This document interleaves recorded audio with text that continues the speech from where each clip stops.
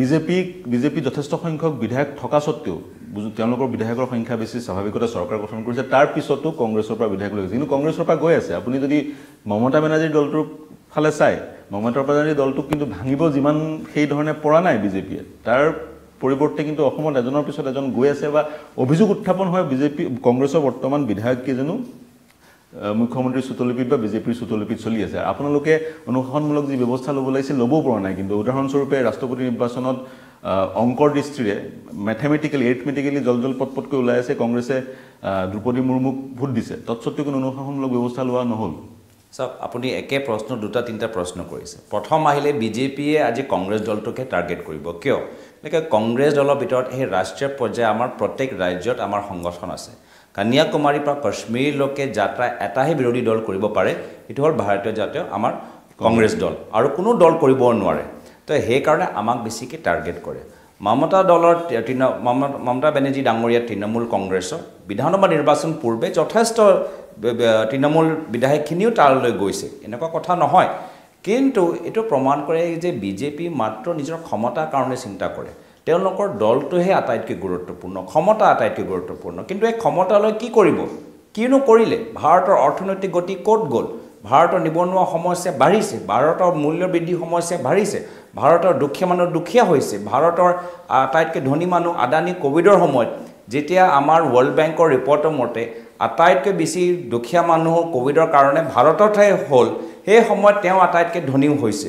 কিয়? গতিকে চৰকাৰৰ কিছুমান ভুল নীতিৰ কাৰণে। সেইকাৰণে আমি যে বাৰম্বাৰ এইখিনি ভুলখিনি আকোলাই দিওঁ সেইকাৰণে আমাক তেওঁলোকে টাৰ্গেট কৰে। য'ত আপোনালোকৰ কথা আহিলে অসমৰ কথা ৰাজ্যসভাৰ কথা হয় আমাৰ দলৰ ভিতৰত আপোনালোকে দেখা পাব। য'ত য'ত আমি তথ্য পাইছোঁ তাত আমি চৌকজ কৰিছোঁ তাত আমি ছাছপেণ্ড কৰিছোঁ তাত আমি এক্সপেলো কৰিছোঁ। কিন্তু তথ্য নথকাৰ কাৰণে যদি আপোনালোকে কৈ দিয়ে বা কোনোবা এজন কৈ দিয়ে অভিযোগৰ ওপৰত আমি এটা সিদ্ধান্ত ল'ব নোৱাৰোঁ। তথ্য সহকাৰে আমি ডাটাখিনি আমি কালেক্ট কৰিছোঁ য'ত আমাক প্ৰয়োজন পৰিছে আমি নিজ নিজে আমি হাইকমাণ্ডক জনাইছোঁ আৰু আমি একশ্যন লৈছোঁ। হয় মই এৰিথমেটিকেলি সেইটো ওলাই সেই গোটেই ফিগাৰটো ওলাই আহিছে কাৰণে আপোনাক মই সুধিলোঁ আপুনি অসম ভাৰতবৰ্ষৰ বিভিন্ন সমস্যাৰ কথা ক'লে। বিজেপি চৰকাৰৰ সেই সমস্যাসমূহ বৃদ্ধি হৈছে। অসমৰ নিজৰ কিছু কিছু সুকীয়া সমস্যা আছে। এতিয়া যদি আজিৰ তাৰিখত মই উদাহৰণ এটা দিওঁ এন এছ পি চিৰ যি ভূস্খলন ভূমিস্খলন সেইটো এটা ডাঙৰ সমস্যাৰূপে এতিয়া উঠি আহিছে আত্মপ্ৰকাশ কৰিছে। কিন্তু কংগ্ৰেছে সচৰাচৰ দেখা যায় প্ৰধান বিৰোধী দল। কংগ্ৰেছ অবিহনে কংগ্ৰেছৰ নেতৃত্ব নহ'লে বিৰোধীও একত্ৰিত হ'ব নোৱাৰে বুলি ৰাজনৈতিক বিশ্লেষকে কয় বা আপুনিও ক'ব। কিন্তু যিটো নেৰেটিভ বিল কৰিব লাগিছিল কংগ্ৰেছে এই যিবোৰ সমস্যাসমূহৰ বিৰোধিতা কৰি ক'ৰবাত নহয় ক'ৰবাত সেই নেৰেটিভটো বিল কৰিব পৰা নাই য'ত যাৰ যাৰ কাৰণে যিসকল যুৱ প্ৰজন্ম ক্ষোভিত হৈ আছে এংগ্ৰি সেইসকল কংগ্ৰেছৰ দললৈ আকৰ্ষিত হোৱা নাই বৰঞ্চ অৰবিন্দ কেজৰিৱালৰ দললৈ আকৰ্ষিত হৈছে। চাওক জনসংযোগৰ লৈ আমি অলপ নতুনকৈ অলপ চিন্তা কৰিব লাগিব। কিয়? ইয়াৰ আগতে বিৰোধী দলৰ যে জন জনসংযোগৰ মূল মাধ্যম আছিলে মিডিয়া। কিন্তু আজিৰ তাৰিখত মিডিয়া মোক সামূহিকভাৱে ক'ব লাগিব অলপ দুৰ্ভাগ্য স্থিতি। যিহেতু তেওঁলোকৰ নিজৰ অৰ্থনৈতিক স্থিতি ইমানেই বেয়া যে চৰকাৰী প্ৰ- প্ৰচাৰৰ ওপৰত চৰকাৰী ইস্তিহাৰৰ ওপৰত নিৰ্ভৰ। আৰু যদি তেওঁলোকে চৰকাৰক প্ৰশ্ন কৰে যি সাংবাদিকতাৰ মূল উদ্দেশ্য তেওঁলোকৰ সেই চৰকাৰী ইস্তিহাৰৰ কৰ্তন হয় দৰমহা তেওঁলোকে দিব নোৱাৰে আৰু তেওঁলোকে বাধ্য হয় যে চৰকাৰৰ প্ৰসংগ তেওঁলোকে কৰক আৰু ওলোটা বিৰোধী দলক তেওঁলোকে প্ৰশ্ন কৰক।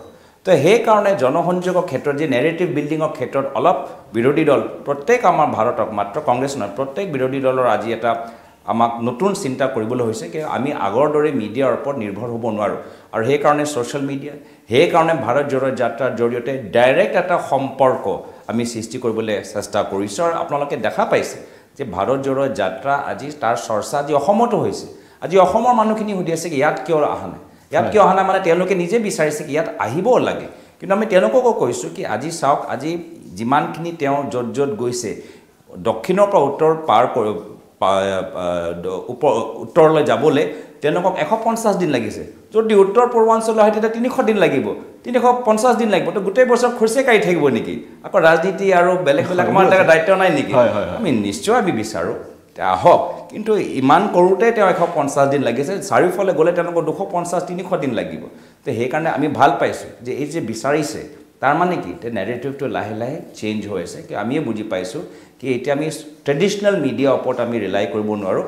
অপজিশ্যনৰ ক্ৰিয়েটিভ হ'ব লাগিব আৰু নতুন মিডিয়াৰ আৰু নতুন প্লেটফৰ্মৰ আমাক সুবিধা ল'ব লাগিব। অপজিশ্যন ক্ৰিয়েটিভ হ'ব লাগিব উদাহৰণস্বৰূপে ছ'চিয়েল মিডিয়াৰ সুবিধা ল'ব লাগিব অন্যান্য মিডিয়াৰ সুবিধা ল'ব লাগিব। আম আদমি পাৰ্টি এটা বিৰো- বিৰোধী দল গুজৰাটত তেওঁলোকে আত্মপ্ৰকাশ কৰিছে কিন্তু সেই দলটোৱে যি মেইন ষ্ট্ৰীম মিডিয়া আপুনি কথা কৈছে সেই মেইন ষ্ট্ৰীম মিডিয়াকো সুন্দৰকৈ ব্যৱহাৰ কৰা পৰিলক্ষিত হৈছে।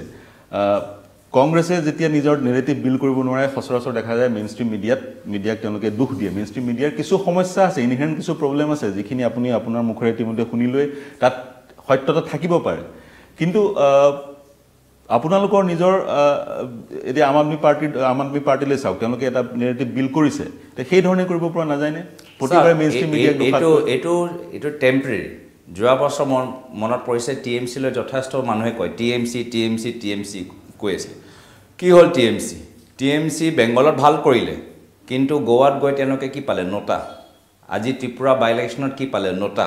অলপ দিন পিছত যেতিয়া ত্ৰিপুৰাত নিৰ্বাচন হ'ব N O' T N O' T এত মানে ভোটে নাপালে। যিমান ভোট পাব লাগে মিনিমাম সেইটোও নাপালে তেওঁলোকে। একে আজি অৱস্থা আম আদমি পাৰ্টি গুজৰাটত হ'বলৈ গৈ আছে আৰু হিমাচল প্ৰদেশত হৈ আছে হ'বলৈ গৈ আছে। তো এইখিনি টেম্পৰেৰী ফ্লেভাৰ কিন্তু আটাইতকৈ যদি মই ভাবোঁ আজিৰ তাৰিখত জীৱিত ৰাজনৈতিক জ্ঞানী আছে মই দুজন নাম লৈছোঁ লালু প্ৰসাদ যাদৱ আৰু শৰদ পাৱাৰ ডাঙৰীয়া। দুয়োজনে কৈছে যে কংগ্ৰেছে বাহিৰে আমাৰ বিৰোধী দলক নেতৃত্ব বা একত্ৰিত কোনো কৰিব নোৱাৰে। তো এইখিনি কথা আম আদমিও জানিব লাগিব কি আমি সকলোৱে একত্ৰিত হ'লেই ৰাহুল গান্ধী ডাঙৰীয়া কংগ্ৰেছ দলৰ নেতৃত্ব হ'লেই আমি আগবাঢ়ি যাব পাৰিম। এইখিনি কথা টি এম চিকো বুজিব লাগিব। কিন্তু আমি বুজাবলৈ চেষ্টা কৰিছোঁ আমি সদায় আমি অ'পেন কিন্তু তেওঁলোকে আমাক সমালোচনা কৰে। সেইকাৰণে আমি নিজৰ কামখিনি কৰি যাম তেওঁলোকে নিজৰ সময়ত নিজে নিজৰ নিজে কথাখিনি যি বুজিব ধৰণে যি ধৰণে চিটুৱেশ্যন এৰাইজ হয় তেওঁলোক আহিব। আপুনি ইয়াতে এটা কথা ক'লে ৰাহুল গান্ধী ডাঙৰীয়াই কংগ্ৰেছৰ নেতৃত্ব লৈ যাওক। গতিকে ডিফেক্ট তেওঁৱে কংগ্ৰেছৰ নেতৃত্ব অনাগত সময় লৈ যাব। আপুনি কৈছে এছেট কিন্তু তেওঁ সেইকাৰণে লৈ যাব নহয় জানো? মল্লিকাৰ্জুন খাৰ্গে দলটোৰ সভাপতি নিশ্চিতভাৱে সভাপতি। আনকালেও গান্ধী নেহৰু পৰিয়ালৰ বাহিৰৰ লোক সভাপতি হৈছিল। উদাহৰণস্বৰূপে অসমৰ যদি কথা কওঁ দেৱকান্ত বৰুৱা ইত্যাদি ইত্যাদি। চ' ডিফেক্ট লিডাৰ ৰাহুল গান্ধীয়ে হৈ থাকিব। চাওক আজি বিজেপি দলৰ সভাপতি কোন? J P Nadda. প্ৰধানমন্ত্ৰী কোন? প্ৰধানমন্ত্ৰী মোদী। গৃহমন্ত্ৰী কোন? গৃহমন্ত্ৰী অমিত শ্বাহ ডাঙৰীয়া। তিনিজনে আজি বিজেপি নেতৃত্বত আছে। অহাবাৰ লোকসভাত নিৰ্বাচনত তেওঁ এক্সটেনশ্যন পালে সেইকাৰণে জে পি নাড্ডা ডাঙৰীয়া সভাপতি হৈ থাকিব। প্ৰধানমন্ত্ৰী মোদী ডাঙৰীয়া মই ভাবোঁ তেওঁ দুবাৰ আকৌ তেওঁ প্ৰধানমন্ত্ৰী প্ৰাৰ্থী হ'ব বিচাৰিব। তো একে কথাত আমাৰ দলৰ সভাপতি মাল্লিকাৰ্জুন খাৰ্গে চাহাব থাকিব আৰু প্ৰধানমন্ত্ৰী হিচাপে আমি সদায় ৰাহুল গান্ধী ডাঙৰীয়াক বিচাৰিম গৌৰৱ গগৈ ডাঙৰীয়া আপুনি এটা কথা ক'লে যিটো এক প্ৰকাৰে যদিও বহুবাৰ কংগ্ৰেছৰ বিভিন্ন প্লেটফৰ্মত কোৱা হৈছে আমাৰ কাৰণে এটা ব্ৰেকিং নিউজ স্বৰূপ হ'ল ৰাহুল গান্ধী ডাঙৰীয়াই কংগ্ৰেছ দলৰ প্ৰধানমন্ত্ৰী কেণ্ডিডেট হোৱাৰ অৱকাশ আছে বা তেওঁৱে হ'বগৈ আৰু বিৰোধী দলসমূহে সেই কথা উপলব্ধি কৰিব লাগিব। কংগ্ৰেছ পৰিয়ালৰ অবিহনে বা কংগ্ৰেছ পৰিয়াল নেতৃত্ব নিদিয়া নিদিয়ালৈকে বিৰোধী একত্ৰিত হ'ব নোৱাৰে। স্বাভাৱিক কথা। মই আকৌ কৈছোঁ যে যদিও আমাৰ সাংগঠনিক নিৰ্বাচন বৰ্তমান হৈ আছে ভাৰত জোৰে যাত্ৰাৰ জৰিয়তে ৰাইজৰ মাজত সাহসৰ এই বাৰ্তা কোনে প্ৰদান কৰিছে? ৰাহুল গান্ধী। প্ৰধানমন্ত্ৰী মোদী ডাঙৰীয়া ডাইৰেক্টলি নাম লৈ কোনে সমালোচনা কৰিছিল ৰাহুল গান্ধী ডাঙৰীয়াই। ৰাহুল গান্ধী ডাঙৰীয়াই নিজে খোজকাঢ়ি আজি ভাৰতৰ যে একত্ৰিত কৰা আজি আমি যাত্ৰাটোক মাত্ৰ আমি দলৰ আমি নিৰ্বাচনলৈ আমি কৰা নাই। ভাৰতৰ ৰাইজ আজি তেওঁলোকক দমন কৰিবলৈ বিচাৰিছে বিজেপি। আজি অসমৰ ভিতৰতো আজি তেওঁলোকক হিতাধিকাৰী এই ৰাজনীতি কৰি কি ক'বলৈ বিচাৰিছে?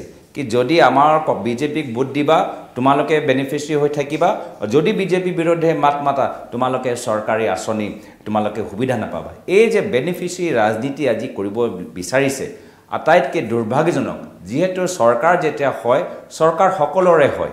চৰকাৰ যিসকলে বিজেপিক ভোট দিলে তেওঁলোকৰে চৰকাৰ।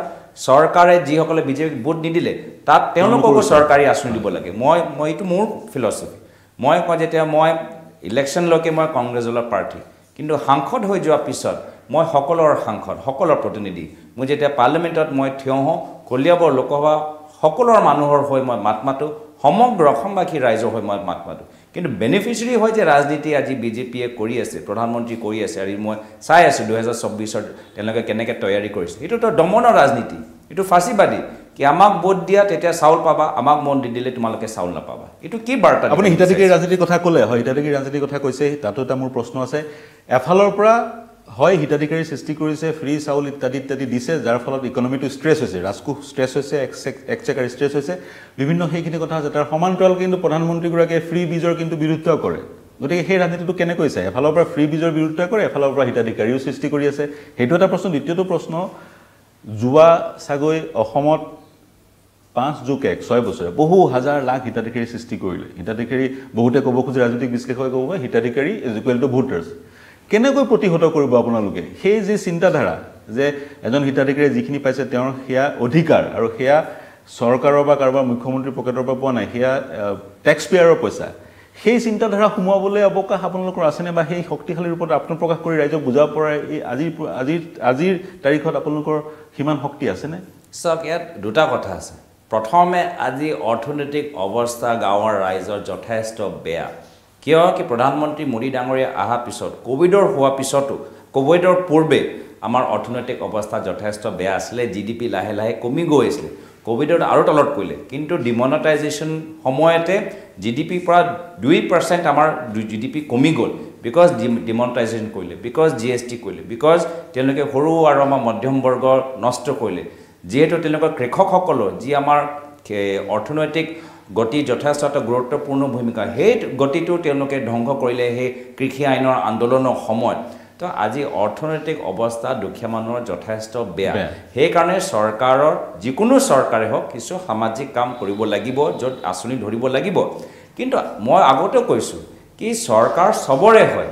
আৰু যদি তুমি আঁচনি লৈ ৰাজনীতি কৰা কি মোক ভোট দিলে মোক ভাল পালে কি তোমাৰ আঁচনি পাবা আৰু বিৰোধী দলৰ সভাত উপস্থিত হ'লে তোমালোকে আঁচনি নাপাবা এইটো আটাইতকৈ ডেঞ্জাৰাছ ফাঁচীবাদী আৰু আগন্তুক দিনত এইটো আমাৰ সাংবিধানিক যে আমাৰ অধিকাৰ ৰাইজৰ যে সাংবিধানিক অধিকাৰ তাৰ ওপৰত এটা ডাঙৰ প্ৰহাৰ। এইখিনি কথা আমি ৰাইজক বুজাব লাগিব যে আজি তেওঁলোকে আপোনালোকক কণ্ট্ৰল কৰিবলৈ বিচাৰিছে। আমাৰ কংগ্ৰেছ দলত যেতিয়া মোৰ পিতৃ প্ৰয়াত মুখ্যমন্ত্ৰী তৰুণ গগৈদেৱ আছিল তেওঁলোকৰ কথা হ'ল যে আমি যে চৰকাৰে ডাঙৰ ডাঙৰ প্ৰজেক্ট কৰে ৰাস্তা বনাব দলং বনাব হস্পিটেল বনাব কিন্তু এইখিনি কামত কাৰ বেছি লাভ হ'ব? কণ্ট্ৰেক্টৰ লাভ হ'ব আৰু কণ্ট্ৰেক্টৰ লগত যিখিনি মানুহে কাম কৰে তেওঁলোকৰ লাভ হ'ব। আমাৰ ডাঙৰ ডাঙৰ কিছুমান কোম্পানী আছে চিমেণ্ট হওক কোক হওক এয়াৰটেল হওক হস্পিটেলিটিত হোটেল হওক তাতো প্ৰায় এশ বা পাঁচশ মানুহ তাত নিযুক্তি পাব। কিন্তু বেছি কিছুমান মানুহে চৰকাৰী চাকৰি তেওঁলোকে সোমাই যাব। কিন্তু বেছিভাগ মানুহে অৰ্থনৈতিকভাৱে মাত্ৰ খালী হিতাধাৰ হিতা হিতাধিকাৰী হৈ থাকিব নে তেওঁলোকৰ নিজৰ উপাৰ্জন কৰিবলৈ কিবা এটা সুবিধা পাব? সেইকাৰণে যিহেতু আমাৰ বিশেষকৈ গ্ৰাম্য অঞ্চলৰ ৰাইজ কৃষিৰ লগত জড়িত বিভিন্ন ধৰণৰ আমি মহিলাৰ জৰিয়তে আমি টেক্সটাইলৰ ওপৰত জোৰ দিছিলোঁ আত্মসহায়ক গোটৰ জৰিয়তে। আৰু কৃষক আমি আধুনিক খেতিৰ ওপৰত জোৰ দিবলৈ আহ্বান জনাই তেওঁলোকৰ যে অৰ্থনৈতিক উপাৰ্জন বৃদ্ধি হয় ঘৰত তেওঁলোকে পইচা কমাবলৈ আৰু সুবিধা পায় তাৰ ওপৰত জোৰ দিছোঁ। কিন্তু সেইখিনি কথা আজি নাই। আজি কৃষক কৃষকসকলৰ লগত লৈ কিবা এটা নতুন চিন্তা নাই। আজি আত্মসহায়ক গোটলৈ কিবা তেওঁলোকৰ উপাৰ্জন বৃদ্ধি হৈ তেওঁলোকৰ প্ৰায়ভাগ চিন্তা নাই। মাত্ৰ এক হাজাৰ টকা দিয়া দুহেজাৰ টকা দিয়া। টকাটো দিয়ক কিন্তু প্ৰশিক্ষণ দিয়ক মাচিনেৰী দিয়ক ইকুইপমেণ্ট দিয়ক মাৰ্কেটত বেচিবলৈ এটা সুবিধা দিয়ক একত্ৰিত হ'বলৈ এটা সুবিধা দিয়ক বেংকৰ পৰা লোন দিয়ক। এনেধৰণৰ যে ইকনমিক থিংকিং নাই। মাত্ৰ বেনিফিচিয়াৰী হিচাপে ইহঁতক ব্যৱহাৰ কৰিছে এইটো যথেষ্ট বেয়া। আৰু এইটো ইহঁতৰ ইকনমিক ভিজন যে বৰ্তমান বিজেপি চৰকাৰৰ নাই। তেওঁলোকৰ ইকনমিক ভিজন হ'ল নিজৰ বাগান হোৱা নিজৰ প্ৰাইভেট স্কুল খোলা। কাৰ নাম লৈছোঁ আপুনি বুজি পাইছে? নিজৰ বাগান নিজৰ ৰিজৰ্ট নিজৰ প্ৰাইভেট স্কুল দুখীয়া মানুহ কোন চৰকাৰী স্কুলত যাব তাৰ কাৰণে চিন্তা নাই। তৃতীয় কথাটো হ'ল কি আমি ৰাইজক কেনেকৈ বুজাম? ৰাইজে নিজে বুজিছে কি আমাক এক হাজাৰ দুহেজাৰ টকা দি আছে জি এছ টি বঢ়াইছে কৰ বঢ়াইছে বাছৰ ভাড়া বঢ়াইছে মেজিক গাঁৱত অহা যোৱা মেজিক মেজিকৰ ভাড়া বঢ়াইছে। স্কুলত এতিয়া তিনিশ টকা দিবলৈ হৈছে। তো এক প্ৰকাৰে চৰকাৰে এক হাতৰ পৰা দিছে দুই হাতৰ পৰা ৰাইজৰ পৰা পইচা তুলিছে। ৰাইজৰ পৰা পইচা তুলিছে। প্ৰিয় দৰ্শক এটা বিৰতি ল'ব লাগিব। বিৰতিৰ পিছত অসমৰ ৰাজনীতিৰ বিষয়ে বা বৰ্তমান অসমৰ চৰকাৰখনৰ পাৰফৰ্মেঞ্চৰ বিষয়ে কিছু কথা পাতিম। তাৰ সমান্তৰালকৈ যি বিতৰ্কৰ সূত্ৰপাত হৈছে কং বিজেপিৰ নতুন ভৱনটোক লৈ। কিছু অভিযোগ কংগ্ৰেছৰ আছে আৰু কংগ্ৰেছেও যি নতুন ভৱনটোক ৰাজীৱ ভৱনটোক পুনৰ নিৰ্মাণৰ এক প্ৰচেষ্টা চলাইছে সেই বিষয়ে দুটা কথা দুটামান কথা গগৈ ডাঙৰৰ পৰা জানিব বিচাৰিম কিন্তু এই মুহূৰ্তত মই ল'ব লাগিব বাণিজ্যিক বিৰতি শীঘ্ৰে ঘূৰি আহিম। সাধাৰণ ষ্টীল এনেকৈ পৰে মাইথন ষ্টীল এনেকৈ পৰে ধমকৈ।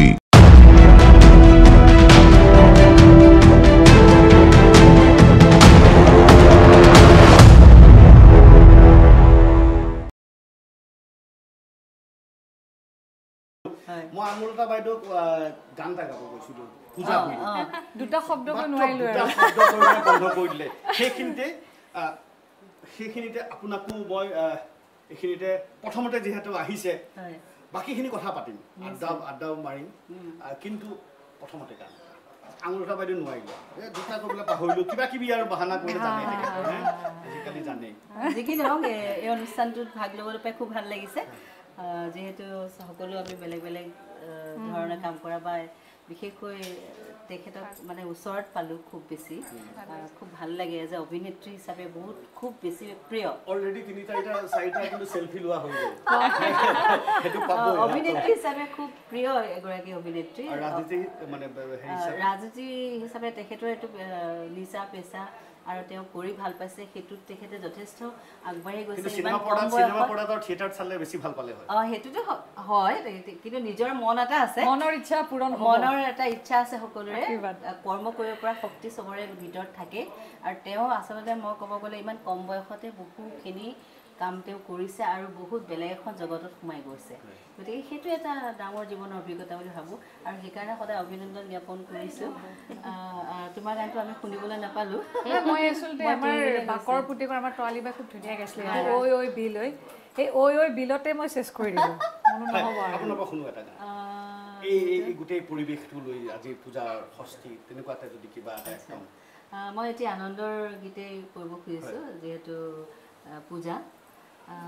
সেইটো মানে গোৱালপৰীয়া লোকগীত এটি য'ত আমাৰ এই পূজাত খুব ইজনে সিজনক কি পিন্ধিছে কি নাই চাই বা ভাল লাগে আনন্দৰ এটা উ- উত্থান পতন হৈ থাকে। গতিকে তেনেকুৱা এটা গীতে আছে খুব আনন্দৰ। কি বন্ধুৰ বাৰীতে তাল গাছে ধুলে হেঁচকা শীতে কি যারে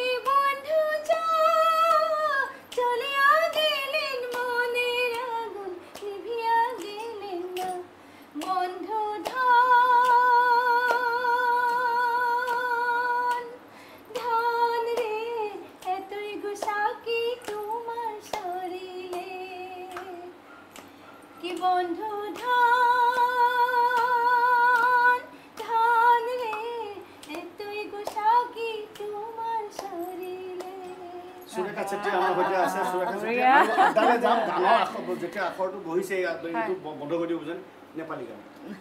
পূজা বুলি নেপালী আপোনালোকৰ নেপালী সমূহ সমুদায়ৰ মাজত কিন্তু পূজা দুৰ্গা পূজাটো খুব ডাঙৰ উৎসৱ এটা। হয় হয় হয় পূজা বুলি। আহ, তাৰ আগতে সকলোকে দুৰ্গা পূজাৰ শুভেচ্ছা জনালোঁ। লগতে খুব ভাল লাগিছে বাক পাই আৰু জিনাবাক বহুত দিনৰ মূৰত পাইছোঁ।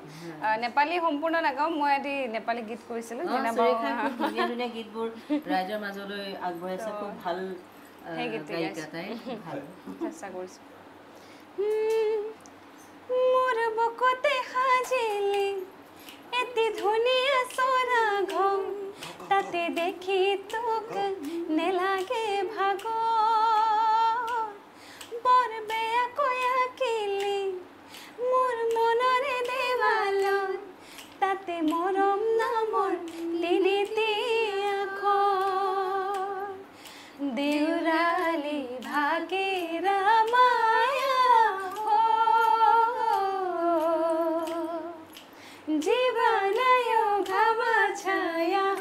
হো আমার মাটি আমার রাস্তা আমার গাড়ি কুমার ইলেকট্রিক রিক্সা चले ज्यादा अच्छी कमाई का वादा Kumar Engineering, exceeding expectations.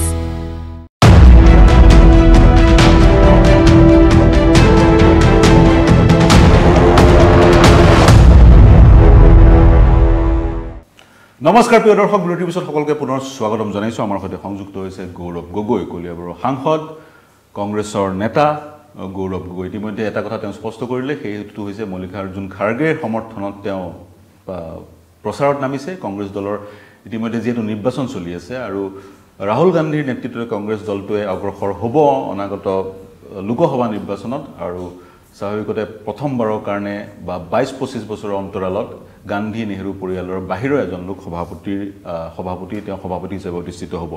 সেইবোৰ কথা পাতিম কিন্তু অসমৰ প্ৰসংগলৈ আহিব বিচাৰিছোঁ। বৰ্তমানৰ যিটো পলিটিক্স অফ ৰিলিজন পলাৰাইজেশ্যনৰ পলিটিক্স বুলিও কয় বা তেনেধৰণৰ পলিটিক্স অফ ৰিলিজন যদিও আগতে আছিলে বৰ্তমান অসমৰ দৃশ্যপটটো আপুনি কেনেদৰে বিশ্লেষণ কৰে? মাদ্ৰাছাবোৰ ভঙা হৈছে মাদ্ৰাছা ভঙাৰো এটা এটা- কাৰণ আছে মুখ্যমন্ত্ৰীয়ে তাৰ বিশ্লেষণ ব্যাখ্যা কৰে মাদ্ৰাছাসমূহত এই মৌলবাদী শক্তিসমূহে মাদ্ৰাছাসমূহক ব্যৱহাৰ কৰে বা মছজিদসমূহক ব্যৱহাৰ কৰে য'ত য'ত ব্যৱহাৰ কৰা হৈছে সেইবোৰত ভঙা হৈছে। কিন্তু আন এটাও বিশ্লেষণ আছে পলিটিক্স অফ ৰিলিজনৰ এক সূচনা কৰা হৈছে বা আগতেই সূচনা কৰা হ'ল আপুনি কিদৰে বিশ্লেষণ কৰে গোটেই প্ৰেক্ষাপটটো? চাওক আমাৰ দল সংবিধানৰ ওপৰত বিশ্বাস কৰে।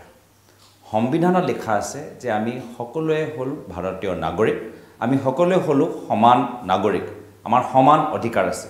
হিন্দুৱে হওক মুছলিম হওক খ্ৰীষ্টিয়ান হওক এথিয়েষ্ট হওক আমাৰ সকলো সমান অধিকাৰ আছে। সেইটো আমি বিচাৰোঁ। কিন্তু বিজেপি যিদৰে আপোনালোকে তেওঁলোকৰ চাব বাঞ্চ অফ থটছ তেওঁলোকৰ যে যি কিতাপৰ পৰা তেওঁ আদ তেওঁ জন্ম লৈছে বিজেপি দলৰ চিন্তাধাৰা জন্ম লৈছে তাতে তেওঁলোকে উল্লেখ কৰিছে খ্ৰীষ্টিয়ানৰ বিৰুদ্ধে তেওঁলোকে কথাখিনি কৈছে মুছলিম ৰিলিজনৰ বিৰুদ্ধে তেওঁলোকে কথাখিনি কৈছে কমিউনিষ্টৰ বিৰুদ্ধে তেওঁলোকৰ কথাখিনি কৈছে। সেই বঞ্চ অফ থটছতে আজি বিজেপি বৰ্তমানৰে ৰাজনীতি যিদৰে চলাই আছে আৰু গোটেই সেই বঞ্চ অফ থটছৰ চবৰ মই প্ৰকাশ কৰিবলৈ বিচাৰোঁ কি ধৰণৰ কঠোৰ বাৰ্তা তাত ব্যক্ত কৰা হৈছে। তো সেইকাৰণে এইটো আমাৰ দেশৰ কাৰণে যথেষ্ট। আমাৰ আমাৰ কাৰণে সাংঘাতিক এটা পৰিৱেশ। যিহেতু আমি সকলোৱে বিচাৰোঁ শান্তিত থাকিবলৈ মিলা প্ৰীতিত থাকিবলৈ। আমি বিচাৰোঁ যাৰ ওপৰত অত্যাচাৰ হওক অত্যাচাৰৰ পৰা ৰক্ষা কৰিব লাগে। এই হিন্দুৱে হওক মুছলিমেই হওক খ্ৰীষ্টিয়ানেই হওক শিখ হওক। যে আমাৰ এইটো হ'ল আমাৰ কংগ্ৰেছ দলৰ ইতিহাস। যেতিয়া বাংলাদেশত সেই সময়ত ৱেষ্ট পাকিস্তান ইষ্ট পাকিস্তানত যেতিয়া বঙালী হিন্দুৰ ওপৰত যেতিয়া অত্যাচাৰ চলি আছে। আমাৰ কংগ্ৰেছ চৰকাৰ সেনা বাহিনী পঠাই বঙালী হিন্দুসকলক ৰক্ষণা দিলে। যেতিয়া আমি দেখিছোঁ যে কোকৰাঝাৰত দুটা কমিউনিটিৰ মাজত এতিয়া সংঘাত সৃষ্টি হৈছে আমি দুটাই পক্ষ লৈ আমি তেওঁলোকৰ মাজত মিলা প্ৰীতি হোৱাটো বিচাৰোঁ। তো সেইকাৰণে উত- উত্তৰ পূৰ্বাঞ্চল অসম ভাৰত আজি সকলোৱে পৃথিৱীয়ে ভাৰতক স্বীকৃতি দিয়ে কি এনেকুৱা এটা দেশ এশ কোটি ওপৰত দেশ য'ত ইমান ধৰ্ম বৰ্ণ ভাষা মানুহখিনি বসবাস কৰে একত্ৰতেতো কেনেকৈ থাকিলে? কোনোৱে ভবা নাছিলে যে ভাৰত স্বাধীন হৈ যোৱাৰ পিছত একত্ৰিত হৈ থাকিব। ভাবিছিলে উত্তৰ ভাৰত বেলেগ হৈ যাব উত্তৰ পূৰ্বাঞ্চল ভাৰত বেলেগ হৈ যাব।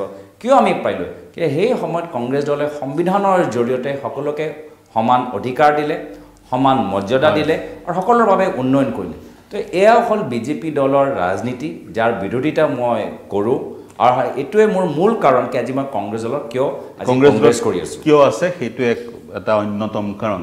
কিন্তু কথাটো হৈছে এটা সময় আছিলে ৰাজনৈতিক নেতাসকলে বা প্ৰধানমন্ত্ৰী মুখ্যমন্ত্ৰী বা সাংবিধানিক পদবীত থকা লোকসকলে তেওঁলোকে ৰাজহুৱাভাৱে তেওঁলোকৰ ধৰ্মটো উপাসনাৰ ৱেটো ৰাজহুৱাভাৱে তেওঁলোকে ডিছপ্লে নকৰিছিলে। কিন্তু আজিৰ তাৰিখত ৰাজনৈতিক দৃশ্যপট এনেধৰণৰ হৈ গৈছে সকলো ৰাজনৈতিক দলে ৰাজহুৱাভাৱে ৰাজনৈতিক দলৰ নেতাই ৰাজহুৱাভাৱে তেওঁলোকৰ উপাসনাৰ ৱেটো প্ৰকাৰটো ডিছপ্লে কৰে।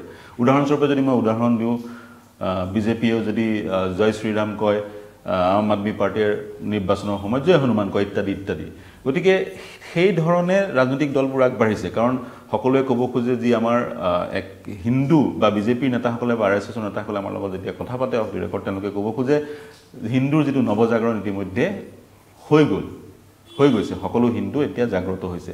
এই প্ৰেক্ষাপটত বি- কংগ্ৰেছ দলে সেই ধৰ্মনিৰপেক্ষতাৰ কথাটো দোহাই দি দি কিমান দূৰ ৰাজনৈতিকভাৱে আগবাঢ়িব পাৰিব? আপুনি ৰাজনৈতিকভাৱে বিশক- বিচক্ষণ ৰাষ্ট্ৰীয় ৰাজনীতিৰ সৈতে জড়িত হৈ আছে সেইকাৰণে মই এইটো প্ৰশ্ন সুধিছোঁ। চাওক মই অসমৰ কথাই কওঁ। প্ৰয়াত মুখ্যমন্ত্ৰী তৰুণ গগৈদেৱ তেওঁ নামঘৰলৈ যায় গীৰ্জাঘৰলৈ যায় মছজিদলৈ যায় গুৰুদ্বাৰলৈ যায়।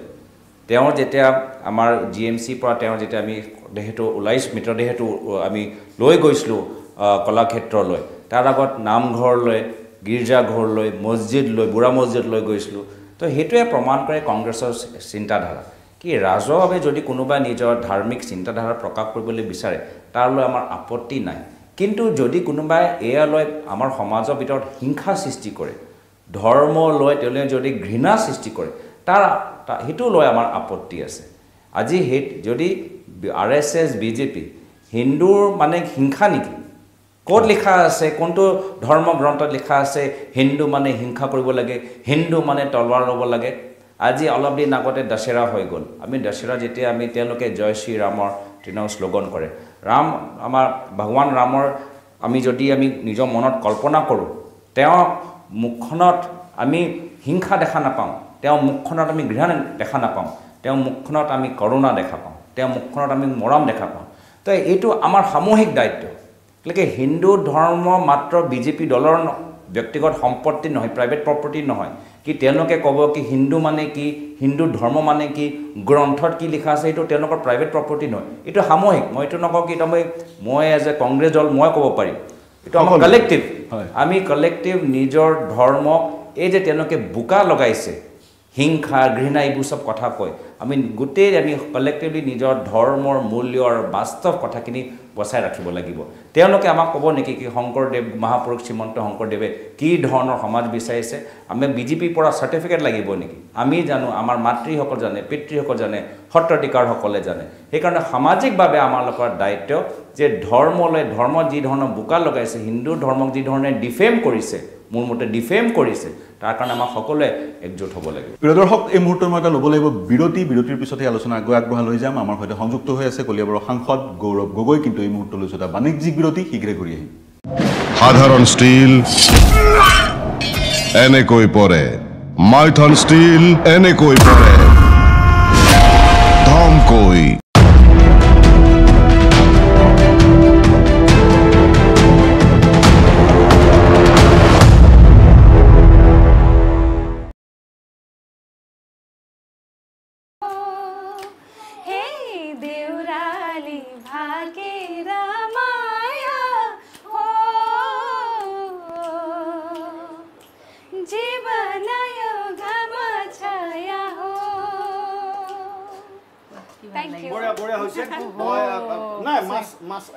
ৰ'বহে গানে।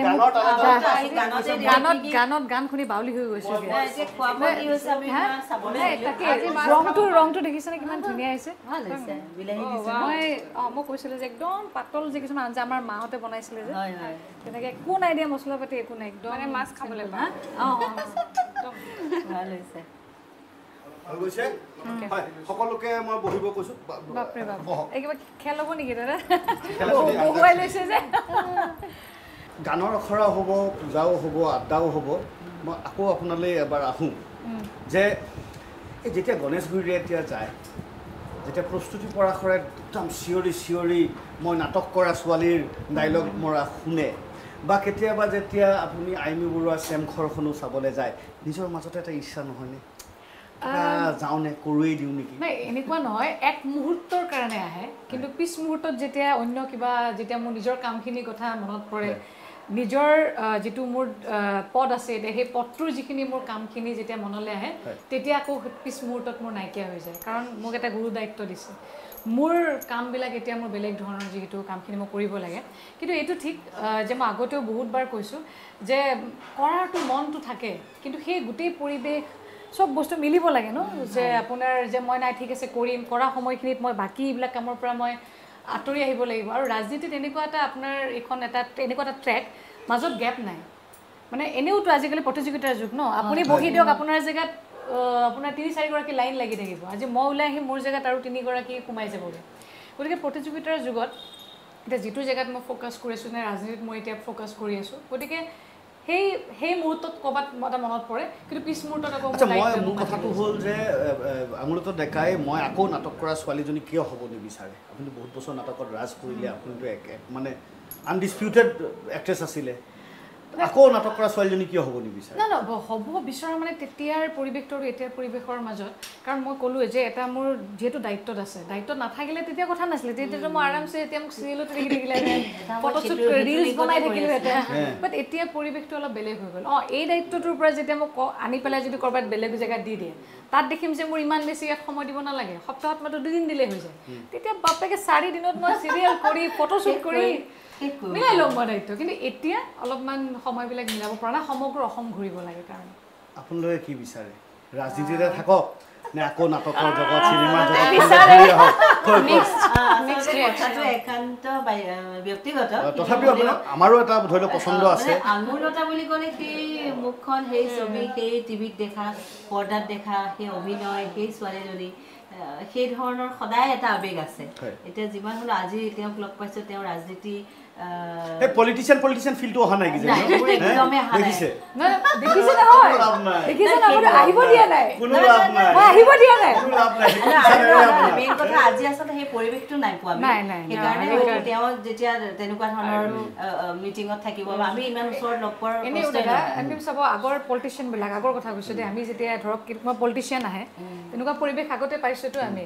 পলিটিচিয়ান বুলি কাৰণে কোনোবা অহাৰ লগে লগে আহিব আহি একদম ভৰি উঠাই পেলাই অঁ মই মানে অমুক এনেকুৱা কয়। সেই পৰিৱেশটোবিলাক মই নিজেও দেখা পাইছোঁ নিজৰ ৰাজনীতিক ক্ষেত্ৰখনত সেই পৰিৱেশবিলাক নাইকিয়া হৈছে। মুখ্যমন্ত্ৰী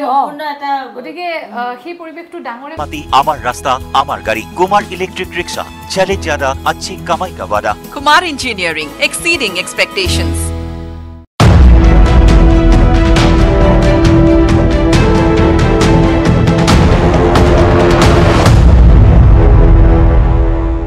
নমস্কাৰ প্ৰিয় দৰ্শক বিৰতিৰ পিছত সকলোকে পুনৰ স্বাগতম জনাইছোঁ আমি। এই অনুষ্ঠানৰ শেষৰটো খণ্ডত উপনীত হৈছোঁ। আমাৰ সৈতে সংযুক্ত হৈ আছে কলিয়াবৰৰ সাংসদ গৌৰৱ গগৈ। আৰম্ভণিতে আমি কৈছিলোঁ ইণ্ট্ৰডাকশ্যনতে আমি কৈছিলোঁ আমি এক এনে এক খণ্ডিখনত গৌৰৱ গগৈ ডাঙৰীয়াক পাইছোঁ। তেওঁ আমাক সময় দিছে তেওঁক ধন্যবাদো জ্ঞাপন কৰিছোঁ। তেওঁ সময় দিছে যিটো সময়ত কংগ্ৰেছত নিৰ্বাচন হ'বলৈ গৈ আছে সভাপতি নিৰ্বাচন হ'বলৈ গৈ আছে। তেওঁলোকে দাবী কৰিছে কংগ্ৰেছ দলৰ যি ইণ্টাৰনেল ডেম'ক্ৰেচি ইণ্টাৰনেল ডেম'ক্ৰেচিৰ ক্ষেত্ৰত ই এক নতুন আশাৰ সূচনা কৰিব নতুন দিগন্তৰ সূচনা কৰিব দলটোৰ কাৰণে আৰু তাৰ সমান্তৰালকৈ গান্ধী নেহৰু পৰিয়াল যিহেতু এছেট দলটোৰ কাৰণে অথবা দেশৰ কাৰণে তেওঁলোকৰ মাৰ্গদৰ্শন দলটোৱে লৈ থাকিব বা তেওঁলোকৰ নেতৃত্বতে দলটো আগবাঢ়ি যাব। হিন্দু ধৰ্মক আপুনি ডিফেম কৰিছে বুলি ভাবে আপুনি ৰেফাৰেঞ্চ দিলে আপোনাৰ পিতৃ প্ৰয়াত তৰুণ গগৈ ডাঙৰীয়াৰ তেওঁ প্ৰাক্তন মুখ্যমন্ত্ৰী তেওঁৰ অষ্টাশীতম জন্মদিন হৈ গৈছে। আমি তেওঁক এই সুযোগতে শ্ৰদ্ধা জ্ঞাপন কৰিছোঁ। প্ৰিয় দৰ্শক তৰুণ গগৈ ডাঙৰীয়া এনে এজন মুখ্যমন্ত্ৰী আছিল যিজন মুখ্যমন্ত্ৰীয়ে।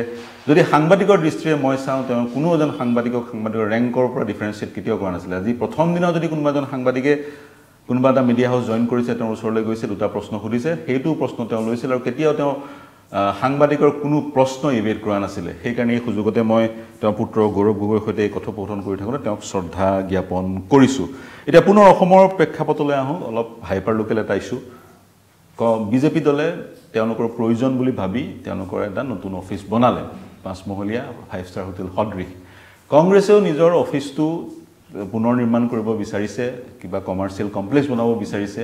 কিমান প্ৰয়োজন এইবোৰ? আপোনালোকে ৰাইজৰ ওচৰলৈ গৈ ৰাইজক সজাগ কৰাৰ প্ৰয়োজন নে ঘৰ বনাই থকা প্ৰয়োজন বা এই ধৰণৰ যি ধৰণৰ কংগ্ৰেছ আৰু বিজেপিৰ বাকযুদ্ধ চলি থাকে এই বাকযুদ্ধৰ মাজত সংবাদ মাধ্যমেও ব্যস্ত হৈ পৰে আৰু যি মূল বিষয়সমূহ সমস্যাসমূহ কেতিয়া কেতিয়াবা সংবাদ মাধ্যমৰ পৰা আঁতৰি যায় বুলি দোষাৰোপ আপোনালোকেই কৰে।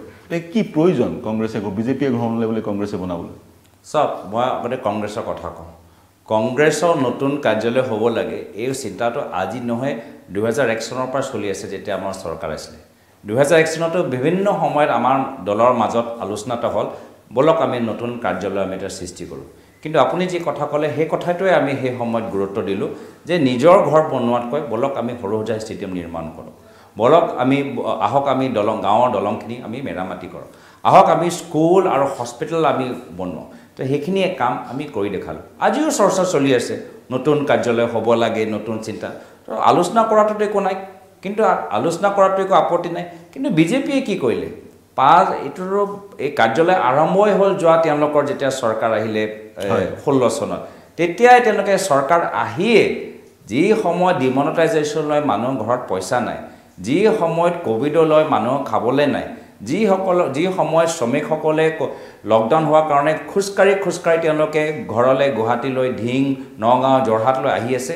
সেই সময়ত বিজেপি নিজৰ পইচা সংৰক্ষণ কৰি তেওঁলোকে কাৰ্যালয় বনালে। তা আমি কি কৰিলোঁ ক'ভিডৰ সময়ত? আমিও নিজৰ দলৰ ফলৰ পৰা আমি পইচা তুলি আমি মানুহৰ ৰে'লৰ ভাড়া দিলোঁ বাছৰ ভাড়া দিলোঁ খাবলৈ সুবিধা দিলোঁ। বাছৰ আৰু ৰে'লৰ ভাড়া প্ৰথম আৰম্ভ কৰিছিলেহে কংগ্ৰেছ দলে প্ৰিয়ংকা গান্ধী ডাঙৰীয়াৰ নেতৃত্বত ৰাহুল গান্ধী ডাঙৰীয়াৰ নেতৃত্বত। তো সেইটো মই ভাবোঁ যথেষ্ট লজ্জাজনক কথা কি এই যে ক'ভিডৰ মাজত যে তেওঁলোকে বিজেপিয়ে ধন একত্ৰিত কৰি দুখীয়া ৰাইজক দিয়াতকৈ আজি গুৱাহাটীত আজি হাতীগাঁও ফালে যাব তাত পানী কিমান হৈছে মানুহ খোজকাঢ়িবলৈ জেগা নাই। সেই কামত লগোৱাতকৈ নিজৰ দলৰ কাৰ্যালয় ফাইভ ষ্টাৰ হোটেলত বনাইছে। সেইটোৱে দেখাইছে তেওঁলোকৰ ক্ষমতা প্ৰতি লোভ আৰু সেইটো মোৰ কাৰণে আচৰিত কথা হ'বলৈ কথা নহয়। কি স্বাধীনতা সংগ্ৰামৰ পৰা বৰ্তমানলৈকে এই দলটোক সদায় নিজৰ দলৰ এই প্ৰাথমিকতা দিয়ে। দুখীয়া মানুহক মাত্ৰ ভোট বেংক হিচাপে হিতাধিকাৰী হিচাপে তেওঁলোকে ব্যৱহাৰ কৰে। হিতাধি হিচাপে ব্যৱহাৰ কৰে। মই এতিয়া আপোনাৰ সমষ্টিৰ কথা সুধোঁ কলিয়াবৰ সমষ্টি আপোনাৰ সমষ্টি ইতিমধ্যে আপুনি ক'লে কলিয়াবৰৰ পৰা আপুনি সাংসদ হৈ আহিছে কাৰণ তাৰ অৰ্থটো হৈছে কলিয়াবৰৰ প্ৰতিজন লোকৰ আপুনি প্ৰতিনিধি সংসদত প্ৰতিনিধি বা সাংসদ যি পুঁজি আহে সেয়া সকলোৰে কাৰণে আহে। সেইটো এক কথা মই কিন্তু অনাগত দুহেজাৰ চৌবিছ চনৰ নিৰ্বাচনক লৈ আপোনাক সুধিব বিচাৰিম। পেপাৰে পত্ৰ পঢ়িবলৈ পাইছোঁ আপুনিও চাগৈ পাইছে। এতিয়া বিজেপিৰ দৃষ্টি হৈছে বাৰখনৰ বাৰখন আসন দখল কৰা বা চৈধ্যখনৰ চৈধ্যখন আসন দখল কৰা। গতিকে তেওঁলোকে কুচকাৱাজ চলাইছে আপোনাৰ সমষ্টিটো। আমিও পঢ়িবলৈ পাইছোঁ কেন্দ্ৰীয় মন্ত্ৰী সৰ্বানন্দ সোণোৱাল যদিহে এইবাৰ আপুনি কলিয়াবৰৰ পৰা প্ৰতিনিধি প্ৰতিদ্বন্দ্বিতা কৰে তেওঁ আপোনাৰ অপজিট পাৰ্টি বিজেপিৰ পৰা তেওঁ প্ৰতিদ্বন্দ্বিতা কৰিব। গতিকে আপুনি কেনেদৰে চায় সমষ্টিটো আপুনি ৰক্ষা কৰিব পাৰিবনে বা কেনেদৰে আগবাঢ়িব? চাওক মই নিজৰ ৰাজনীতি বেলেগ দলে কি ধৰণৰ ৰাজনৈতিক কৌশল কৰি আছে সেই তেওঁলোকৰ ওপৰত নিৰ্ধাৰিত নকৰোঁ। বিজেপি কি কৰি আছে অগপই কি কৰি আছে ইউ ডি এফ কৰি আছে এই বিষয়ে লৈ মই বেছি চিন্তা নকৰোঁ। মই জানো যে কলিয়াবৰ লোকসভা সমষ্টিত মানুহখিনি উন্নয়নৰ ক্ষেত্ৰত কি বিচাৰে। মই জানো যে আজি মই কাৰোবাক যদি সহায় কৰিব পাৰোঁ স্কুল বা হস্পিটেললৈ সেইজন মানুহ ক'ত আছে? মই জানো কি যদি আমাৰ দলৰ মানুহে বিচাৰে ক'ৰবাত এটা সভা লৈ আমি কিছু ৰাজনৈতিক কথাখিনি পাতোঁ সেইখিনি ক'ত কৰিব লাগে? তো মোৰ লক্ষ্যটো স্পষ্ট মই ৰোডমেপটো স্পষ্ট। মোৰ ৰোডমেপটো মাত্ৰ এই লোকসভালৈকে নহয় মোৰ ৰোডমেপটো অহা আমাৰ এছেম্বলি ইলেকশ্যনলৈকে মোৰ ৰোডমেপটো স্পষ্ট। মোৰ মিছ সেইকাৰণে কৈছোঁ মোৰ মিছনটো হ'ল বিজেপিক লোকসভাত বিদায় দিয়া পিছত গৈ অসমত বিজেপি বিধানসভাত ইয়াৰ পৰা বিদায় দিয়া। বিজেপিৰ লোকসভাক বিদায় দিয়ে। ইয়াতে ইউ ডি এফৰ আকৌ প্ৰসংগটো উত্থাপন কৰিব লাগিব যদিহে ইউ ডি এফে কেণ্ডিডেট দি দিয়ে। আৰু যিহেতু মাইনৰিটিসকলে ভবা হয় বা তেনেধৰণৰ ৰাজনৈতিক বিশ্লেষকসকলে কয় মাইনৰিটিসকল বিভক্ত কাৰণ ইউ ডি এফৰ আত্মপ্ৰকাশ হ'ল। ইউ ডি এফো সোমাই দিয়ে আৰু মাইনৰিটিসকল তেতিয়া আপোনাৰ সমষ্টিটো বিভক্ত হৈ পৰিব। তেনে সময়ত ৰাজনৈতিক অংকত কিবা আউল লাগিব পাৰে নেকি? চাওক মই আকৌ কৈছোঁ কি বেলেগ দলে কি কৰে সেই ভিত্তিত মই নিজৰ ৰাজনীতি নকৰোঁ বা ৰাজনৈতিক কৌশল তেওঁলোকৰ ৰণকৌশলৰ ওপৰত নিৰ্ধাৰিত নকৰিব নকৰোঁ মই। মই কৈছোঁ মোৰ মিছনটো হ'ল বিজেপিক বিদায় দিয়ে। এ আই ডি এফ এই মিছনত মোৰ বাধা দিবলৈ বিচাৰিছে বা সমৰ্থন দিবলৈ বিচাৰিছে সেইটো তেওঁলোকক নিজে চিন্তা কৰিব লাগিব তেওঁলোকক সিদ্ধান্ত ল'ব লাগিব। কিন্তু আজি বহুত ফেক্টৰ আছে। আমাৰ কলিয়াবৰ লোকসভা সমষ্টি এটা এটা কসমপলিটেন আপোনালোকে এনেকৈ এটা যেতিয়া কথাখিনি কয় মানুহৰ এটা ভুল চিন্তাধাৰা হয়। মোৰ কলিয়াবৰ লোকসভা এটা মিনি আছাম। তাত বাগান আছে আদিবাসী আছে খ্ৰীষ্টিয়ান আছে অসমীয়া বঙালী tribal Karbi minority Hindi speaking Bihari চব আছে গোৰ্খা চব আছে। সকলোৰ নিজৰ নিজৰ সমস্যা সকলো নিজৰ নিজৰ আশা সকলো নিজৰ নিজৰ সপোন আৰু কংগ্ৰেছ দল মই ভাল পাওঁ যে আমি সকলোকে আমি নিজৰ মঞ্চত আহি এটা স্থান দিওঁ মৰ্যাদা দিওঁ। আহ, যি ধৰণে উপস্থাপন কৰা হয় মাইনৰিটিসকলৰ সমৰ্থনত আপুনি ওলাই আহিলে বা মাইনৰিটিসকলৰ মাইনৰিটিসকল ডিচাইচিভ সেইটো নহয় আপুনি সেইটো ক'ব বিচাৰিছে। নহয় আমি চবৰে ভোট নাপালে আমি কেনেকৈ পাৰ হ'ব পাৰোঁ? এতিয়া মই মোৰ নিজৰ লোকসভা নিৰ্বাচন চাব দুহেজাৰ ঊনৈছ চনত আমি নন মাইনৰিটি অঞ্চলতো আগৰ নিৰ্বাচনতকৈ আমি বেছি ভোট পাইছোঁ। তো যদি এনেকুৱা এটা যি ধৰণৰ বিজেপিয়ে তেওঁলোকে ভাল পাৰফৰ্ম কৰিব পৰা নাই আজি কি ক'বলৈ বিচাৰে? কি বিজেপিয়ে কি কয় তেওঁলোকৰ যদি অৰ্থনৈতিক পাৰফৰ্মেঞ্চ ভাল হ'লেহেঁতেন তেওঁ চব ফালৰ পৰা ভোট পালেহেঁতেন। মাইনৰিটি অঞ্চলতো তেওঁলোকে ভোট পালেহেঁতেন। নন মাইনৰিটি অঞ্চলতো ভোট পালেহেঁতেন। যদি তেওঁলোকে ইকনমিৰ ওপৰত জোৰ দিলেহেঁতেন। যদি তেওঁলোকে দুখীয়া মানুহৰ ঘৰটো ভালকৈ চলে তাৰ ওপৰত জোৰ দিলেহেঁতেন সকলোৱে তেওঁক ভোট দিলেহেঁতেন। কিন্তু নোকোৱা নকৰাৰ। কাৰণে আজি চব ফলত তেওঁলোকৰ ভোটটো কমিছে বা যিমান তেওঁলোকে ভাবিছে তাতকৈ যথেষ্ট কম তেওঁলোকে পায়। যথেষ্ট কম তেওঁলোকে পায় মানে পাব। দুহেজাৰ চৌবিছ চনত তেওঁলোকৰ ফলাফল বেয়া হ'ব আপুনি ক'ব তেওঁলোকে যিমান ভাবিছে তাতকৈ কমেই হ'ব। কম পাব। আৰু এই আৰু এটা ইয়াৰ মাজতে সুধি থাকোঁ ৰাহুল গান্ধীৰ এই অসমলৈ ভাৰত জোৰৰ যাত্ৰা তেওঁ কন্যাকুমাৰী কাশ্মীৰ অসমলৈ অহা পৰিকল্পনা আছেনে? মই আকৌ কৈছোঁ কি এইটো ফেজত যদি আমি তেওঁক অসমলৈ আনো তেতিয়া তেওঁ গোটেই বছৰে খোজকাঢ়ি থাকিব। আৰু পাৰ্লিয়ামেণ্ট তেওঁলোকে যাবলৈ সুবিধা নাপাব কোনো নিৰ্বাচনত ঘৰ যাবলৈ সুবিধা নাপাব যদি এনেকৈ কৰে। কিন্তু হয় বহুতে কৈছে যে আমাৰ এইফালেও আহিব লাগে। আমি এইখন যাত্ৰাটো সম্পূৰ্ণ হৈ লওক তাৰপিছত নিশ্চয় আমি এটা কি কয় আমাৰ মহাৰাষ্ট্ৰৰ পৰা বা গুজৰাটৰ পৰা আমি আহ, নাগালেণ্ড লৈ এটা উত্তৰ পূৰ্বাঞ্চললৈ অহা আমি ব্যৱস্থা নিশ্চয় তাৰ বাবে আমি চিন্তা কৰিম। আমি এইবাৰ পাতিব বিচাৰিম অসমৰ কথা অসমৰ কথা হাইপাৰ লোকেল নহ'লেও অসম চৰকাৰখনৰ কথা। বিভিন্ন কাম চৰকাৰখনে কৰা পৰিলক্ষিত হৈছে আপাত দৃষ্টিত এপাৰেণ্টলি পৰিলক্ষিত হৈছে চাকৰি যিমান দিম বুলি দাবী কৰিছে এই চাকৰি দিয়া হৈছে বা যিখিনি কাম কৰিছে সেইখিনি লাউডলি তেওঁলোকে ৰাইজক জনাইছে। আৰু এখন চৰকাৰ হিচাপে যিহেতু গভৰ্ণেন্স টু কণ্টিনিউৱাছ প্ৰচেছ যি কিছু কাম কৰিবই লাগিব। আপুনি কেনেকৈ কেনেদৰে মূল্যায়ন কৰে? চাওক মই প্ৰথমে চাওঁ যে অসমত বহুত এতিয়া বৰ্তমানত নতুন সমস্যা মই দেখা পাইছোঁ যি আগতে ইমান নাছিলে পূৰ্বতে ইমান নাছিলে। যেনে? প্ৰথম হ'ল এটা ক্ৰাইম আজি মই দেখিছোঁ কি মায়ানমাৰ আমাৰ নেইবাৰিং কাণ্ট্ৰি মায়ানমাৰ তেওঁলোকৰ ধৰণৰ যি পলিটিকেল ইনষ্টেবিলিটি এতিয়া মায়ানমাৰ পৰা আমি দেখা পাইছোঁ কি বহুত ট্ৰেফিকিং বাঢ়ি গৈছে। তো ড্ৰাগছৰ ট্ৰেফিকে কওক আৰ্মছ ট্ৰেফিকিঙে কওক হিউমেন ট্ৰেফিকিঙৰ কথাই কওক এনিমেল প্ৰডাক্টছৰ ট্ৰেফিকিংখিনি কওক তো আমাৰ অসম এটা ৰুট হৈ গৈছে য'ৰ পৰা বহুত ট্ৰেফিকিং চলি আছে। বাহিৰৰ পৰা বস্তুখিনি অসমৰ জৰিয়তে মায়ানমাৰলৈ গৈছে। মায়ানমাৰৰ পৰা বিভিন্ন সামগ্ৰী অবৈধ সামগ্ৰীখিনি আমাৰ আহি আছে। সেইটো লৈ যে এটা গোটেই এটা ক্ৰাইমৰ যে এটা ইকনমি বেছড হৈ আছে সেইটো লৈ আমাক যথেষ্ট চিন্তিত চিন্তিত।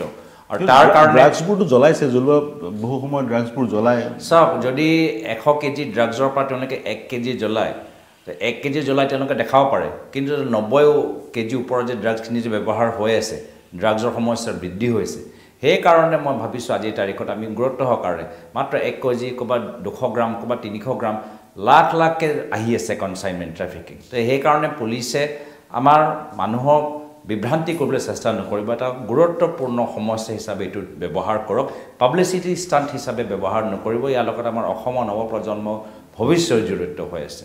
দ্বিতীয়টো আমাৰ সমস্যাটো হ'ল ক্লাইমেট লৈ।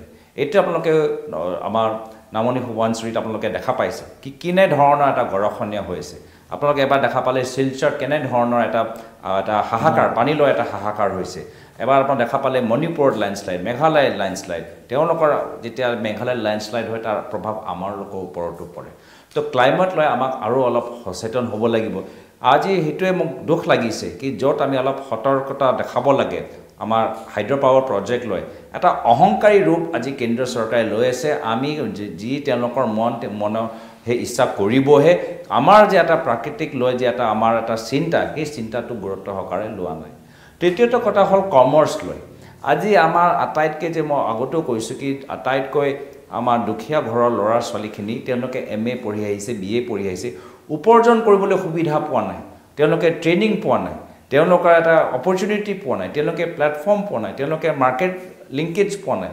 তো এতিয়া এটা যে ইকনমি আমি কংগ্ৰেছৰ দিনত যি এটা ছাষ্টেইন কৰিলোঁ agriculture rural base economy S S G base economy যে আমি এটা তাৰ ফাউণ্ডেশ্যন আধাৰশিলা সৃষ্টি কৰিলোঁ তেওঁলোকক আৰু আগুৱালৈ যাবলৈ কাৰণে কোনো পৰিকল্পনা নাই। আৰু কেন্দ্ৰীয় চৰকাৰ ৰাজ্য চৰকাৰৰ যিখিনি আঁচনি অৰ্থনৈতিকভাৱে যিখিনি নীতি লৈছে যথেষ্ট এটা সমস্যা।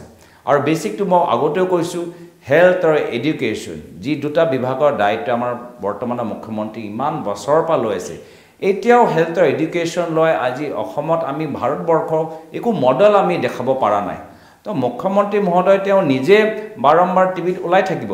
ৰাহুল গান্ধী ডাঙৰীয়াক সমালোচনা কৰি মাদ্ৰাছৰ ওপৰত বুলডোজাৰ চলাই তেওঁ নিজৰ প্ৰচাৰ চলি আছে কিন্তু অসমৰ কিবা এটা ভাল কথা যে আমি দেশত দেখাব পাৰোঁ এনেকুৱা এটা কথা যোৱা ছটা বছৰত আমি দেখাবলৈ আমি সুবিধাই নাই। ৰাহুল মই মই দুটা কথা প্ৰথমটো মই ক্লাইমেটৰ কথাও সুধিম কিন্তু ৰাহুল গান্ধীক সমালোচনা বাৰম্বাৰ মুখ্যমন্ত্ৰীগৰাকীয়ে কৰা দেখা যায় সেই পুৰণি বিস্কুটৰ কথা কয় কুকুৰৰ কথা কয় পোহনীয়া কুকুৰৰ কথা কয় বাৰম্বাৰ এটা সুযোগো নেৰে। ভাৰত জোড়ো যাত্ৰাৰ যথেষ্ট সমালোচনা কৰিছিল মুখ্যমন্ত্ৰীগৰাকীয়ে।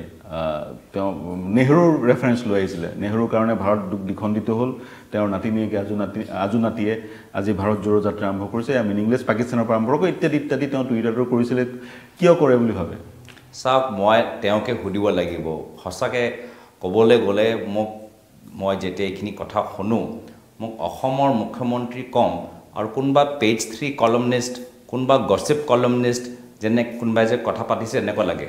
ৰাহুল গান্ধী ডাঙৰীয়া কুকুৰক কি খোৱালে? ৰাহুল গান্ধী ডাঙৰীয়া ক'ত দৌৰিবলৈ যায়? ৰাহুল গান্ধী ডাঙৰীয়া ক'ত ফুৰিবলৈ যায়? এইবোৰ চব যে পেজ থ্ৰী গছিপ তো অসমৰ মুখ্যমন্ত্ৰীজন অসমৰ মুখ্যমন্ত্ৰী পদত যেতিয়া বহি আছে অলপ মৰ্যাদা সহকাৰে কথাখিনি পাতিব লাগে। পেজ থ্ৰী কলমনিষ্ট যেনেকৈ পাতিব নালাগে। তেওঁ পেজ থ্ৰী কলমনিষ্ট কিয় হ'বলৈ বিচাৰে? ব্যক্তিগত তেওঁলোকৰ গছিপবিলাকে ওলাই থাকে হয়তো তেওঁকে সুধিব। আজি যদি কিবা সমালোচনা কৰিব লাগে নীতিৰ ওপৰত কৰক। আজি ৰাহুল গান্ধী ডাঙৰীয়া কওকচোন আজি কোন আজি তেওঁ যে আজি ভাৰত এটা আমাৰ সমগ্ৰ এটা ইউনিয়ন অফ ষ্টেট এটা সুন্দৰ আমাৰ সংবিধানত যে লিখা আছে বাৰম্বাৰ যে আমাক সেইটো মনত পেলাই দিছে যে আমি কোনো ৰাজ্যক আমি টেকেন ফৰ গ্ৰাণ্টেড ক'ব নোৱাৰোঁ। আজি আমাৰ অসমৰ মিচিং বড়ো জনগোষ্ঠী আদিবাসী আমি টেকেন ফৰ গ্ৰাণ্টেড আমি হিন্দুত্ব ক'লে মানে আমি বড়োৰ তেওঁলোকৰ জনগোষ্ঠী জনজাতি একো মৰ্যাদা নাই। মৰাণ মটকৰ কোনো জনজাতিৰ কৰণৰ একো মৰ্যাদা নাই। এনেকুৱা এটা ব্যৱহাৰ নহ'ব। আমি সকলোকে আমি ক্ষমতা বিকেন্দ্ৰীকৰণ কৰাৰ আমি চেষ্টা কৰিব লাগে। তো এইখিনি যে আদৰ্শ বাৰম্বাৰ ৰাহুল ডাঙৰীয়া উল্লেখ কৰি থাকে মই ভাবোঁ প্ৰধানমন্ত্ৰী মোদী ডাঙৰীয়াৰ কাৰ্যালয়ৰ পৰা প্ৰত্যেক বিজেপি মুখ্যমন্ত্ৰী প্ৰত্যেক বিজেপি কেন্দ্ৰীয় মন্ত্ৰীলৈ এটা স্ক্ৰিপ্ট গুচি যায় এটা টেক্সট গুচি যায় কি আজি তোমালোকে ৰাহুল গান্ধী ডাঙৰীয়া হৈ এই কি কয় এইখিনি কথা তেওঁলোকে বিৰুদ্ধে ক'বা।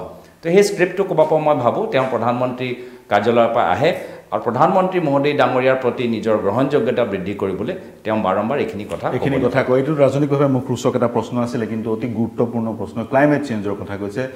কংগ্ৰেছে নহয় বিগত সময়ত কিন্তু কোনো ৰাজনৈতিক দলে ক্লাইমেট চেঞ্জটোক গুৰুত্ব সহকাৰে লোৱা দেখা নাছিল। মই উদাহৰণ যদি দিওঁ মেনিফেষ্টত কাৰো ক্লাইমেট চেঞ্জ গছ কটা এফৰেষ্টেশ্যন ডিফৰেষ্টেশ্যন এইবোৰ কথা উল্লেখ নকৰে কিন্তু অসমে এইবাৰ ফিল কৰিছে ৰিয়েলাইজ কৰিছে। যি ধৰণে বান বৰষুণ হৈছে যি ধৰণে বানপানী হ'ল শিলচৰৰ বানপানী বা আপাৰ আছামত এতিয়াও আপুনি মন কৰিব কণ্টিনিউৱাছ বৰষুণ। আপোনাৰ নাৱনী সোৱণশিৰি জলবিদ্যুৎ প্ৰকল্পত যোৱা চৌবিছ ছেপ্টেম্বৰৰ পৰা সন্মুখৰ যি গেৰুকামুখ পাহাৰ সেইটো থুনুকা যিহেতু পাহাৰটো ফ্ৰেজাইল হয় ভাঙি ভাঙি আহি আছে। এই কংগ্ৰেছৰ কিবা ভিজন প্লেন কি আছে? কাৰণ বিজ্ঞানীসকলে কয় এক ডিগ্ৰী চেলচিয়াছ যদি টেম্পাৰেচাৰ বাঢ়ে টেন পাৰ্চেণ্ট ৰেইনফল বাঢ়িব। তেনে যদি হ'বলৈ হয় বা তাতে যদি আকৌ ডেম এটাৰ ওপৰত এটা বনাই থাকে ডেম কিন্তু সেই কংগ্ৰেছৰ সময়ৰ পৰা বা তাৰ আগৰ পৰা বনাবলৈ আৰম্ভ হৈছিল। গতিকে মই এটা মানে হলিষ্টিক এটা ভিউ আপোনাৰ পৰা জানিব বিচাৰিছোঁ। আপুনি যুৱ নেতা যুৱ প্ৰজন্মক আকৰ্ষণ কৰে ক্লাইমেট চেঞ্জৰ বিষয়ে যুৱ প্ৰজন্ম আজিকালি তেওঁলোকো শংকিত। কি ভিজন চাওক মই যোৱা নিৰ্বাচনত মই নিজৰ দলৰ মেনিফেষ্টো ইনচাৰ্জ আছিলোঁ। মই নিজৰ মেনিফেষ্টতে ফৰেষ্টেশ্যনৰ কথা কোৱা আছিলোঁ। ফৰেষ্ট অসমৰ ফৰেষ্ট কাভাৰেজ যে বৃদ্ধি কৰিব লাগে সেইখিনি কথা মই উল্লেখ কৰিছোঁ। এজ এ পাৰ্লিমেণ্টেৰিয়ান অলপ দিন আগতে আমাৰ বায়'ডাইভাৰ্চিটি বিলৰ ওপৰতো চৰ্চা হ'ল। তাতো মই কথাখিনি উল্লেখ কৰিছোঁ যে আমাৰ অসমত আৰু উত্তৰ পূৰ্বাঞ্চলত যথেষ্ট বায়'ডাইভাৰ্চিটি আছে। সেই বায়'ডাইভাৰ্চিটিখিনি আমাক সংৰক্ষণ কৰিব লাগিব। আজি ৱাইল্ড লাইফৰ কথা কওঁ মই কৈছোঁ যে আজি অলপ দিন আগতে মই কথা পাতি আছিলোঁ যে আজি আমাৰ সমগ্ৰ অসমলৈ যিমানখিনি পৰ্যটকসকল আহে চব কাজিৰঙালৈ যায়। যাৰ ফলত কাজিৰঙাৰ বন্যপ্ৰাণীৰ ওপৰত যথেষ্ট এটা হেঁচা এটা পৰি আছে। আজি আমি বিচাৰিছোঁ কি কাজিৰঙালৈ যাওক কিন্তু মানসলৈ যাওক ডিব্ৰু চাইখোৱালৈ যাওক আৰু আমাৰ এটা অলপ নিয়ন্ত্ৰণ কৰিব লাগিব। পৰ্যটকসকলৰ যদি আমি ৱাইল্ড লাইফৰ যি আমাৰ যি উদ্যানলৈ যায় যদি আমি পৰ্যটকসকলৰ সংখ্যা নিয়ন্ত্ৰণ নকৰোঁ তেতিয়া এটা সময়ত আমাৰ গোটেই ইক'ছিষ্টেমটো বেয়া হৈ যাব। তো এটা টুৰিজিম পলিচিত মই মানে টুৰিষ্ট কেনেকৈ আমি ৰিষ্ট্ৰিক্ট কৰিব পাৰোঁ তাৰ ওপৰতো মই অলপ দিন আগতে মই কেন্দ্ৰীয় চৰকাৰলৈ এই পৰামৰ্শ দি দিছোঁ কিন্তু এই চেগতে ক'ব লাগিব কি য'ত আমি ৱাইল্ড লাইফৰ কথা কওঁ মোক অলপ দুখ লাগিলে যে অসমৰ মুখ্যমন্ত্ৰী যি কাজিৰঙাত আমি কওঁ যে আমি বন্যপ্ৰাণীসকলক আমি সন্মান কৰিব লাগে তেওঁ ৰাতি এজন সদগুৰু জগী বাসুদেৱ ডাঙৰীয়াৰ লগত যে চাফাৰী কৰি যি এটা বেলেগ বেয়া উদাহৰণ অসমৰ ৰাইজলৈ দিলে এতিয়া তেওঁক অনুকৰণ কৰি বহুত যুৱকসকলে ৰাতি পিকনিক খাবলৈ কাজিৰঙালৈ যাব বহুত এম এল এ মন্ত্ৰীসকলে ডি এফক হেঁচা দিব কি আমাকো সোমাবলৈ দিয়ক? হ'ব পাৰে চবে কেমেৰা লৈ নাযাব। কিন্তু গোটেই পৰিৱেশ যে তেওঁ এটা বেয়া উদাহৰণ দিছে মই ভাবিছোঁ তেওঁ অলপ ভুল হ'ল এই ভুলটো স্বীকাৰ কৰিব লাগে। ভুল চবৰ পৰা হয় মোৰ পৰা হ'ব পাৰে। কিন্তু মানুহ সৰু হৈ না- নাযায় যে তেওঁ নিজৰ ভুলটো স্বীকাৰ কৰে। সেইটো থাকিলে climate change N H P C প্ৰকল্পটোৰ কথা। নাই এন এইচ পি চিটো মই কৈছোঁ আজি যি ধৰণৰ ইৰ'জন হৈছে যি ধৰণৰ লেণ্ডশ্লাইড হৈছে আজি ক্লাইমেট চেঞ্জৰ আটাইতকৈ বেছি প্ৰভাৱ পৰিছে ৰেইনফল ওপৰত। আজি ৰেইনফল এটা সময়ত বৰষুণ আমাক গোটেই বছৰত আমি গম পাওঁ কি জুলাই মাহত কিমান হ'ব আগষ্ট মাহত কিমান হ'ব ছেপ্টেম্বৰ মাহত কিমান হ'ব। কিন্তু আজি ক্লাইমেট চেঞ্জ হোৱাৰ কাৰণে বৰষুণ যি গোটেই তিনি তিনি মাহত যিমান বৰষুণ হ'ব লাগে একেদিনত পৰি যায়। আৰু তাৰ হেঁচাটো পাহাৰৰ ওপৰত পৰে। আৰু আমাৰ চইলটো খুব ছফ্ট তো সেইকাৰণে আমি large hydro project power project লৈ ৰাছ কৰিব নালাগে হেষ্টি হ'ব নালাগে। মই এতিয়াও চৰকাৰক কৈছোঁ এইটো নতুন তথ্য নতুন পেটাৰ্ণ অহাৰ পিছত they should not be in a rush to implement lower Subansiri project study the soil power আমাক লাগে কিন্তু এই পাৱাৰত at the cost of what কাইলৈ গৈ যদি ডেমেজ হয় ডিজাষ্টাৰ হয় তাৰ হেঁচাটো কাৰ ওপৰত পৰিব। আৰু সেইকাৰণে বানপানীৰ ওপৰতো মই যথেষ্ট মই গুৰুত্ব দিওঁ। যে যিসকল আমাৰ মানুহ আজি এ, বানপানী অঞ্চলত আছে বসবাস কৰে বা গৰাখহনীয়া হৈছে। গৰাখহনীয়া লৈ আমি নতুন এটা টেকন'লজি নতুন চিন্তাধাৰা কৰিব লাগিব। কিন্তু আকৌ ইয়াত মই ক'বলৈ বিচাৰিছোঁ যে কেন্দ্ৰীয় চৰকাৰৰ এটা সময়ত ভাল এটা ফ্লাড মেনেজমেণ্ট প্ৰগ্ৰাম জৰিয়তে এটা বহল এটা প্ৰকল্প আছিলে। কিন্তু আজি তাৰিখত সেইটো নাই। ফ্লাড মেনেজমেণ্ট প্ৰগ্ৰে প্ৰজেক্ট লৈ যি আমি ten year plan fifteen year plan আমি ল'ব পাৰোঁ ফ্লাড মেনেজমেণ্টৰ ক্ষেত্ৰত। সেই আঁচনিটো বন্ধ কৰিলে আৰু খন্তেকীয়া শ্বৰ্ট টাৰ্ম এই মথাউৰিখিনি কামহে বৰ্তমানৰ চৰকাৰ। মথাউৰি মথাউৰিয়ে বানপানী নিয়ন্ত্ৰণ কৰিব নোৱাৰে বুলি বিশেষজ্ঞই বহুবাৰ কৈছে। গগৈ ডাঙৰীয়া এটা বহুত বৰ সুন্দৰ পৰামৰ্শ দিছে কাজিৰঙা বা অসমৰ ৱাইল্ড লাইফ প্ৰটেকশ্যনৰ ক্ষেত্ৰত সচৰাচৰ দেখা যায় কাজিৰঙালৈ টুৰিষ্ট যায়। এই টুৰিষ্ট যদি ডিভাইড হৈ যায় অন্য কেইখন ৰাষ্ট্ৰীয় উদ্যান বা চেংচুৰীত তেতিয়া সুফল পোৱা যাব। বানপানীৰ কথা পাতি আছিলোঁ গগৈ ডাঙৰীয়া এটা প্ৰশ্ন মই সুধিবই লাগিব পাঁচ বছৰত বানমুক্ত Assam home minister of India union home minister Amit Shah কথাটো হৈছে তাৰ লগতে আৰু এটা কথা কোৱা হৈছে পঁসত্তৰ বছৰে কংগ্ৰেছে বান নিয়ন্ত্ৰণ কৰিব নোৱাৰিলে আৰু এতিয়া পাঁচ বছৰত বানমুক্ত অসম যেনেকৈ দুৰ্নীতিমুক্ত অসম হ'ল বা কংগ্ৰেছমুক্ত অসমৰ কথাও তেওঁলোকে কয় ভাষণত এতিয়া বানমুক্ত অসম। কেনেকৈ ৰিয়েক্ট কৰে আপুনি? এইটো পোন্ধৰ লাখ টকাতকৈ বেছি ডাঙৰ জুমুলা গৃহমন্ত্ৰী অমিত শ্বাহ ডাঙৰীয়াই ক'লে। যি সময়ত বানপানী আছিলে সেই সময়ত কিয় নাহিলে? সেই সময়ত আমাক কিয় নুবুজালে কি বান বানপানীমুক্ত অসম কেনেকৈ কৰিব? যেতিয়া শিলচৰত মানুহে পানী খাবলৈ সুবিধা পোৱা নাছিলে হোটেলত গৈ থাকিছিল মৃতদেহখিনি ঘৰতে আছিলে সেই সময়ত গৃহমন্ত্ৰী কিয় নগ'ল? আজি ভোট বিচাৰিবলৈ কাৰ্যালয় উদ্ঘাটন কৰিবলৈ আহি একে সেই পুৰণা শ্লোগানটো ব্ৰ'কন ৰেকৰ্ড জৰিয়তে শুনাই থাকিব। কিন্তু যি সময়ত অসমত বানপানী হ'ল হ'ব পাৰে অসমো নালাগে যি সময়ত মণিপুৰত লেণ্ডশ্লাইডত মানুহ মৰিলে যেতিয়া মেঘালয়ত লেণ্ডশ্লাইড হ'ল এবাৰো আহিব নোৱাৰিলে। নিয়ম আমাক বুজাওক অধ্যয়ন কৰক নিজে চাবলৈ আহক। বানপানী সময়ত কেতিয়াও অহা নাই আকৌ আমাকে বানপানীমুক্ত অসমৰ জুমলা ক'বলৈ আহিছে। এইটো অসমৰ ৰাইজক অপমানিত কৰা মই ভাবিছোঁ এটা ব্যৱহাৰ। এনেধৰণৰ জুমলা কৰা সাহস ক'ৰ পৰা পালে বিজেপি দলে মই সেইটোৱে মোৰ প্ৰশ্ন। সাহস ক'ৰ পৰা পালে। আৰু এটা প্ৰশ্ন গৌৰৱগৈ ডাঙৰীয়া আপোনাক কৰিব বিচাৰিম। পুনৰ কংগ্ৰেছলৈ ঘূৰি আহোঁ আকৌ নৱপ্ৰজন্মৰ কথা। নৱপ্ৰজন্মত আক- আকৰ্ষিত যিহেতু ভাৰতবৰ্ষ নৱপ্ৰজন্মৰ দেশ য়াং কাণ্ট্ৰি পঁয়ত্ৰিছ বছৰৰ তলৰ জনসংখ্যাই সৰ্বাধিক আৰু তেওঁলোক ডিচাইচিভ হৈ পৰিছে। আৰু মোদী ডাঙৰীয়াই নৰেন্দ্ৰ মোদী দেশৰ প্ৰধানমন্ত্ৰী হওঁতে তেওঁ বাৰম্বাৰ এইটো কথা কৈছে। চামহাও তেওঁ যিটো কৌশলগত যি পদক্ষেপ লৈছিলে যুৱ সমাজ সেই সময়ত চাগৈ দুহেজাৰ চৈধ্য চনত আকৰ্ষিত হৈছিলে যাৰ ফল বিজেপিয়ে পালে। আপুনি মোক কেইটামান বিন্দু কওক পইণ্ট কওক যাৰ পৰা কংগ্ৰেছ দলৰ কংগ্ৰেছ দললৈ যুৱ প্ৰজন্ম আকৰ্ষিত হ'ব? চাওক ক- যুৱক কেতিয়াও নিয়ন্ত্ৰণ হ'বলৈ নিবিচাৰে। যুৱকক স্বাধীনতা লাগে। আজি এই স্বাধীনতা বিজেপি দলে কৰ্তন কৰিবলৈ বিচাৰিছে। কাৰ লগত মিত্ৰতা কৰিব লাগে? দিল্লীত এজন সাংসদে কৈছে কিছুমান এলেকাত গৈ দোকানৰ পৰা খৰিদ কৰিব নালাগে। আজি তেওঁলোকে কৈছে কি তোমালোকে এনে মহিলা ছা- ছাত্ৰীখনে কৈ ক'বলৈ বিচাৰিছে তোমালোকে এইটো কাপোৰ পিন্ধা এইটো কাপোৰ নিপিন্ধিবা। তো যুৱকক তুমি তোমালোকে কেতিয়াও নিয়ন্ত্ৰণ কৰিব নোৱাৰা। যদি ইয়াৰ আগত যিমান আমাৰ সামাজিক আন্দোলন চিভিল ছ'চাইটি আন্দোলন চোৱা তাৰ নেতৃত্ব সদায় যুৱকসকলে লয়। ভাৰতৰ স্বাধীনতা সংগ্ৰামৰ নেতৃত্ব যুৱকসকলে ল'লে। তো সেইকাৰণে মই আশাবাদী যিহেতু কংগ্ৰেছে সদায় ক্ষমতা বিকেন্দ্ৰীকৰণৰ কথা কয় ক্ষমতাই সদায় অধিকাৰৰ কথা কয়। বিজেপি কি কয়? কৰ্তব্য। কি তোমালোকৰ কৰ্তব্য হ'ল বিজেপি দলৰ মতে কামখিনি কৰা। কিন্তু আমি কৰ্তব্য কথা নকওঁ আমি অধিকাৰ আমি ৰাইজৰ হাতত অধিকাৰ দিবলৈ বিচাৰোঁ। সেইকাৰণে ভোট দিয়া অধিকাৰ সেইকাৰণে শিক্ষাৰ অধিকাৰ সেইকাৰণে খাদ্য অধিকাৰ। অনাগত দিনত আমি পাৱাৰৰ অধিকাৰ দিবলৈ বিচাৰোঁ।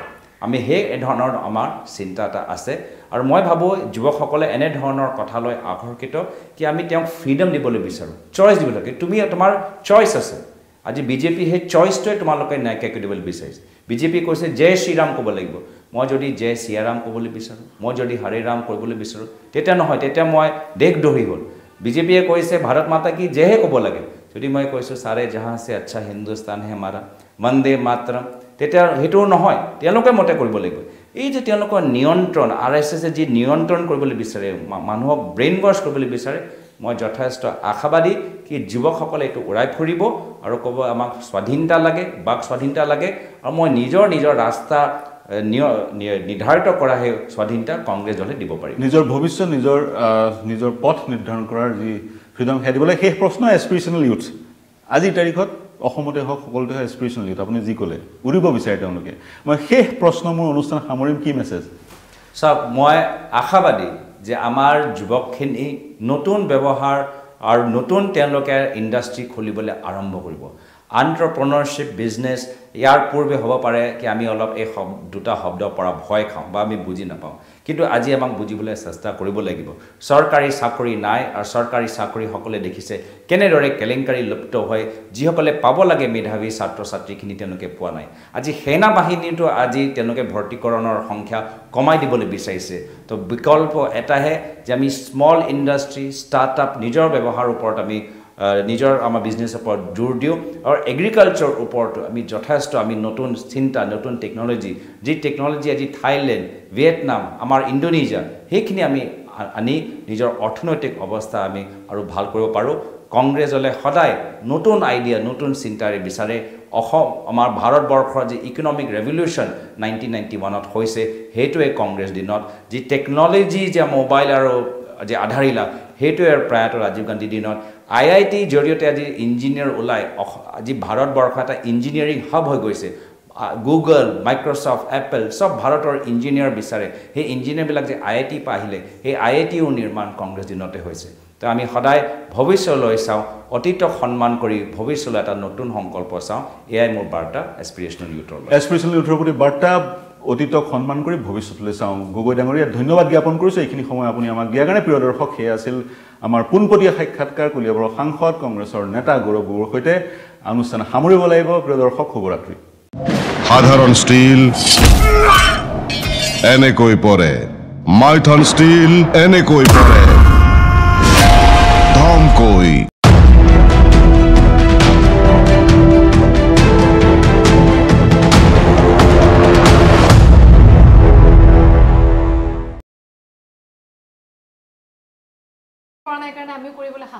বা অহাও নাই মনলৈ যে এনে অমুকে এনেকে কৰি আছে মই কিয় এনেকুৱা কৰিম? গতিকে সেই পৰিৱেশটো নাই কাৰণে আজি ইয়াত আহিছো এটা বেলেগ ধৰণৰ অভিনেত্ৰীক পাইছো নিচিনাই খুব বেছি লাগিছে। একেবাৰে লাগি লাগিছে নিজৰ এজনী ভণ্টিক লগ পোৱা বা কিন্তু ৰাজনীতিবিদ হিচাপে তেওঁৰ এটা সুকীয়া জেগা আছে। সেই আস- আসনখন তেওঁৰ কাৰণে বেলেগ। আমি সেই আসনখন আমি ল'বও নোৱাৰো বা তেওঁৰ ওচৰত আমি তেনেকে হঠাতে আমি যাবও নোৱাৰো বহুত নীতি নিয়ম থাকে। কিন্তু আজি ইমান গভীৰ ওচৰত আমি পাইছো গতিকে আমাৰ সেই অনুৰোধ এই- এইটো মাছো আছে খাবলৈ। ঘৰুৱা মাছো আছে খাবলৈ। এই সেইটো আছেই লগতে। আচ্ছা এটা কথা মই আপোনালোকক সুধোঁ। প্ৰথমতে তাৰ আগত মই কথা এটা কৈ লওঁ দাদা হা?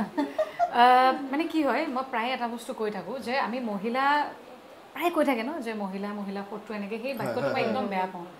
কিন্তু মানে মোক? সুধিছে একদম নহয় দাদা। হে? একদম নহয়।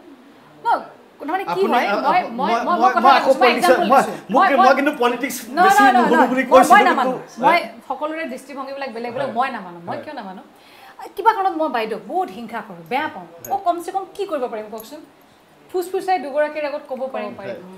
ক'ৰবাত গৈ পেলাই মই তেওঁক ক'ব ক'ব পাৰিম অমুকক কওঁ তমুকক ক'ম কিন্তু তেখেতৰ যিটো ভাগ্যত আছে তেখেতৰ যিটো প্ৰতিভা আছে তেখেতৰ যিটো ভাল চিন্তাখিনি আছে সেইখিনিতো মই আপোনাৰ পৰা কাঢ়ি আনিব নোৱাৰিম। পাৰিম জানো? চ' মহিলা মহিলা শত্ৰু নহয়। মোৰ দৃষ্টিভংগীত নহয়। মই বাইদেউ আজি ভাল লাগিছে। মই অহাৰ পৰাও হওক বা ইয়াতেই হওক তেখেতে ইমান ধুনীয়াকৈ কৈছে। মই খুব মানে কি হৈছোঁ মই প্ৰেৰণা পাইছোঁ। গতিকে সাংস্কৃতিক ক্ষেত্ৰখনত থকা মানুহখিনি সেইটো এটা বহুত ডাঙৰ এটা কোৱালিটি যে পটককৈ ধৰক আহি বা ৰাইজৰ মাজত থকা মানুহখিনি ৰ'ব দাদা ইমান ধুনীয়াকৈ কৈছে মোৰ ভাল লাগিছে। মই আজি বাইদেউক ময়ো প্ৰথম পাইছোঁ। মোৰ ভাল লাগিছে সেইখিনি কোৱাৰ কাৰণে। থেংক ইউ ধন্যবাদ। আপোনাৰ কিবা এনেই হেৰি আছে নি? এই কিবা বিশেষ গান মানে আছেনে পচন্দৰ গান? এইটো গালে মই নাই মই বাইদেউক সুধিম বুলি ভাবি আছিলোঁ বহি? থাকোঁতে যে বাইদেউ আপুনি কোনটো এনেকুৱা গান আছে যিটো গান মানে আপুনি গাই নিজে ভাল পায় নিজৰ গান? সেইটো গান ৰাইজে- কৈ গাই যথেষ্ট মৰম দিছে। এইটো গান ঠিক আছে মই গুণগাই দিছোঁ।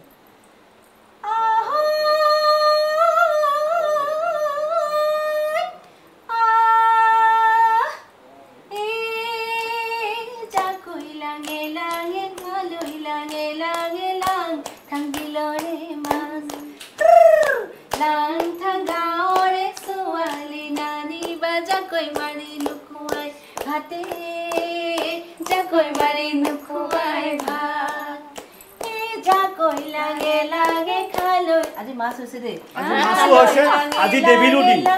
আজি দেৱীৰো দিন। গাঁৱৰে ছোৱালী নানিবা জাকৈ মাৰি নোখোৱাই ভাতে জাকৈ মাৰি নোখোৱাই ভাত।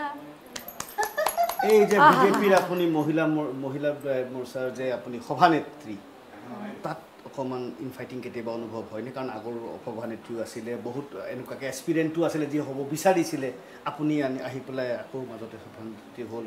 সেই মহিলা মহিলাৰ কথাটো কওঁতে সেইকাৰণে সেইটো মনত পৰিলে যে সুধি দিওঁ এবাকতে মানে কি কি সেইটোক লৈ কি? মানে আছে নেকি কিবা তেনেকুৱা? না না না না তেনেকুৱা নাই। ভাবিলে বহুত নাভাবিলে একো নাই। কিবা এটা উলিয়াব বিচাৰি আছে অঁ, তেখেতে। মানে কথা নাই, মই- সেইকাৰণে উলিয়াবলৈ দিয়া নাই, উলিয়াব বিচৰাই নাই। আচ্ছা মই এটা কথা কওঁ কোনটো ভাল আছিলে? যে আজ- এতিয়া যি পদবীত আছে সভানেত্ৰী আপুনি কিন্তু এইটো ভাল আছে বুলি নক'ব এটা একদম অনেষ্ট আনচাৰ এটা বিচাৰিছে যে কোনটো বেছি ভাল? যে আপুনি যেতিয়া বিধায়িকা আছিলে সেই জীৱনটো আপুনি তেতিয়া কাৰণ আপোনাৰ লগত পাৱাৰ আছিলে। বিধায়ক পাৱাৰটো কিন্তু পলিটিক্সত খুব এটা অভিন্ন অংগ। পাৱাৰ থাকিলেহে পলিটিক্স হয় without power there is no politics so' কথাটো হ'ল তেতিয়া আপুনি এটা বেলেগ পাৱাৰ পাইছিলে। এতিয়া আপোনাৰ এটা সুকীয়া এটা এটা এটা অধিকাৰ আছে বা এটা শক্তি আছে কোনটো বেছি মানে বিধায়ক হৈ থাকোঁতে আৰু আৰু এতি- এতিয়া? এতিয়াৰ. মই এতিয়াৰটো বেছি ভাল পাইছোঁ। তাৰমানে মই এটা বস্তু কষ্ট পাই আছিলোঁ বিধায়ক হৈ থাকোঁতে। এইটো একদম আজি আপোনাৰ আগত কৈছোঁ দেই আগতে মই কেতিয়াও কোৱা নাই। মানে কি হয় মানে সমষ্টিবিলাকত এতিয়া মোৰ সমষ্টিটো বটদ্ৰ সমষ্টি কৃষি প্ৰধান ঠাই। रास्ता आमार गाड़ी कुमार इलेक्ट्रिक रिक्शा चले ज्यादा अच्छी कमाई का वादा Kumar Engineering, exceeding expectations.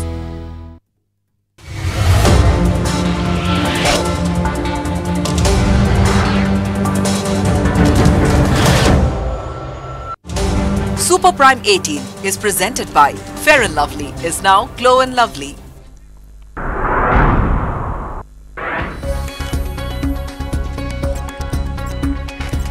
Assam ভ্ৰমণৰত দেশৰ ৰাষ্ট্ৰপতি Droupadi Murmu I I T কাৰ্যসূচীৰ পিছত অংশ ললে। কাৰ্যসূচীত ভিন্ন জনগোষ্ঠীয়ে পৰিৱেশন কৰা বাৰেৰহণীয়া সাংস্কৃতিক অনুষ্ঠান উপভোগ কৰি অভিভূত ৰাষ্ট্ৰপতি।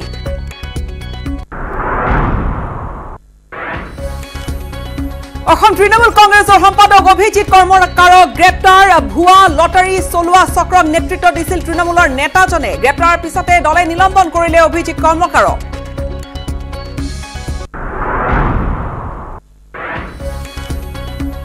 আবাহন থিয়েটাৰক লভিতাৰ প্ৰদৰ্শনী বন্ধৰ দাবীত অটল দল সংগঠন লভিতাৰ প্ৰদৰ্শনী বন্ধ নকৰিলে বাধা দিয়াৰ হুংকাৰ তেজপুৰৰ সামাজিক সাংস্কৃতিক সংগঠনৰ বান থিয়েটাৰ আৰু অসম নাট্য সন্মিলনৰ প্ৰতিবাদী সভাত উজাৰিলে ক্ষোভ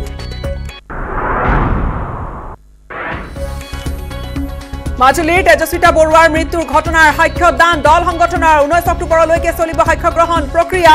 প্ৰথম অৱস্থাত সাক্ষ্য দিবলৈ ওলাই অহা নাছিল কোনো এজন লোক।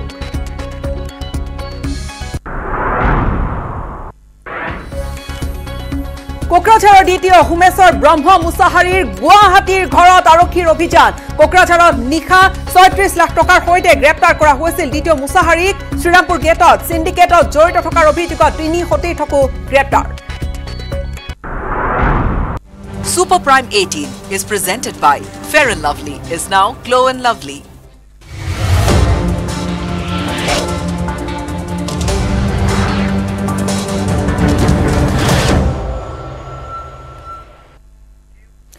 নমস্কাৰ স্বাগতম জনাইছো আপুনি চাইছে ছুপাৰ প্ৰাইম এইটিন মই গীতাশ্ৰী আৰু এই মুহূৰ্তৰ ডাঙৰ খবৰটো হৈছে আবাহন থিয়েটাৰক লভিতাৰ প্ৰদৰ্শনী বন্ধ কৰি দিবলৈ দাবী জনোৱা হৈছে। অন্যথা তীব্ৰ বাধাৰ সন্মুখীন হ'ব আবাহন থিয়েটাৰ গোষ্ঠীত। তেজপুৰত বান থিয়েটাৰ আৰু অসম নাট্য সন্মিলন তেজপুৰ শাখাৰ উদ্যোগত আয়োজিত এখন প্ৰতিবাদী সভা য'ত এই দাবী উত্থাপন কৰিলে বিভিন্ন সামাজিক সাংস্কৃতিক সংগঠনে। বিতৰ্ক এতিয়া অব্যাহত আছে। লভিতা নাটখনক লৈ লভিতা নাটকখনক লৈ শেহতীয়াকৈ ৰচনা কৰা ভ্ৰাম্যমানৰ মঞ্চত মঞ্চস্থ কৰা। এই নাটকখনক লৈ নতুন লভিতাক লৈ যি এটা তীব্ৰ বিতৰ্কৰ সূত্ৰপাত ঘটিল তাৰ পিছত আবাহন গোষ্ঠীয়ে লভিতাৰ নাম সলনি কৰাৰ বাবে তেওঁলোকে জনালে নাম সলনি কৰাৰ কথা তেওঁলোকে জনালে কিন্তু প্ৰতিক্ৰিয়া এতিয়াও মাৰ যোৱা নাই। তেজপুৰ আৰু ইয়াৰ দাঁতিকাষৰীয়া অঞ্চলত কোনো কাৰণতে নাটকখন পৰিৱেশন কৰিবলৈ দিয়া নহ'ব বুলি স্পষ্টকৈ সকীয়াই দিছে বিভিন্ন দল সংগঠনে।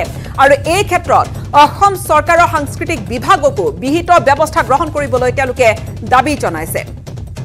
আবাহন থিয়েটাৰক লভিতাৰ প্ৰদৰ্শনী বন্ধ কৰাৰ দাবী উত্থাপন হৈছে। বিভিন্ন দল সংগঠনে এই দাবী উত্থাপন কৰিছে। বিভিন্ন ঠাইত ব্যাপক প্ৰতিক্ৰিয়া দেখা গৈছে। লভিতাৰ নাম সলনি কৰিম বুলি অৱশ্যে আবাহন থিয়েটাৰ গোষ্ঠীয়ে জনাইছে যদিও পতিয়ন অকণমানো যোৱা নাই। বিভিন্ন দল সংগঠন তেওঁলোকৰ প্ৰতিবাদ অব্যাহত আছে। ক্ষোভ তেওঁলোকৰ কমা নাই।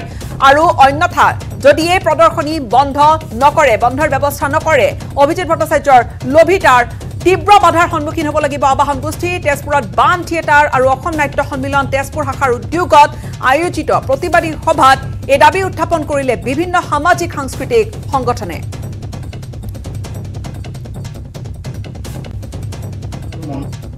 আবাহনৰ মঞ্চত ৰূপকোঁৱৰ জ্যোতিপ্ৰসাদ আগৰৱালাৰ অমৰ সৃষ্টি লভিতা নাটকখনিক বিকৃতকৰণ কৰি মঞ্চায়ন কৰিছে। তাৰ বাবে অসম নাট্য সন্মিলনে তীব্ৰ প্ৰতিবাদ জনাইছে। এই কাৰ্যক তীব্ৰ গৰিহণা দিছে। আবাহনৰ এই বছৰৰ চায়নৰ কাৰ্যসূচীৰ পৰা এই নাটকখন বাতিল কৰিব লাগে।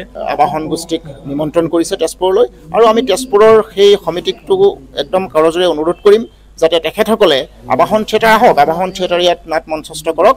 কিন্তু আবাহন থিয়েটাৰৰ মঞ্চত যাতে তেজপুৰৰ নিচিনা এক সাংস্কৃতিক ক্ষেত্ৰখনত এই বিকৃত ৰূপৰ এই লভিতা নাটকখন যাতে তেজপুৰত মঞ্চা মঞ্চায়ন নহয় তাৰ বাবে আমি সেই কমিটিকো আমি অনুৰোধ কৰিছোঁ।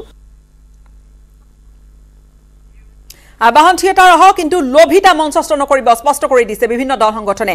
এইধৰণে প্ৰতিক্ৰিয়া অব্যাহত আছে। আন কিছু খবৰলৈ আগবাঢ়িম। লখিমপুৰৰ ঘটনা হোটেলত এগৰাকী যুৱকে কৰিছে আত্মহনন। মৃত যুৱকজন দীপজ্যোতি বৰুৱা। দৰং জিলাৰ পাতল সিং পাৰাত ঘৰ হৈছে দীপজ্যোতিৰ। লখিমপুৰৰ শ্ৰীৰাম হোটেলত এই আত্মহত্যাৰ ঘটনা এটা ব্যক্তিগত কোম্পানীত কৰ্মৰত আছিল এইজন যুৱক। আৰু সোমবাৰৰ পৰা হোটেলখনত আছিল এই যুৱকজন। হঠাৎ এই ধৰণৰ জীৱনৰ এটা চৰম পন্থা বাছি লৈছিল। আৰক্ষী দণ্ডাধীশৰ উপস্থিতিত হোটেলৰ যি কোঠালি সেই কোঠাৰ দুৱাৰ ভাঙি মৃতদেহ উদ্ধাৰ কৰাৰ লগতে অনুসন্ধান এতিয়া আৰক্ষীয়ে অব্যাহত ৰাখিছে। দৰঙৰ যুৱক কিন্তু লখিমপুৰৰ হোটেলত যুৱকজনে জীৱনৰ চৰম পন্থা বাছি ল'লে আত্মহননৰ দৰে পথ বাছি ল'লে আৰু মৃত যুৱকজন দীপজ্যোতি বৰুৱা দৰং জিলাৰ যি পাতল সিং পাৰা সেই পাতল সিং পাৰাত ঘৰ হৈছে দীপজ্যোতিৰ আৰু পাতল সিং পাৰাৰ আহ, দীপজ্যোতিৰ এনে মৃত্যুৰ খবৰ এতিয়া ব্যাপক প্ৰতিক্ৰিয়া সৃষ্টি কৰিছে লখিমপুৰৰ শ্ৰীৰাম হোটেলত। এটা কোঠাৰ ভিতৰত বন্ধ কোঠাৰ ভিতৰত আত্মহত্যাৰ পথ বাছি লৈছিল যুৱকজনে। এটা ব্যক্তিগত কোম্পানীত কৰ্মৰত আছিল আৰু ইতিমধ্যে যুৱকজনৰ মৃতদেহ উদ্ধাৰ কৰাৰ পিছতে আৰক্ষীয়ে অভিযান অব্যাহত ৰাখিছে। অনুসন্ধান আৰক্ষীয়ে চলাই গৈছে।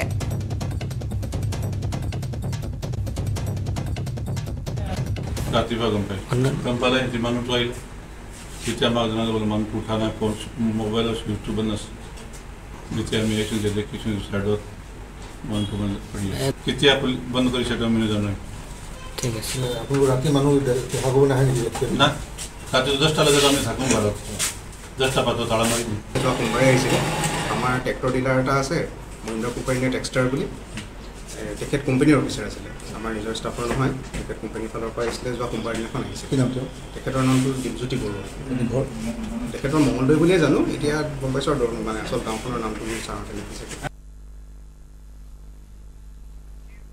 আৰু অসম তৃণমূল কংগ্ৰেছৰ সম্পাদকক গ্ৰেপ্তাৰ কৰা হৈছে। ৰাজ্যিক সম্পাদক অভিজিৎ কৰ্মকাৰক গ্ৰেপ্তাৰ কৰা হৈছে। ভুৱা লটাৰী চলোৱা চক্ৰৰ সৈতে জড়িত থাকি সংগ্ৰহ কৰিছিল অবৈধ ধন। এই গুৰুতৰ অভিযোগ তেওঁৰ বিৰুদ্ধে আৰু বাক্সা আৰক্ষীয়ে ইতিমধ্যে যিহেতু এই অভিযোগত গ্ৰেপ্তাৰ কৰিছে অভিজিৎ কৰ্মকাৰক ভুৱা লটাৰী চলোৱা। এটা বৃহৎ চক্ৰৰ এই মাষ্টাৰ মাইণ্ড আছিল বুলি অভিযোগ উত্থাপন হৈছে কৰ্মকাৰৰ বিৰুদ্ধে।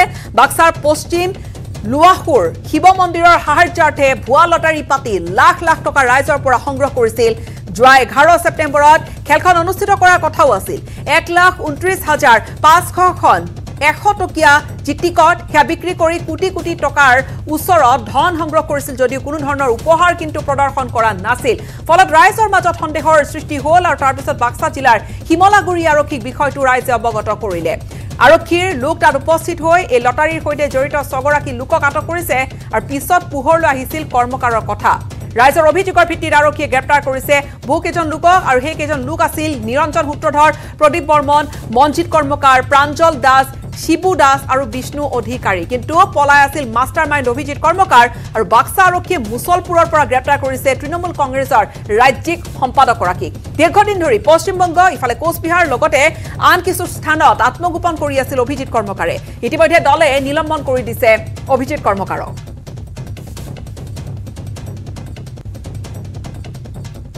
ভুৱা লটাৰী আমি গেং এটা ধৰিছিলোঁ। তাত ছজন ইতিমধ্যে আমি এৰেষ্ট কৰিছিলোঁ। আৰু তাৰ যিগৰাকী মূল আছিলে অভিযুক্ত অভিজিৎ কৰ্মকাৰ অভিজিৎ কৰ্মকাৰক আমি যোৱাকালি নিশা মানে সন্ধিয়া তাক কৰায়ত্ব কৰিবলৈ সক্ষম হওঁ। আৰু যোৱা কিছুদিন ধৰি ইয়াৰ গোটেই গতিবিধি আমি লক্ষ্য কৰি আছিলোঁ। আৰু এই গোটেই গেংটোৰ আমি দেখিছোঁ তদন্তকালত এই গোটেই গেংটোৰ লগত ই জড়িত হৈ আছে। আৰু গোটেই সামগ্ৰিক পৰিকল্পনাটোৱে আছিল অভিজিৎ কৰ্মকাৰৰ। আমি তদন্তকালত গম পাইছোঁ এতিয়া কোনোবা কৈছে তৃণমূল কংগ্ৰেছৰ ৰাজ্যিক সম্পাদক বুলি কৈছে আমি আৰু তদন্ত কৰি আছোঁ। মাজুলীৰ তেজস্বিতা বৰুৱাৰ মৃত্যুৰ ঘটনা সাক্ষ্য প্ৰদান কৰিছে মাজুলীৰ বিভিন্নজন দল সংগঠনৰ লোকে। প্ৰথম অৱস্থাত সাক্ষ্য দান কৰিবলৈ সাক্ষী দিবলৈ অহা নাছিল ওলাই এজন লোক আৰু এনে এটা ঘটনাৰ পিছতে যথেষ্ট প্ৰতিক্ৰিয়াও দেখা গৈছিল। চিকিৎসাৰ গাফিলতিৰ মৃত্যুৰ অভিযোগ উত্থাপন হৈছিল। তেজস্বিতা বৰুৱাৰ মৃত্যুৰ ঘটনাত চিকিৎসা গোটেই ব্যৱস্থাটোৰে গাফিলতি আছিল এনে অভিযোগ পৰিয়ালৰ লোকে উত্থাপন কৰিছিল বিভিন্নজনে উত্থাপন কৰিছিল। আনকি মাজুলীৰ স্বাস্থ্যখণ্ডৰ এটা নগ্ন স্বৰূপো ক'ৰবাত নহয় ক'ৰবাত ওলাই পৰিছিল বিভিন্নজনে প্ৰশ্ন তোৱাইছিল আৰু এই ঘটনাৰ তদন্ত ঘোষণা কৰিছিল তাৰ পিছতে স্বাস্থ্য বিভাগে তিনিদিনীয়া সাক্ষ্য গ্ৰহণ প্ৰক্ৰিয়াত অংশ লোৱা নাছিল। কোনো দল সংগঠনে কোনো লোকে প্ৰথমে দহ অক্টোবৰৰ পৰা বাৰ অক্টোবৰলৈকে আছিলে সাক্ষ্য গ্ৰহণৰ সময়সীমা আৰু বৃহস্পতিবাৰে ঊনৈছ অক্টোবৰলৈকে বৃদ্ধি কৰা হৈছিল সাক্ষ্য গ্ৰহণৰ সময়সীমা।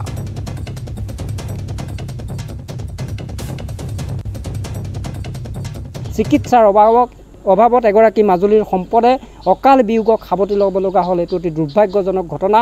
এই প্ৰক্ৰিয়াৰ লগত জড়িত প্ৰত্যেকগৰাকী ব্যক্তিয়ে যাতে উচিত শিক্ষা পায় তথা মাজুলীৰ যি পয়া লগা স্বাস্থ্য বিভাগ এই স্বাস্থ্য বিভাগে যাতে ভৱিষ্যতৰ দিনত এনেধৰণৰ কোনো ঘটা ঘটনা সংঘটিত কৰিব নোৱাৰে।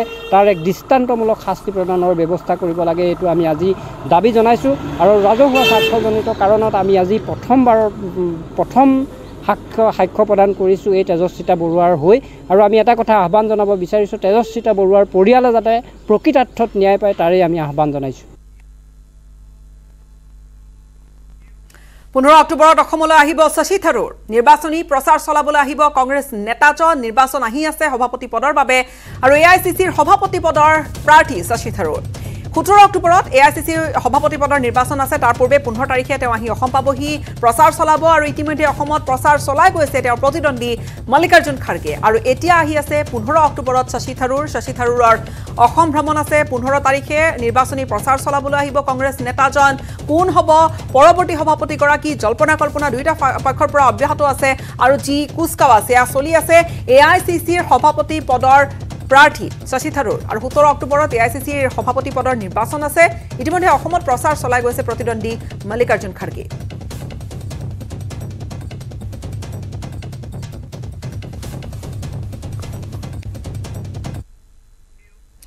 শোণিতপুৰৰ চাৰিদুৱাৰত এটা পথ দুৰ্ঘটনা দুৰ্ঘটনাত আহত হৈছে দহগৰাকীকৈ পৰ্যটক।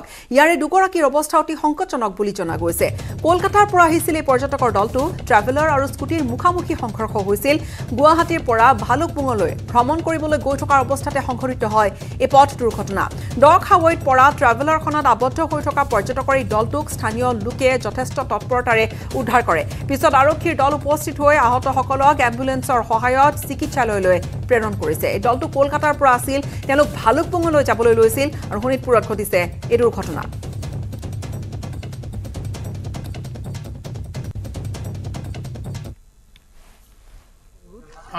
ধাৰি কাটি গিফ্ট নিয়াৰ নিয়াৰ গিফ্ট কোম্পানী কেইজন আছিল? ইয়াত দহাৰী আছিলে কেলকাতাৰ পৰা অহা মানুহ আছিলে দহজন আৰু ড্ৰাইভাৰ হেণ্ডিমেন দুজন। টোটেল তেহাৰীজন আছিলে বাৰজন আছিলে। বাৰজন আছিল। গোটেইকেইজন কলিকতা পৰ্যটক আছিল? পৰ্যটক আছিল। মানে কেলকাতাৰ পৰা আহিছিলে গুৱাহাটীৰ পৰা এইখন ভাড়া লৈ আহিছিলে। Four zero' seven four zero' seven নহয় এইখন ট্ৰেভেলাৰ ট্ৰেভেলাৰ ট্ৰেভেলাৰ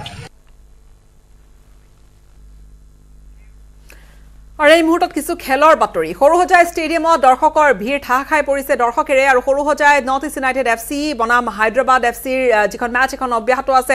বৰ্তমান তিনি গ'লৰ ব্যৱধানত আগবাঢ়ি আছে হায়দৰাবাদ আৰু আই এছ এল দুহেজাৰ বাইছৰ চলিত ছিৰিজৰ এইখন হৈছে সাত নম্বৰ গেম। সাত নম্বৰ খেল ষ্টেডিয়ামত যথেষ্ট গেলেৰীত যথেষ্ট লোকৰ ভিৰ দৰ্শকৰ ভিৰ। সকলো এখন ভাল উত্তেজনাপূৰ্ণ এখন ফুটবল মেচ চাবলৈ অধীৰ আগ্ৰহেৰে বাট চাই আছিল আৰু সৰুসজাই ষ্টেডিয়ামত সেই অনুপাতে দেখা গৈছে দৰ্শকৰ ভিৰো।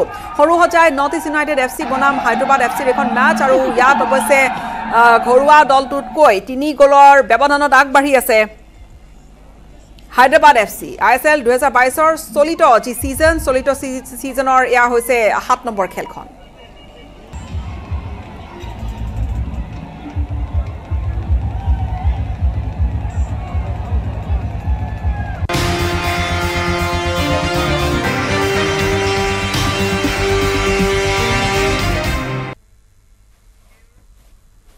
প্ৰসংগ ভূপেন বৰাৰ ঘৰ। জি এম চিৰ জাননী সন্দৰ্ভত প্ৰদেশ কংগ্ৰেছৰ সভাপতি ভূপেন বৰাৰ এতিয়া ক্ষোভ ক্ষোভ তুংগত। পত্নীৰ নামত থকা ঘৰ মাটিৰ বাবে তেওঁলৈ অহা জাননীত জাঙুৰ খাই উঠিছে প্ৰদেশ কংগ্ৰেছৰ সভাপতিগৰাকী। মহানগৰীৰ ঘৰ মাটিৰ তথ্য বিচাৰি ভূপেন বৰালৈ তিনিদিনৰ সময় দি পৌৰ নিগমে জি এম চিয়ে প্ৰেৰণ কৰা জাননীত উত্তাল হৈছে এতিয়া ৰাজ্যৰ ৰাজনীতি।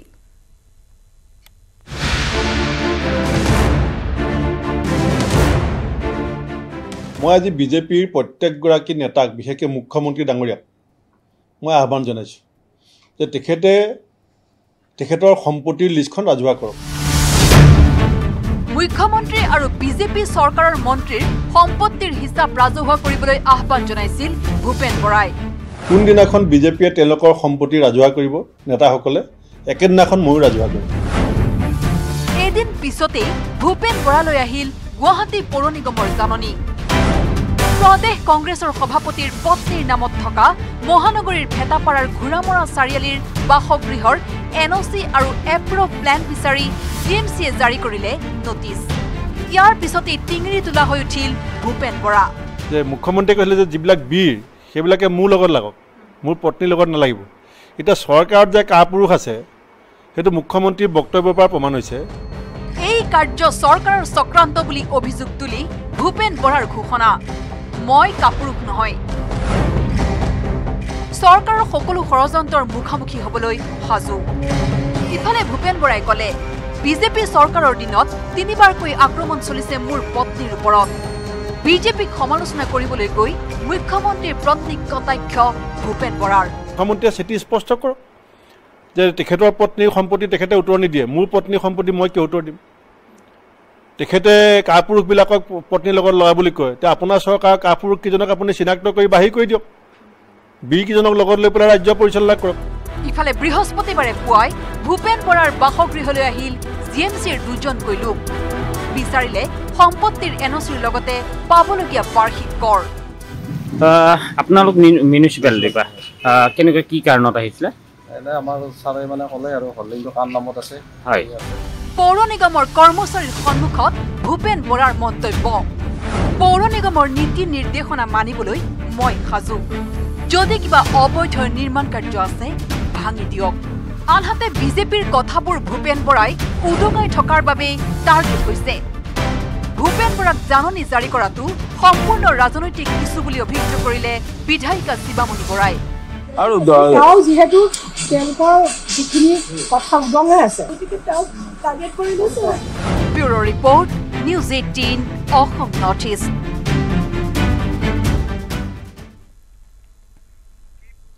কৰ্মচাৰীৰ জাতীয় সাজপাৰৰ কথা আপোনাৰ মনত আছেনে? বিজেপি চৰকাৰৰ প্ৰথম কাৰ্যকালত প্ৰৱৰ্তন কৰা এই নিয়মক পাহৰিলে সকলোৱে। পিছে নগাঁৱৰ এগৰাকী কৰ্মচাৰীয়ে জাতীয় সাজপাৰৰ বাবে এৰিলে লং পেণ্ট শ্বাৰ্ট। সপ্তাহৰ দুটা দিনত চৰকাৰী কৰ্মচাৰীক জাতীয় সাজপাৰ পৰিধান কৰি আহিবলৈ চৰকাৰে কৰা আহ্বানক সঁহাৰি জনাই জিলা উপায়ুক্তৰ পৰা চতুৰ্থ বৰ্গৰ কৰ্মচাৰীলৈকে সকলোৱে জাতীয় সাজপাৰ পৰিধান কৰি অহাৰ কথা আপোনাৰ মনত আছেনে? মনত আছেনে বৰ্তমানৰ মুখ্যমন্ত্ৰী তথা তেতিয়াৰ স্বাস্থ্যমন্ত্ৰী হিমন্ত বিশ্ব শৰ্মাই কাৰ্যালয়লৈ জাতীয় সাজপাৰ পিন্ধি অহাৰ কথা? পিছে সেয়া আছিল বিজেপি চৰকাৰৰ প্ৰথমটো কাৰ্যকালৰ কাহিনী। কভিডকালীন পৰিস্থিতিৰ পিছতেই সকলোৱে পাহৰিলে জাতীয় সাজপাৰৰ কাহিনী। কিন্তু সকলোৱে পাহৰিলেও নগাঁও জিলা পৰিষদৰ এইগৰাকী কৰ্মচাৰীয়ে পাহৰা নাই জাতীয় সাজপাৰৰ বিষয়টো। সেয়ে দুহেজাৰ সোতৰ চনৰ পৰা তেওঁ জাতীয় সাজপাৰ পিন্ধিয়েই কাৰ্যালয়লৈ আহে। এইগৰাকী নগাঁও জিলা পৰিষদৰ চতুৰ্থ বৰ্গৰ কৰ্মচাৰী ফটিক চন্দ্ৰ দাস। দুহেজাৰ সোতৰ চনৰ পৰা নিয়মীয়াভাৱে তেওঁ জাতীয় সাজপাৰ পৰিধান কৰিয়েই পালন কৰি গৈছে বিভাগীয় দায়িত্ব। ঊনৈছ ন দুহেজাৰ সোতৰৰ পৰা মই সকলো লং পেণ্ট চাৰ্ট জোতা চেণ্ডেল চব বাদ দিলোঁ। ধৰ্মীয়ভাৱে আৰু চৰকাৰে যি ঘোষণা কৰিছে জাতীয়ভাৱে মই জাতীয় অস্তিত্ব ৰক্ষাৰ কাৰণে দুয়োটা কথা অটুট ৰাখি মই তেতিয়াৰ পৰা এতিয়ালৈকে পিন্ধি আছোঁ আৰু মই যিমান দিন জীয়াই থাকোঁ বা আমাৰ নগাঁও জিলা পৰিষদত মই যিমান দিন কৰ্ম কৰোঁ সিমান দিন আপোনালোকে মোক এনেকৈয়ে দেখিব দাসৰ মতে তেওঁ জাতীয় সাজপাৰ পৰিধান কৰি জাতিৰ প্ৰতি তেওঁৰ অন্তৰত থকা দায়বদ্ধতাৰ পৰিচয় দিব বিচাৰে। ফটিক চন্দ্ৰ দাসৰ এই পদক্ষেপ নিঃসন্দেহে প্ৰশংসনীয়। পিছে ফটিক চন্দ্ৰ দাসৰ বাহিৰে আন সকলো কৰ্মচাৰীয়ে কিয় চৰকাৰৰ এই নিয়মৰ কথা পাহৰিলে সেয়াহে প্ৰশ্নৰ বিষয়। নগাঁৱৰ পৰা Nilotpal Bora news eighteen Assam north east.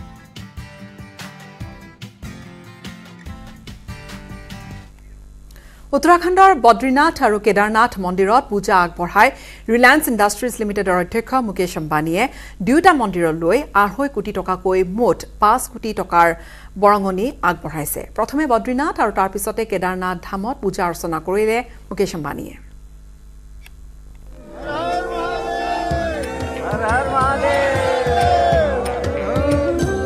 Badrinath Kedarnath ধামত দেশৰ প্ৰখ্যাত উদ্যোগপতি মুকেশ আম্বানী। প্ৰভু বদ্ৰী বিশাল পূজাত অংশ লৈ আশীষ বিচাৰিলে ৰিলায়েন্স ইণ্ডাষ্ট্ৰিজ লিমিটেডৰ চেয়াৰমেন মুকেশ আম্বানীয়ে। এই পূজাৰ পিছতেই বদ্ৰীনাথ আৰু কেদাৰনাথৰ দুয়োটা পবিত্ৰ আধ্যাত্মিক অনুষ্ঠানলৈ আঢ়ৈ কোটি টকাকৈ মুঠ পাঁচ কোটি টকাৰ দান আগবঢ়ালে দেশৰ ধনাঢ্য উদ্যোগপতিগৰাকীয়ে। প্ৰায় প্ৰতি বছৰে প্ৰভু বদ্ৰী বিশালক দৰ্শন কৰিবলৈ বদ্ৰীনাথ ধামত উপস্থিত হৈ পূজা আগবঢ়াই আহিছে দেশৰ উদ্যোগপতিগৰাকীয়ে। এইবাৰো একেই কাৰ্যসূচী। মন্দিৰত উপস্থিত হোৱাৰ পিছতেই বদ্ৰীনাথ কেদাৰনাথ সমিতিৰ উপাধ্যক্ষ তথা সকলো কৰ্মকৰ্তাই উষ্ম আদৰণি জনালে মুকেশ আম্বানী। এই মন্দিৰত পূজা আগবঢ়াই দেশবাসীৰ মংগল কামনা কৰিলে উদ্যোগপতিগৰাকীয়ে। Bureau report news eighteen north east.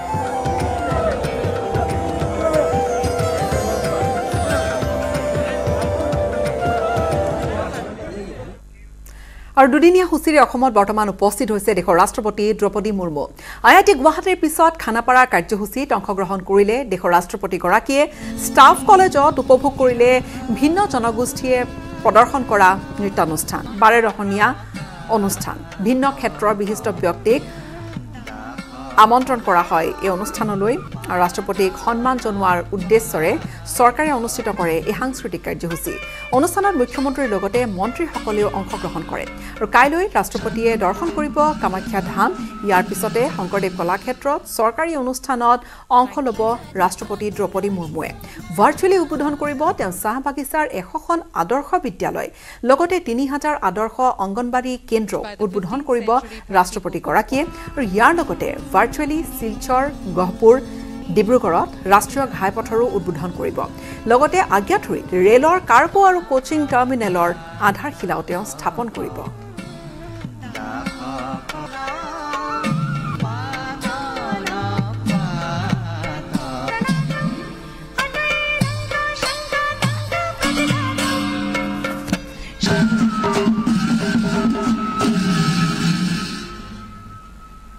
Thank you.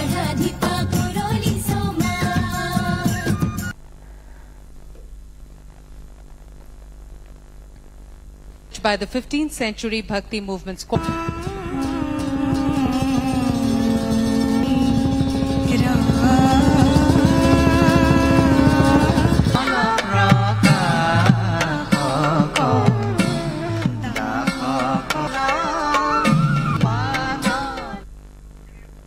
ৰাজনীতিৰ আন কিছু খবৰ। মেগা প্লেনৰ সৈতে গেৰুৱা দল বিজেপি সাজু হৈছে বৰ্তমান দুহেজাৰ চৌব্বিছৰ লোকসভা নিৰ্বাচনলৈ। নিজৰ দখলত নথকা এশ চৌৰাল্লিছটা সমষ্টিক টাৰ্গেট হিচাপে লৈ হেট্ৰিকৰ লক্ষ্যৰে আগবাঢ়িছে দলটো আৰু দলটোৱে নিৰ্বাচনলৈ চৈধ্য ওঠৰ মাহ বাকী থকাৰ এই সময়ছোৱাখিনিত লোৱা মেগা প্লেনত পিছে আছেনো কি? লক্ষ্য এটাই দিল্লীৰ মচনদত হেট্ৰিক। লোকসভা প্ৰৱাসেৰে হেট্ৰিকৰ লক্ষ্য গেৰুৱা দেশজুৰি মেগা প্লানেৰে বিজেপিৰ মিছন এশ চৌৰাল্লিছ দেশজুৰি বিজেপিৰ হাতত নথকা এশ চৌচল্লিছটা লোকসভা সমষ্টিৰ বাবে ইতিমধ্যে মেগা প্লান সাজু কৰিছে বিজেপিয়ে। এই মেগা প্লানৰ ভিতৰত বিজেপিয়ে মূল মন্ত্ৰ হিচাপে লৈছে লোকসভা প্ৰবাস।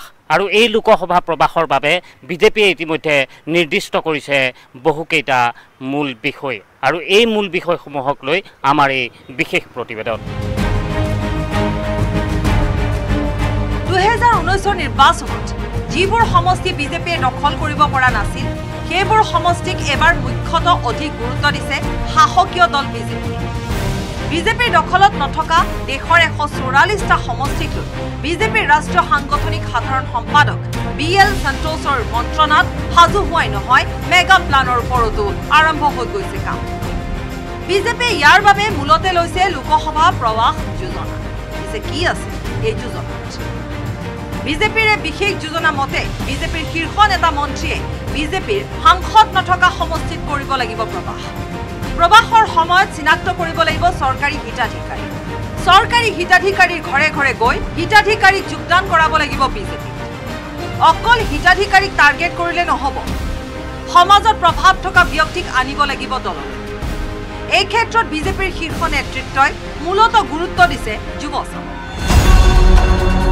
বিজেপিৰ টাৰ্গেট দেশৰ যুৱচাম যুৱচামক দললৈ আকৰ্ষিত কৰি দলত যোগদান কৰোৱাৰ সমানে সমানে নিৰ্দিষ্ট কৰি দিয়া ওঠৰ মাহত জ্যেষ্ঠ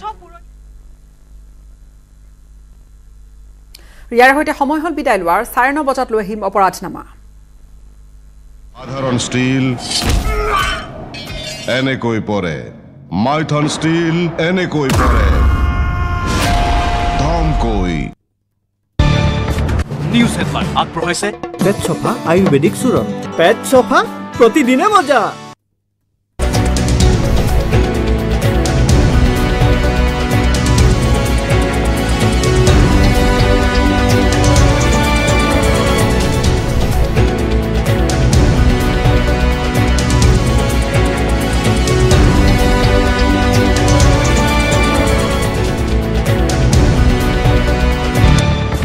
নিউজ হেডলাইন আগবঢ়াইছে পেট চফা আয়ুৰ্বেদিক চূৰণ পেট চফা প্ৰতিদিনে মজা। Super Prime 18 is presented by Fair and Lovely is now Glow and Lovely. ইমান বেছি মানুহবিলাকৰ নিডবিলাক থাকে ইমান মানে মানুহবিলাক বা বেমাৰ কাৰোবাৰ সংখ্যা ইমান থাকে কি মই পাৰ্চনেলি সহায় কৰি কৰি কৰি এটা সময়ত নোৱাৰা হৈ গ'লোগৈ। গভৰ্ণমেণ্টৰ ফালৰ পৰাও যিমান পাৰি সিমান টানিছোগৈ। কিন্তু কিছুমান মানুহ এনেকুৱা পেচেণ্ট থাকে যে আপুনি যিমান দি থাকিলেও মানে যেনেকৈ বালিত পানী ঢলাইকৈ কাৰোবাৰ। চ' সেই সেই পৰ্যায়ত মানে এটা সময়ত কিছুমান কেঁচুৱা মই দেখি দেখিছোঁ বহুত কান্দিছোঁ এইবিলাক দেখি দেখি ৰাতি ৰাতি যে এনেকুৱাও পৰিয়াল আছে। কাৰণ সেই পৰিৱেশবিলাক আমি সেই কিন্তু এই সাংস্কৃতিক ক্ষেত্ৰখন থাকোঁতে দেখা নাছিলোঁ। আমি বাহিৰে বাহিৰে নাচোঁ গাওঁ মানুহক নচুৱাই থৈ গুচি আহোঁ জেগাটোৰ পৰা। কিন্তু সেই গাঁওবিলাকত কেনেকুৱা কেনেকুৱা পৰিয়াল আছে কিমান কষ্ট কৰি থাকে সেই এটা মোৰ মানে এনেকুৱা আছিলে যে মাজতে এনেকুৱা হৈ গৈছিলে যে মোৰ তই এশজন মানুহৰ ভিতৰত পঞ্চাছজনৰ তই ল'ব পাৰিবি বাকী যে পঞ্চাছজনতো ল'বই নোৱাৰিলি সেই বস্তুটোৱে মানে খুব আঘাত দি আছিলে আৰু নোৱাৰিও স্বাভাৱিকতে কিমান আপুনি পঠিয়াব জি এম চি এইচত পঠিয়াই থাকোঁ বাৰ বাৰ এজনক হয়তো পঠিয়াই থাকিব নোৱাৰোঁ এই কথাবিলাকে অকণমান দিছিলে। এইটোত মোৰ ভাল লাগিছে যে সংগঠন সংগঠনটোত এটা ভাল কি আগতে যেনেকৈ বিধায়ক হৈ থাকোঁতে যে অঁ বাইদেউ আপোনাৰ গামোচা গামোচাখনৰ আঁৰত কিবা এটা স্বাৰ্থ থাকে। যে গামোচাখন পিন্ধাই লৈ বাইদেউ আমাৰ এনেকুৱা প্ৰগ্ৰাম হৈছে বাইদেউ চিধা চিধি। আগতে এইটো কিমান দৰকাৰ? ৰাজনীতিত? নাই মই দৰকাৰ আছেও কেতিয়াবা নাইও বিজেপিত অঁ অঁ। কিন্তু এই বস্তুবিলাক যেতিয়া থাকে নিজে গমো পাওঁ যে মোৰ গামোচাখন সেইটোৰ কাৰণেই পিন্ধাইছে। গতিকে ইয়াতে যেতিয়া সংগঠন কৰি আছোঁ সেইবিলাক এতিয়া নাই। গামোচা পিন্ধাইছোঁ নে ৰাই মহিলাৰ মাজত থাকি পেলাই কাম কৰি আছোঁ। আৰু কাম কি? চৰকাৰে যিখিনি কাম কৰি আছে সেইখিনি বস্তুক ৰাইজৰ মাজত লৈ যোৱা। ৰাইজৰ যিখিনি অসুবিধা আছে আনি পেলাই চৰকাৰক আহি কোৱা যে এইখিনি এইখিনি এতিয়াও কিন্তু মহিলাখিনি সমস্যাত ভুগি আছে। গতিকে এই কামটোত মোৰ বেছি ভাল পাইছোঁ। এইটো এইটো এইটো এইটো এইটো স্থিতিতে যদি আগন্তুক আৰু বিছ বছৰ থাকিবলগীয়া হয় দহ বছৰ থাকিবলগীয়া হয়। যদি কপালত আছে যদি ভাগ্যটোত যদি আছে আৰু মোক যদি শৰীৰটো যদি ভগৱানে এনেকৈ ৰাখে কৈ থাকিম কাৰণ মই মানুহেতো আপোনাক আৰু আৰু আৰু বেছি দায়িত্বত থাকিব বিচাৰে চাব না, না, বিচাৰিছে না? নাই নাই নাই নাই। দিলেও নালাগে নেকি? নাই নালাগে। না, না, নালাগে। নালাগে বুলি ক'ব পৰা সাহসে নাই ভগৱানৰ ওচৰত। হয়। কিন্তু মই ভাবোঁ যে মই বহুত পাইছোঁ। মই এটা আটাইতকৈ ডাঙৰ ভগৱানৰ পৰা কি পাইছোঁ জানেনে? যে মই সুস্থ শৰীৰে মই জন্ম পাইছোঁ দাদা। জন্ম পাইছোঁ হয়, মাতৃ হয়, গৰ্ভৰ পৰা। হয়। মোৰ চকু দুটা মই দেখা পাওঁ মই মোৰ হাত দুখন আছে মোৰ ভৰি দুখন আছে মই সুস্থ শৰীৰে মই জন্ম পাইছোঁ। কেতিয়াবা আপোনালোকক সেইটোৰ- সুযোগ সুবিধা দিলে ৰাজনীতিত আহিব বিচাৰিবনে আহ, মইতো একেবাৰে নিবিচাৰোঁ কাৰণ হে, ৰাজনীতি নিবিচাৰে? কাৰণ মই মই নোৱাৰিম মই সেইটো হেণ্ডেল কৰিব নোৱাৰিম সেইকাৰণে কৈছোঁ আচলতে সেইটোৱে ৰাজনীতি আচলতে মোৰ সুৰেখাই যিটো সেইটো সম্পূৰ্ণ চবেই। নোৱাৰে। কিন্তু ইমান এটা বৃহৎ এটা দায়িত্ব। সেই দায়িত্বত নিজকে খাপ খুৱাই পেলাই সংগীতটো বাদ দি। অসুবিধা বুলি মই ভাবোঁ। কিন্তু সংস্কৃতিৰ জৰিয়তে কিন্তু বহুত কাম কৰিব পাৰি। সেই ৰাজনীতিয়ে হওক সমাজৰ মানে পৰিৱৰ্তনে হওক সমাজখন আগুৱাই নিয়াই হওক আমাৰ অসমৰ চিনাকিটোৱে হওক সংস্কৃতিৰ দ্বাৰাইও বহুত কাম কৰিব পাৰি। গতিকে মোৰ পথটো সেইটো।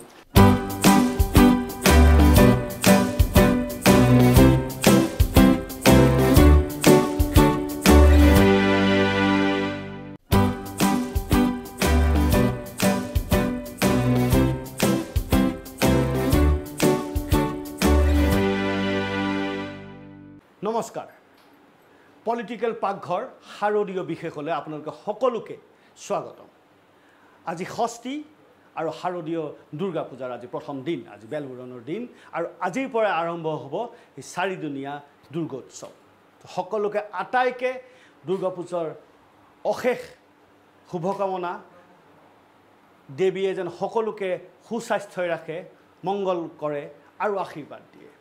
আৰু সেই কামনাৰে আজি আমাৰ পলিটিকেল পাকঘৰ দুৰ্গোৎসৱ বিশেষ আমি আৰম্ভ কৰিব লৈছোঁ। আৰু আজি এই বিশেষ যদিও আমি প্ৰতিদিন প্ৰতিভা পলিটিকেল পাকঘৰত আমি ৰাজনীতিৰ কথা পাতোঁ ৰাজনীতিবিদৰ সৈতে কথা পাতোঁ কিন্তু আজি আমি পলিটিকেল পাকঘৰটো অকণমান ব্যতিক্ৰম কৰিব বিচাৰিছোঁ। হয় আমি যদিও পলিটিকেল পাকঘৰত মাছ আছে মাছৰ আঞ্জা এখন হ'ব বুলি আপোনালোকে গম পাইছেই যিহেতু দুৰ্গা উৎসৱ খোৱা বোৱাৰ সময় ফূৰ্তি কৰাৰ সময় পেণ্ডেলে পেণ্ডেলে ঘূৰাৰ সময় নিজৰ আত্মীয় স্বজন বন্ধুবৰ্গ সকলো একেলগে বহি আড্ডা মৰাৰ সময়। চ' আজি সেই উদ্দেশ্যৰে আমি আমাৰ পলিটিকেল পাকঘৰত এজন পলিটিচিয়ান আৰু তাৰ লগতে আন দুজন চেলিব্ৰিটিক আমন্ত্ৰণ জনাইছোঁ। চ' প্ৰথমতে আমি আমাৰ পলিটিকেল পাকঘৰলৈ আমন্ত্ৰণ জনাব বিচাৰিছোঁ আঙুৰলতা ডেকাক। দুৰ্গা পূজা মানেই অকণমান গ্লেমাৰ লাগে অকণমান পলিটিক্সত যদি গ্লেমাৰ নাথাকে কেনেকুৱা হয় আঙুৰলতা বাইদেউ? নমস্কাৰ। নমস্কাৰ বহুত দিনৰ মূৰত। বহু দিনৰ মূৰত একেবাৰে ভাল সময়ত পাইছোঁ। ভাল সময়ত পাইছোঁ দুৰ্গা উৎসৱৰ সময়ত হৈছে আজি ষষ্ঠীৰ দিন। আজি দেৱী আহিছে দেৱী অধিষ্ঠিত হ'ব বেলবৰণ হৈছে কালিৰ পৰা সপ্তমী পূজা আৰম্ভ হ'ব। এনে এটা ক্ষণত আপোনাক লগত পাই মই নহয় সকলোৱে আনন্দিত হৈছে। দুৰ্গা পূজা মানেই পূজাটো আছেই আড্ডাৰ সময়। আমার মাটি আমার রাস্তা আমার গাড়ি কুমার ইলেকট্রিক রিক্সা चले ज्यादा अच्छी कमाई का वादा Kumar Engineering, exceeding expectations.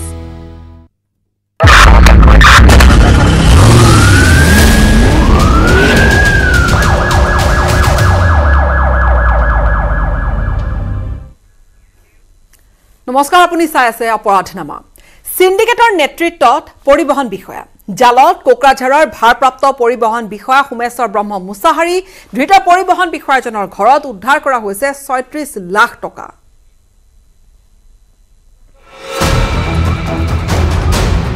শ্ৰীৰামপুৰত syndicate Gossaigaon থানাত এজাহাৰ। চিৰাঙৰ হায়েন নগৰৰ পৰা কোকৰাঝাৰৰ ভাৰপ্ৰাপ্ত পৰিবহণ বিষয়া সোমেশ্বৰ ব্ৰহ্ম মুছাহাৰীক গ্ৰেপ্তাৰ।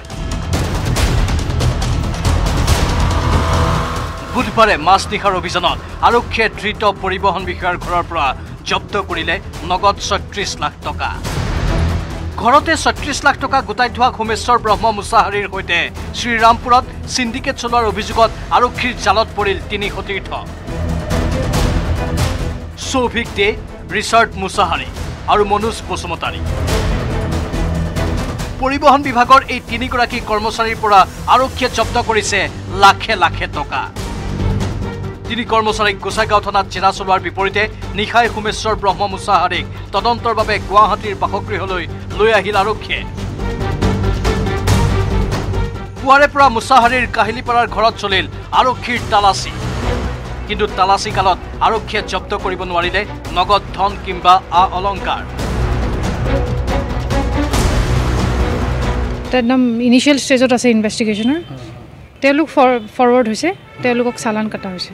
আজি এতিয়া ইনভেষ্টিগেশ্যন চলি আছে। এতিয়ালৈকে আৰু তিনিজনক অনা হৈছে। দ্বিতীয়ৰ বাদে তিনিজনক অনা হৈছে। আৰু বাকী আৰু কোনোবা থাকিব পাৰে। কাহিলীপাৰাৰ ঘৰত তালাচী সামৰি আৰক্ষীয়ে সোমেশ্বৰ ব্ৰহ্ম মুছাহাৰীক লৈ গ'ল কোকৰাঝাৰলৈ। বৃহস্পতিবাৰৰ ভিতৰতে মুছাহাৰীক আদালতত হাজিৰ কৰাই জেৰা চলাবলৈ সকলো প্ৰস্তুতি সম্পূৰ্ণ কৰিছে গোসাইগাঁও আৰক্ষীয়ে। শ্ৰীৰামপুৰ গেটত চিণ্ডিকেট চলোৱাৰ অভিযোগত তিনি কৰ্মচাৰীৰ সৈতে খোদ কোকৰাঝাৰৰ পৰিবহণ বিষয়া গ্ৰেপ্তাৰ হোৱা ঘটনাই জোকাৰি গৈছে সমগ্ৰ ৰাজ্য।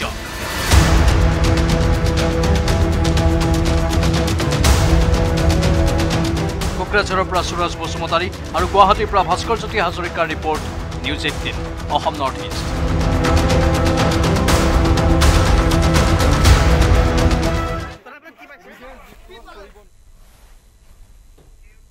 আচলতে এটা টুইটে মুকলি কৰিছিল আৰক্ষীৰ চকু। বহিৰাজ্যৰ এজন অখ্যাত ট্ৰাক চালকৰ টুইটৰ পিছতে তৎপৰ হ'ল আৰক্ষী। আৰক্ষীৰ অভিযানত জালত পৰিল কোকৰাঝাৰ জিলা পৰিবহণ বিষয়া সোমেশ্বৰ ব্ৰহ্ম মুছাহাৰী আৰু লগতে তিনি সতীৰ্থ।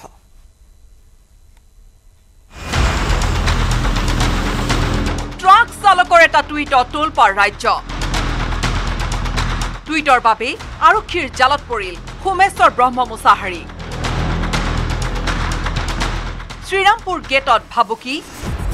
ধন দাবীৰে ত্ৰাসৰ সৃষ্টি কৰিছিল কোকৰাঝাৰৰ পৰিবহণ বিষয়া সোমেশ্বৰ ব্ৰহ্ম মুছাহাৰীয়ে। শৌভিক দে ৰিচাৰ্ড মুছাহাৰী মনোজ বসুমতাৰীকে ধৰি বিভাগৰ একাংশ কৰ্মচাৰীক দিন ডকাইতৰ দৰে গঢ় দিছিল সোমেশ্বৰ ব্ৰহ্ম মুছাহাৰীয়ে। কিন্তু এই কাণ্ড ইমান দিনে চকুত পৰা নাছিল আৰক্ষীৰ। সোমেশ্বৰ ব্ৰহ্ম মুছাহাৰীৰ ধন দাবীত অতিষ্ঠ হৈ কোনো এক অখ্যাত ট্ৰাক চালকে দিয়া টুইটত হোৱা দোৱা লাগিল আৰক্ষীৰ বৰঘৰত। দহ অক্টোবৰত গোচাইগাঁও থানাত আৰক্ষীয়ে নিজাববীয়াকৈ ৰুজু কৰিলে এটা গোচৰ। গোচৰ ৰুজুৰ পিছদিনাই শ্ৰীৰামপুৰত চিণ্ডিকেট চলোৱা নটা দালালক গ্ৰেপ্তাৰ কৰিলে আৰক্ষীয়ে।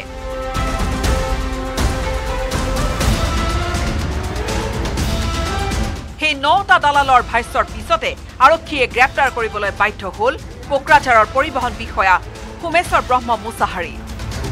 ট্ৰাক চালকৰ টুইটে খুলি দিয়া দুৱাৰেৰে সোমোৱা আৰক্ষীৰ জালত পৰাৰ সম্ভাৱনা আছে পৰিবহণ বিভাগৰ ক্ষীৰতী গাইড পৰিণত কৰা বহু বিষয়া। ডামাৰহাটৰ পৰা শ্বহীদুল হক আৰু কোকৰাঝাৰৰ পৰা Suraj Basumatary news eighteen Assam north east.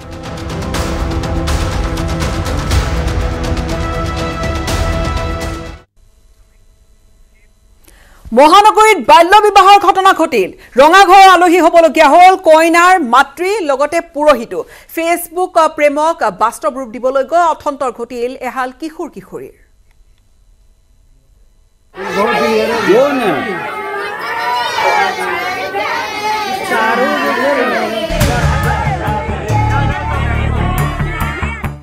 অভিজাত গুৱাহাটীত লজ্জাজনক ঘটনা। বাল্য বিবাহ চলি থকাৰ মাজতেই চলিল আৰক্ষীৰ অভিযান। প্ৰথমে ফেচবুকত চিনাকি তাৰপিছত প্ৰেম। ল'ৰাৰ বয়স ষোল্ল ছোৱালীৰ বয়স পোন্ধৰ। ল'ৰা ইউ পিৰ ছোৱালী অসমৰ। এনেদৰেই আগবাঢ়িল কথাবোৰ। প্ৰথমে প্ৰেমিকৰ বিবাহৰ প্ৰস্তাৱ। মানি নললে ছোৱালীৰ ঘৰৰ মানুহে। পিছে ছোৱালীও প্ৰেমত মজগুল তাক নাপালে মৰি যোৱাৰ ভাবুকি ঘৰৰ মানুহক। চিনেমাৰ দৰে প্ৰেম কাহিনী চলি থকাৰ মাজতেই যোৱা দহ তাৰিখে গুৱাহাটীত প্ৰেমিক আহি উপস্থিত হ'ল প্ৰেমিকাৰ ঘৰত। উপস্থিত হৈ দুদিন থাকিয়েই বাৰ তাৰিখে বিয়াত বহিল দুই প্ৰেমিক প্ৰেমিকা। বিয়া মানে এখন বেলেগ ধৰণৰ বিয়া। ইউ পিৰ পৰা অকলে আহিল ল'ৰা। সন্ধিয়া মন্দিৰত আৰতি চলি থকাৰ সময়তেই হঠাৎ পুৰোহিতৰ ওচৰত বিয়া পাতো বুলি বহি দিলে প্ৰেমিক প্ৰেমিকা।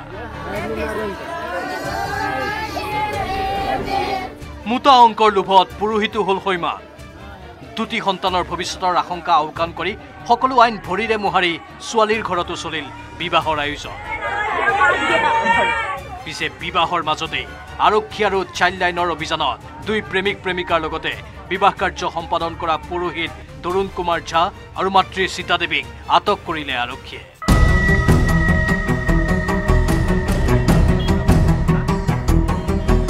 ইতিমধ্যে বিবাহৰ সকলো মোবাইল ভিজুৱেল তন্ন তন্নকৈ পৰীক্ষা কৰি প্ৰয়োজনত বিবাহত উপস্থিত থকা লোকক থানালৈ তলব কৰাৰ যোজা চলাইছে আৰক্ষীয়ে। ভাস্কৰ জ্যোতি হাজৰিকাৰ report news eighteen Assam north east.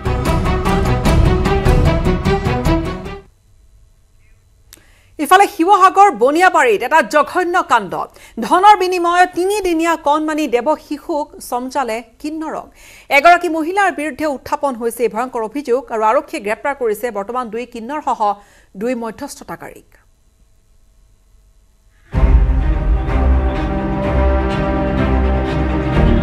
ধনৰ বিনিময়ত মহিলাই বেচিলে নিজৰ সদ্যজাত সন্তানক।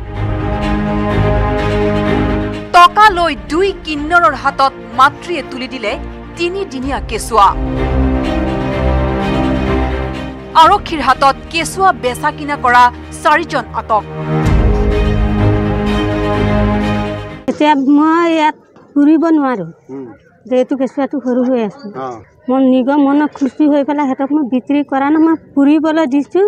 মই কেইদিনমান কাৰণে মই চলিবলৈ সিহঁতি মোক সহায় কৰিছে এঘাৰশ টকা। শিৱসাগৰ বনিয়াবাৰীত ভাড়াতীয়া হিচাপে থকা নগাঁৱৰ কচুৱনীৰ এগৰাকী মহিলাক গৰ্ভৱতী অৱস্থাতে স্বামীয়ে এৰিছিল সংগ। অসহায় অৱস্থাত পৰা মহিলাগৰাকীয়ে আৰ্থিক দুৰ্যোগত পৰি কিন্নৰৰ পৰা ধাৰলৈ লৈছিল টকা। কেঁচুৱাটো মানে ইহঁতে পঢ়িব নোৱাৰে। যেনেকুৱা কথা মই কেঁচুৱাটো পঢ়িব নোৱাৰোঁ।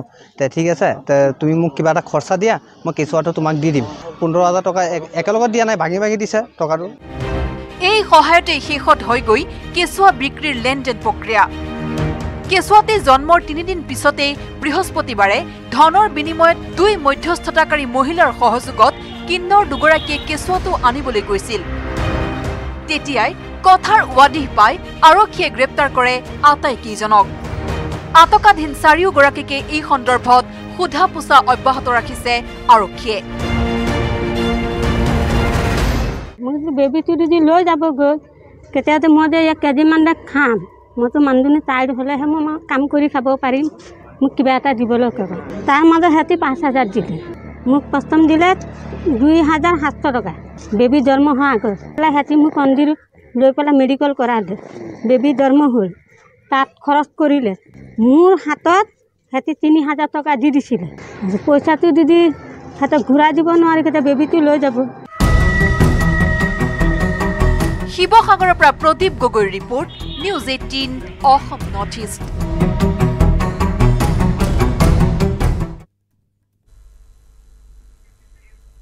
সময়খিনিতে ৰাষ্ট্ৰমুখ বাণিজ্যিক বিৰতি। সাধাৰণ স্টিল এনেকৈ পৰে মাইথন স্টিল এনেকৈ পৰে ধমকৈ।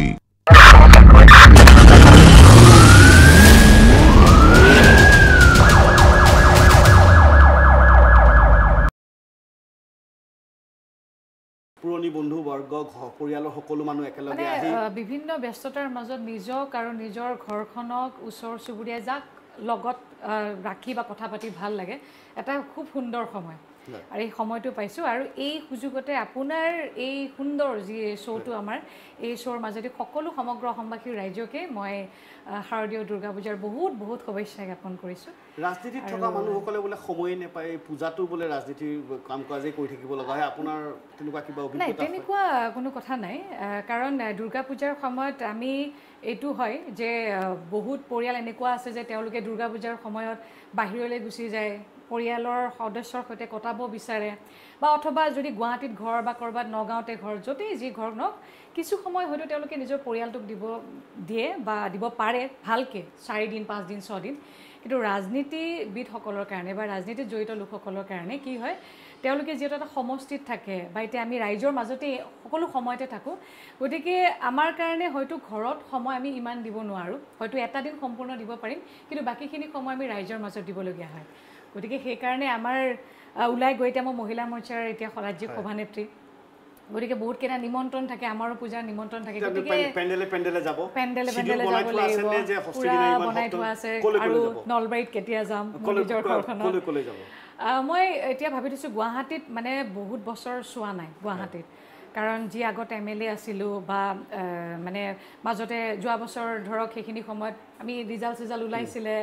গতিকে পৰিৱেশবিলাক অলপ বেলেগ হৈ আছিলে। এইবাৰ কিন্তু ভাবিছোঁ যে গুৱাহাটীত কিছু সময় কটাম। কিছুমান পেণ্ডেল আছে নিৰ্দিষ্ট যে এইকেইটা পেণ্ডেল যাম? নাই তেনেকুৱা নহয়।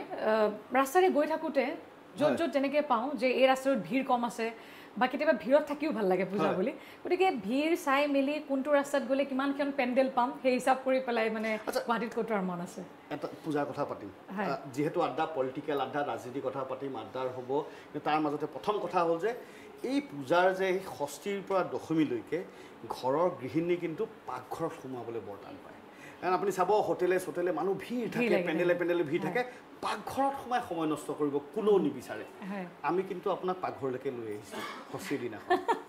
নাই ভালেই লাগিছে। কাৰণ মোৰ যদি ব্যক্তিগতভাৱে যদি মই পাকঘৰত কমেই থাকোঁ গতিকে মোৰ কাৰণে। গতিকে মই ইমান বেছি বেয়া পোৱা নাই ভালেই লাগিছে। তাইক কেতিয়াবা মই কেতিয়াবা একদম কম। কিন্তু বেছিভাগ সময় যিহেতু মই বাহিৰতে থাকোঁ ভণ্টি দুগৰাকী আছে। ডাঙৰ হৈ ক'ব নোৱাৰিব মায়ে এইটো বনাই খুৱাইছিলে সিটো বনাই নাই খুৱাইছিলে। তাই সন্মুখত থকাকে মই চাপ'জ মেগীটো বনাইছোঁ বা কিবা এনেকুৱা যিটো সহজ হয় আৰু কম সময়ত তাই দেখি থাকে। এই ধৰণৰ বনাই পেলাই খুৱাইছোঁ। গাজৰ হালৱা মই খুব ভাল বনাওঁ? গাজৰ হালৱাটো তাইক মই বনাই পেলাই খুৱাইছোঁ। গাজৰটো নানিলো আজি। হালোৱা নহ'ব মাছ হ'ব। কিন্তু তাৰ মাজতে আৰু এটা কথা। এই পূজা মানেতো ফেশ্বন ষ্টেটমেণ্ট হে ফেশ্বন ষ্টেটমেণ্ট বুলি ক'লেই ৰাজনীতিয়ে হওক বা সাধাৰণ সমাজেই হওক বা আজি উঠি অহা প্ৰজন্মই হওক আঙুৰলতা ডেকা কিন্তু এটা ফেশ্বন ষ্টেটমেণ্ট ক'ব নোৱাৰোঁ আপুনি তেনেকৈ ভাবে। এতিয়া মই হয় যে মানে কি দুৰ- মানে দুৰ্গা পূজাৰ সময়তে হওক বা ৰাজনৈতিকভাৱে যদিও আহিছোঁ কিন্তু সেই যিটো আগৰ যিটো জেগাটো আছিলে সেই জেগাটোত ৰাখিবলৈ মানে যত্নও কৰোঁ মাজে মাজে ৰাজনীতিৰ মাজত ৰাজনীতি কৰি ফুৰে বা মানুহৰ মাজত গৈ ফুৰে সেই যে এসময়ত বা এতিয়াও সেই অভিনেত্ৰী আছিলে এজন তাৰকা আছিলে সেইটো লগত যায়নে নাই যায়। সেইটোতো ক'লোঁ মানে কি হৈছে ৰাজনীতিত অহাৰ প্ৰথম দুটা বছৰত অলপ খেলি মেলি হৈছিলে মানে কি কৰিম কি নকৰিম এনেকুৱা ধৰণৰ আছিলে। মানে কি হৈছিলে মানে কাৰণ ৰাইজৰ মাজত থাকি পেলাই কাম কৰাৰ মাজতে সুকীয়া পৰিৱেশ গহীন পৰিৱেশ এটা আৰু মানে খুব কি হয় সেইবিলাকত আপুনি পাল মৰা বা কিবা মৰা সেইবিলাক কৰিব নোৱাৰে আপুনি। কাৰোবাৰ কিবা এটা দুখত আহিছে সেইটো আপুনি সমাধান কৰিবই লাগিব সমাধান কৰি এৰি দিব লাগিব। মানে মোক মানে আগতে যদি অকণমান ক'ৰবাত পাতলো আছিলে কিছুমান কামত মানে প্ৰথম দুটা বছৰত মানে খুব গহীন হৈ গ'লোঁ যে নাই আঙুৰ চব চব কথাবিলাক চিৰিয়াছলি ল'বি কিবা এটা কেছ আহিলে সেইটো সম্পূৰ্ণ নোহোৱাকৈ নেৰিবি। গতিকে সেইখিনি সময়ত দুটা বছৰ অলপমান খেলি মেলি হৈছিলে। মই নিজকে অভিনেত্ৰী কিবা আছিলে চবকে কৈ দিওঁ যে মোক এতিয়া অভিনেত্ৰী বুলি নাভাবিব দেই। কিন্তু কিন্তু নিজৰ মাজত নাই তেতিয়ালৈকে অহা নাছিলে। কিন্তু লাষ্ট যেতিয়া লাষ্ট দুটা বছৰ যেতিয়া আছিলে সেই দুটা বছৰ মানে কি হ'ল যেতিয়া জানা হৈ গ'লোঁ কিছু যে নাই এই কেছটো এনেকৈ হেণ্ডেল কৰিব লাগিব এই কেছটো এনেকৈ হেণ্ডেল কৰিলে হৈ যাব। সময় কিছু যেতিয়া মানে কমি আহিল মানে বা কেছটোত এই তেতিয়া নিজৰ কাৰণে অকণমান সময় অকণমান যেতিয়া লাহে লাহে অকণমান ওলাই অহা হ'ল বা যেতিয়া অকণমান ফ্ৰী পাই পেলাই কেতিয়াবা কোনোবা আগৰ যেতিয়া সহ শিল্পীৰ লগত যেতিয়া লগ হওঁ তেতিয়া ভাবে যে আৰে এইটো এতিয়াও এনেকুৱা এনেকুৱা হৈ আছে মই কি হৈ গ'লোগে চিনেমাৰ কথা লাহে লাহে মানে চিনেমাৰ কথা পাতিম থিয়েটাৰৰ चैलेंज ज्यादा अच्छी कमाई का वादा Kumar Engineering, exceeding expectations.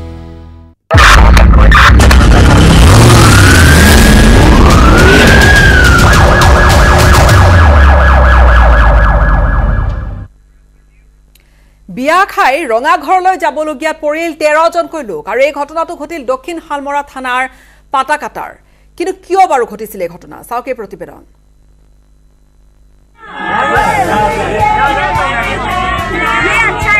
বিয়াঘৰৰ আলহী হ'লগৈ ৰঙাঘৰৰ আলহী। এজন দুজন নহয় দুখনকৈ বিয়াৰ ৰভাতলিৰ পৰা তেৰজনকৈ লোকক উঠাই নিলে আৰক্ষীৰ এটা দলে। কাৰণ বিয়া দুখন আছিল দুগৰাকী কিশোৰীৰ। দক্ষিণ শালমাৰা থানাৰ অন্তৰ্গত পাতাকাটা আৰু মোটাখোৱাত আৰক্ষীয়ে চলালে অভিযান। পাতাকাটাৰ মজিবুৰ ৰহমানৰ ঘৰত এগৰাকী পোন্ধৰ বছৰীয়া কিশোৰীক বিয়া দিয়াৰ চলিছিল আয়োজন। আনহাতে মোটাখোৱাৰ চাহাবুদ্দিনৰ ঘৰত আন এগৰাকী তেৰ বছৰীয়া কিশোৰীৰ বিয়া পতাৰ উদ্যোগ লৈছিল পৰিয়ালটোৱে। দুয়োখন বিয়া চলি থকাৰ সময়তেই আৰক্ষীয়ে অভিযান চলাই পাতাকাটাৰ পৰা নজন আৰু মোটাখোৱাৰ পৰা চাৰিজন লোকক আটক কৰি নিলে অভিযানকাৰী দলটোৱে। প্ৰায় নজনমান মানুহ আৰু মুঠা খোৱাৰ পৰা প্ৰায় চাৰিজন মানুহক আমি ধৰিবৰ কাৰণে সক্ষম হওঁ। আৰু তেওঁলোকক আমি মহামান্য আদালতত প্ৰেৰণ কৰিছোঁ। আমি আচলতে তাত যোৱাৰ লগে লগে আমি যেতিয়া ইনফৰ্মেশ্যন পাইছোঁ যে তাত বাল্য বিবাহ সম্পন্ন হৈ আছে আমি গৈ পোৱাৰ পাছত আমি তাত থকা মানুহখিনি কৰায়ত্ব কৰিব সক্ষম হওঁ। কিন্তু তেওঁলোক দৰা কইনাখিনি হয়তো মানে আন্ধাৰত সুযোগ লৈ তাত ক'ৰবাত ওচৰত গুচি যায়। বাল্য বিবাহ ৰোধ কৰাৰ ক্ষেত্ৰত অতি কঠোৰ ভূমিকা ল'বলৈ সাজু বুলি সদৰি কৰিলে আৰক্ষী থানাৰ বিষয়াই। চাইল্ড মেৰেজৰ ৰোধ কৰাৰ কাৰণে মানে বহু ধৰণৰ এৱাৰনেছ প্ৰগ্ৰেম পাতি থকা হৈছে। মাননীয় ডি চি মহোদয় আৰু এছ পি মহোদয়ে যিমানখিনি মানে চেষ্টা কৰি আছে বাল্য বিবাহ ৰোধ কৰাৰ কাৰণে কিন্তু আমাৰ যিখিনি ৰাইজ আছে ৰাইজে কোনো ধৰণৰ মানে বৰ্তমানলৈকে সঁহাৰি জনোৱা দেখা পোৱা নাই। আমি কোনো কাৰণত বাল্য বিবাহ সম্পন্ন কৰিব নিদিওঁ আমাৰ এলেকাত মানকাছৰ পৰা Shahjahan Ali news eighteen Assam north east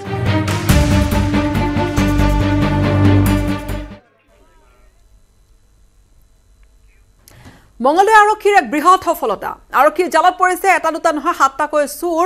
ধূলা হীৰাপাৰা গাঁৱৰ পৰা আৰক্ষীয়ে গ্ৰেপ্তাৰ কৰিছে আটাইকেইজন চোৰক। আৰু ভিন্ন সামগ্ৰী চুৰি কৰি ত্ৰাসৰ সৃষ্টি কৰি আহিছিল এই চোৰৰ দলে। মঙলদৈ আৰক্ষীৰ বৃহৎ সফলতা। আৰক্ষীৰ জালত পৰিল সাতটা চোৰ। বুধবাৰে নিশা মঙলদৈ আৰক্ষীয়ে ধূলা হীৰাপাৰা গাঁৱৰ পৰা সাতটাকৈ দুৰ্ধৰ্ষ চোৰক কৰায়ত্ব কৰে। বহুদিনৰ পৰাই এই চোৰকেইটাই কেইবাটাও অঞ্চলৰ চাইকেল পানীৰ মটৰ টাইলছ কটা মেচিনকে ধৰি বিভিন্ন ধৰণৰ সামগ্ৰী চুৰ কৰি তাণ্ডৱ চলাই আহিছিল। আমি প্ৰথমতে এজন ৱাৰ্ড নম্বৰ ওৱানৰ পৰা ধৰিলোঁ Mangaldai ward number two sorry one নহয় টুৰ পৰা ধৰিলোঁ আৰু তাৰ লিডিঙতে গৈ পেলাই বাকী আমি ছজন ধোলাৰ পৰা ধৰিলোঁ চৰকাৰ চক। তাৰ পৰা তেওঁলোকৰ হাতৰ পৰা আমাৰ এটা মটৰ এটা টাইলছ কচা মেচিন আৰু এখন চাইকেল ৰিকভাৰী কৰা হৈছে। বাকীখিনি আকৌ আমি ৰিমাণ্ডত আনি সোধপোছ কৰি আৰু কিমান পাৰোঁ আগুৱাই যাম। অসমীয়াত এষাৰ কথা আছে এশ গৰু মাৰিলে বাঘৰু মৰণ। চুৰ কৰি কৰি সকলোতে আতংকৰ সৃষ্টি কৰা এই চুৰ সাতটা অৱশেষত মঙলদৈ আৰক্ষীৰ জিম্মাত পৰিল। চুৰকেইটাৰ নাম আহমদ আলী নুৰুল আমিন হুছেইন আলী তফিজুৰ ৰহমান হজৰত বিল্লাল খুৰছিদ আলী আৰু জিয়াৰুল হক। বৰ্তমান আৰক্ষীয়ে সোধপোছ চলাই আছে চোৰকেইটাৰ ওপৰত। আমি চাম বাৰু যিখিনি আছে। মঙলদৈ টাউনত ইমানখিনি বেছি হোৱা নাই। ইমান চোৰৰ কোনো ৰিপৰ্ট অহা নাছিলে। এটা চোৰ হৈছিলে। আমি লাগি আছোঁ। চাওঁ আমি কিমানখিনি আগুৱাই যাব পাৰোঁ। মঙলদৈৰ পৰা Nabajyoti Mahanta news eighteen Assam north east Guwahati চিকিৎসা মহাবিদ্যালয় হাস্পতালত মূৰৰ অস্ত্ৰোপচাৰৰ পিছতে অন্ধ হৈ পৰে গোলাঘাট জিলাৰ ক্ষমা কৰিব বোকাজানৰ এটি সাত বছৰীয়া কণমানি। কিয় আৰু কেনেদৰে দৃষ্টিশক্তি হেৰুৱাই পেলাইছিল কণমানিটিয়ে? এতিয়া পিতৃ মাতৃ বিচাৰিছিলে মুখ্যমন্ত্ৰীৰ কিছু সহায়। কানা কৰি দি জানা মোক কোনে কানা কৰিছে তোমাক? ডক্টৰবিলাকে ডক্টৰ বিলাকে কৰে টাকাতে দেখা পাইছিলো আৰু ইয়াতে হাতে দেখাই পোৱা নাই?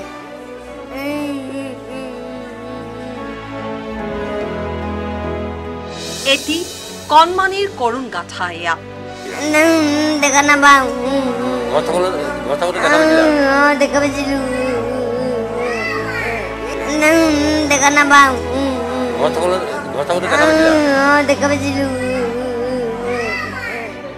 জি এম চি এইচত মূৰৰ অপাৰেশ্যনৰ পিছত দৃষ্টিশক্তি হেৰুৱালে এই শিশুটিয়ে।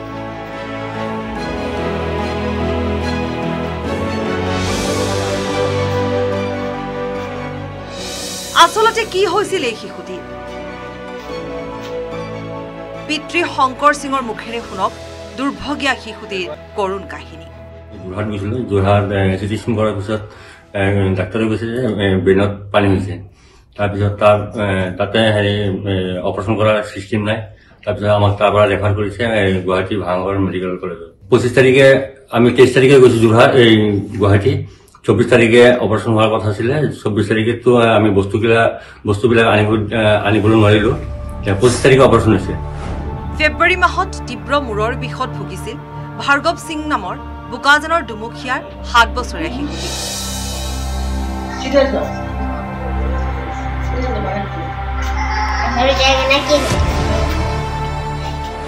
শিশুটিক প্ৰথমে যোৰহাট চিকিৎসা মহাবিদ্যালয় হাস্পতাললৈ লৈ যোৱা হয়। পৰীক্ষা নিৰীক্ষা কৰি উন্নত চিকিৎসাৰ বাবে শিশুটিক গুৱাহাটী চিকিৎসা মহাবিদ্যালয় হাস্পতাললৈ প্ৰেৰণ কৰা হয়। পঁচিছ ফেব্ৰুৱাৰীত গুৱাহাটী চিকিৎসা মহাবিদ্যালয়ত হাস্পতালত কণমানি ভাৰ্গৱৰ মগজুৰ অস্ত্ৰোপচাৰ কৰা হয়। কিন্তু সাতাইছ ফেব্ৰুৱাৰীৰ পৰা ভাৰ্গৱে চকুৰে নেদেখা হৈ পৰে। পঁচিছ তাৰিখে অপাৰেশ্যন হৈছে পঁচিছ ছাব্বিছ সাতাইছ তাৰিখৰ পৰা সি নেদেখা হৈ গৈছে। কানা কৰি দি জানা মোক। কোনে কানা কৰিছে তোমাক? ডক্টৰবিলাকে? ডক্টৰ বিলাকে অঁ। আপোনালোকে এই কথাটো মানে হস্পিটেলত জনাইছিলে? আমি গৈছিলো আমি হেৰি অভিজিত অভিজিত কি বা শৰ্মা আছিলে? দিন হাজিৰা কৰি ঘৰ সংসাৰ চলোৱা শংকৰ সিং আৰু পত্নী অলকা দাস কিং কৰ্তব্য বিমূৰ হৈ পৰিছে। দুচকুৰে সৰিয়হৰ ফুল দেখিছে কণমানিটিৰ পিতৃ আৰু মাতৃয়ে। ই অপাৰেশ্যন হোৱাৰ পিছত তিনিদিন পিছতে আমাক ৰিলিজ দিয়ে যোনে অপাৰেশ্যন কৰিছে। এই অপাৰেশ্যন হেৰি ডাক্তৰৰ নাম আছিলে মানস বৰা। মুখ্যমন্ত্ৰী ডক্টৰ হিমন্ত বিশ্ব শৰ্মাক কাটৰ আহ্বান জনাইছে। শিশুটিৰ দৃষ্টিশক্তি ঘূৰাই অনাৰ বাবে তেওঁলোকক সহায় কৰক। মোৰ ল'ৰাটোক মুখ্যমন্ত্ৰী হেমন্ত ছাৰে যেন চিকিৎসাৰ বাবদ কিবা সাহায্য কৰে এইখিনি মই আশা কৰি আছোঁ আৰু ল'ৰাজনে যেন মই সুস্থ কৰি আগৰ নিচিনা যেন দেখা পাব দিয়ে এইখিনি মই আশা কৰি আছোঁ। Bureau report news eighteen Assam north east. মই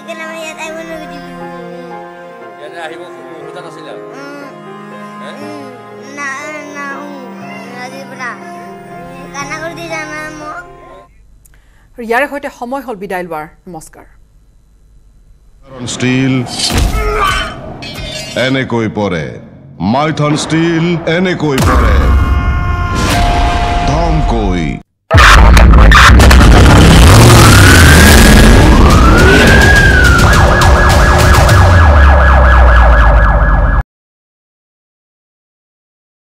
পাতিম আকৌ ফেশ্বনৰ কথাটো পটকৈ পাতি থৈ যাওঁ। যে পূজা বুলি ক'লেই কিন্তু ফেশ্বন পূজা বুলি ক'লেই নতুন কাপোৰ পূজা বুলি ক'লেই। নতুন ষ্টাইল আপুনি যিহেতু আপুনি এটা ষ্টাইল ষ্টাইল ষ্টেটমেণ্ট সকলোতে দিয়েই যায়। আপুনি ৰিচেণ্টলি দেখিলোঁ আপুনি এই বঙাইগাঁৱত আছিলে। বঙাইগাঁৱত আপোনালোকৰ সভাখনত আপুনি সেই বড়োৰ এটাৰ পিন্ধি সেয়াও কিন্তু খুব এটা চৰ্চাৰ হৈছিলে। আপুনি য'তে থাকে ষ্টেটমেণ্টৰ ফেশ্বনৰ কাৰণে ষ্টেটমেণ্ট মানে এটা চৰ্চাত থাকেই। পূজাত আপোনাৰ এইবাৰ কি হ'ব পাৰে? পূজাত বিশেষভাৱে তেনেকুৱা কোনো কথা নাই। মই আৰু মোৰ ছোৱালীজনীয়ে প্ৰত্যেকবাৰ মানে এটা দিওঁ আৰু যে এইবাৰ আমি পূজালৈ এনেকৈ ওলাইছোঁ। এইবাৰ আছে এইটো এতিয়াই ক'লে কেনেকৈ হ'ব? মানুহে আপডেট এতিয়া দেখিব অহাকালিৰ পৰা দেখিব। আৰু আজি এটা গৈছে আপডেট গতিকে দিছোঁ অলৰেডি গতিকে চালে ফেচবুক চাম। ফেচবুক। চাম ষ্টেটমেণ্ট গম পাম কি ষ্টেটমেণ্ট দিছে। এনিৱেজ আমি কথা পাতিম। তাৰ মাজতে যিহেতু পাকঘৰত আছোঁ আপুনি সোমাই বেয়া পায়। খোৱা বোৱাটো থাকেই কিন্তু মানুহে পূজা বুলি ক'লে বাহিৰত খাওঁ।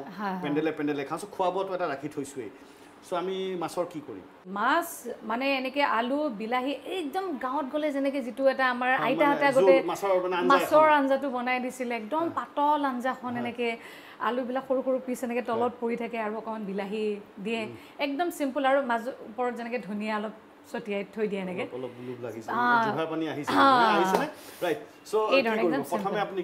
নাই এতিয়া প্ৰথমতে গোটেইখিনি কৰি থোৱাই আছে।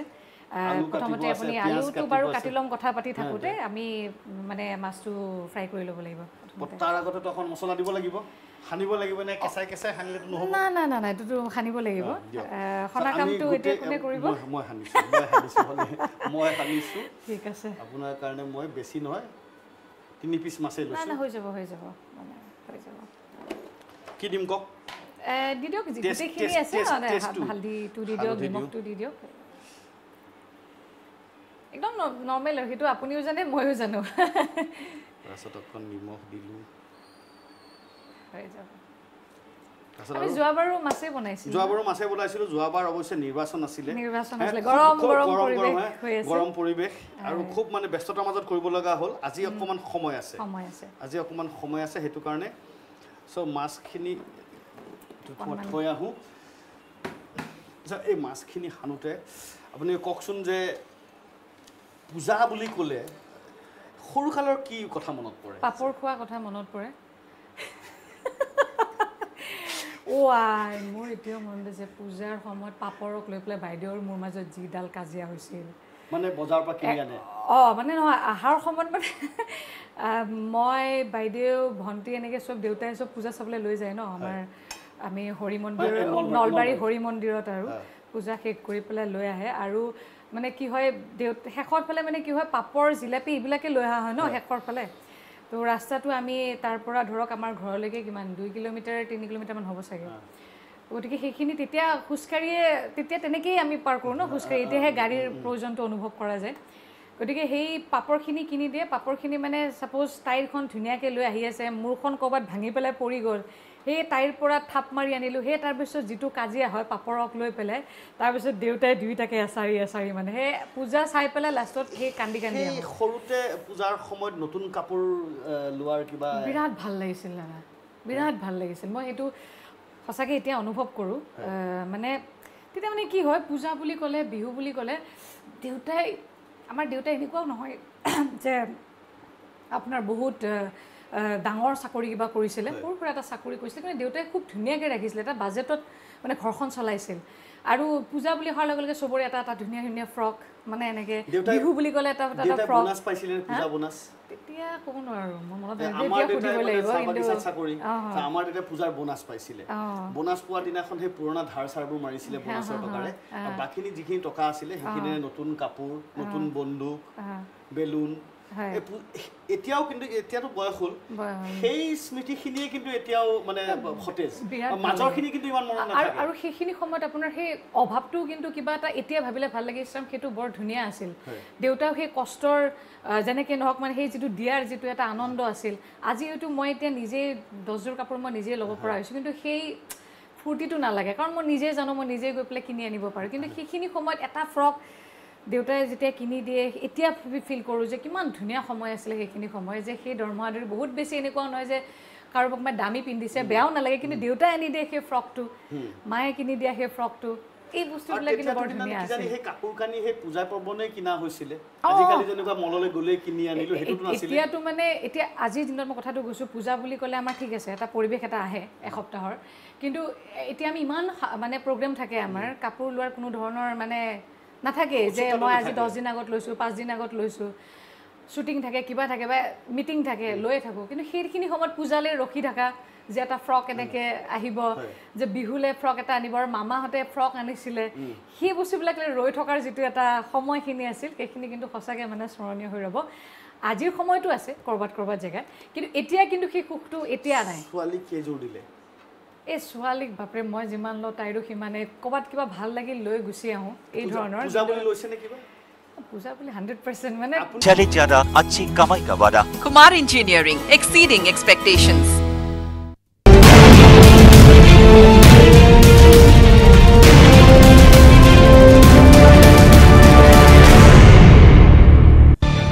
News headlines আগবঢ়াইছে সূৰ্য চিমেণ্ট অটুট ঘৰ অটুট অসম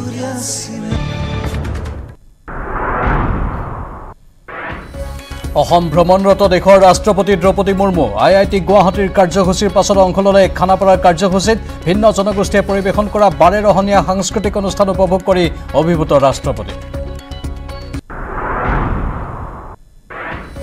অসম তৃণমূল কংগ্ৰেছৰ সম্পাদক অভিজিৎ কৰ্মকাৰক গ্ৰেপ্তাৰ। ভুৱা লটাৰী চলোৱা চক্ৰক নেতৃত্ব দিছিল তৃণমূলৰ নেতাজনে। গ্ৰেপ্তাৰৰ পাছতে দলে নিলম্বন কৰিলে অভিজিৎ কৰ্মকাৰক। আবাহন থিয়েটাৰক লভিতাৰ প্ৰদৰ্শনী বন্ধৰ দাবীত অটল দল সংগঠন লভিতাৰ প্ৰদৰ্শনী বন্ধ নকৰিলে বাধা দিয়াৰ হুংকাৰ তেজপুৰৰ সামাজিক সাংস্কৃতিক সংগঠনৰ। বান থিয়েটাৰ আৰু অসম নাট্য সন্মিলনৰ প্ৰতিবাদী সভাত উজাৰিলে ক্ষোভ। মাজুলীৰ তেজস্বিতা বৰুৱাৰ মৃত্যুৰ ঘটনাৰ সাক্ষ্যদান দল সংগঠনৰ ঊনৈছ অক্টোবৰলৈ চলিব সাক্ষ্য গ্ৰহণ প্ৰক্ৰিয়া। প্ৰথম অৱস্থাত সাক্ষ্য দিবলৈ ওলাই অহা নাছিল কোনো লোক। কোকৰাঝাৰৰ দ্বিতীয় সোমেশ্বৰ ব্ৰহ্ম মুছাহাৰীৰ গুৱাহাটীৰ ঘৰত আৰক্ষীৰ অভিযান। কোকৰাঝাৰত নিশা ছয়ত্ৰিছ লাখ টকাৰ সৈতে গ্ৰেপ্তাৰ কৰা হৈছিল দ্বিতীয় মুছাহাৰীক। শ্ৰীৰামপুৰ গেটত চিণ্ডিকেটত জড়িত থকাৰ অভিযোগত তিনি সতীৰ্থকো গ্ৰেপ্তাৰ। News headlines আগবঢ়াইছে। সূৰ্য চিমেণ্ট অটুট ঘৰ অটুট অসম।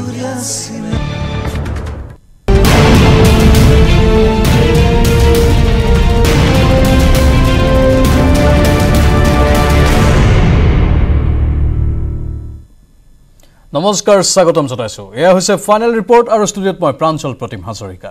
এতিয়া বিতং খবৰ জাগুনৰ ডুবিঘাটৰ পৰা সন্ধানহীন হৈছে যুৱক। সন্ধানহীন যুৱকজন মিলন চেত্ৰী জাগুন ফুলবাৰী গাঁৱত ঘৰ যুৱকজনৰ চাৰিজন সমনীয়াৰ সৈতে তিৰাপ নৈ পাৰ হৈছিল যুৱকজনে। যুৱকজনৰ অনুসন্ধান অব্যাহত ৰাখিছে আৰক্ষীয়ে। পুনৰ জনাইছোঁ জাগুনৰ ডুবিঘাটৰ পৰা সন্ধানহীন হৈছে যুৱক।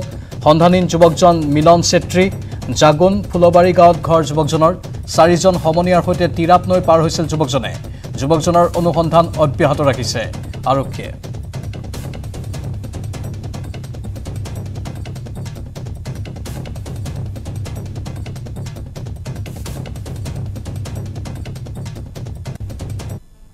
পাঁচজন সিহঁতি পাহাৰত গৈছিলে বাঁহগাজ বাঁহ কুমলীয়া কাটিম বুলি। তাৰপৰা এজন সেই পাঁচজনৰ মাজত এজন তাৰমানে পানীত আমাৰ ইয়াত ডুবিলে। তাৰপৰা সিহঁতি নিজৰো আছে তাৰপৰা সিহঁতৰ চিনাকিও আছে লগৰো আছে। এটি চা চাৰিটা মানে ঘূৰিলে। তেতিয়া আৰু গাঁৱত গৈ কিনে খবৰটো দিলে। তাৰপৰা মানুহ এজন যে মানে সন্ধানহীন হ'ল পানীত ডুবিলে হয় পানীত ডুবিলে ছাৰ। কি নাম্বাৰ যিজন ল'ৰা পানীত ডুবাজন নাম হ'ল মিলন ছেত্ৰী ছাৰ।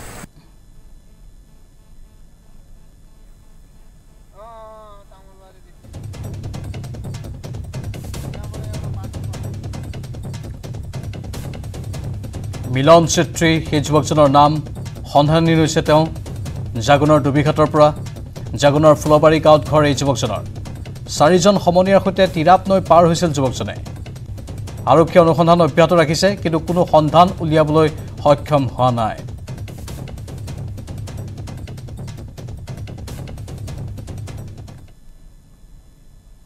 আবাহন থিয়েটাৰক লভিতাৰ প্ৰদৰ্শনী বন্ধৰ দাবী। অন্যথা তীব্ৰ বাধাৰ সন্মুখীন হ'ব আবাহন গোষ্ঠী। তেজপুৰত বান থিয়েটাৰ আৰু অসম নাট্য সন্মিলন তেজপুৰ শাখাৰ উদ্যোগত আয়োজিত প্ৰতিবাদী সভাত এই দাবী উত্থাপন কৰিলে বিভিন্ন সামাজিক সাংস্কৃতিক সংগঠনে।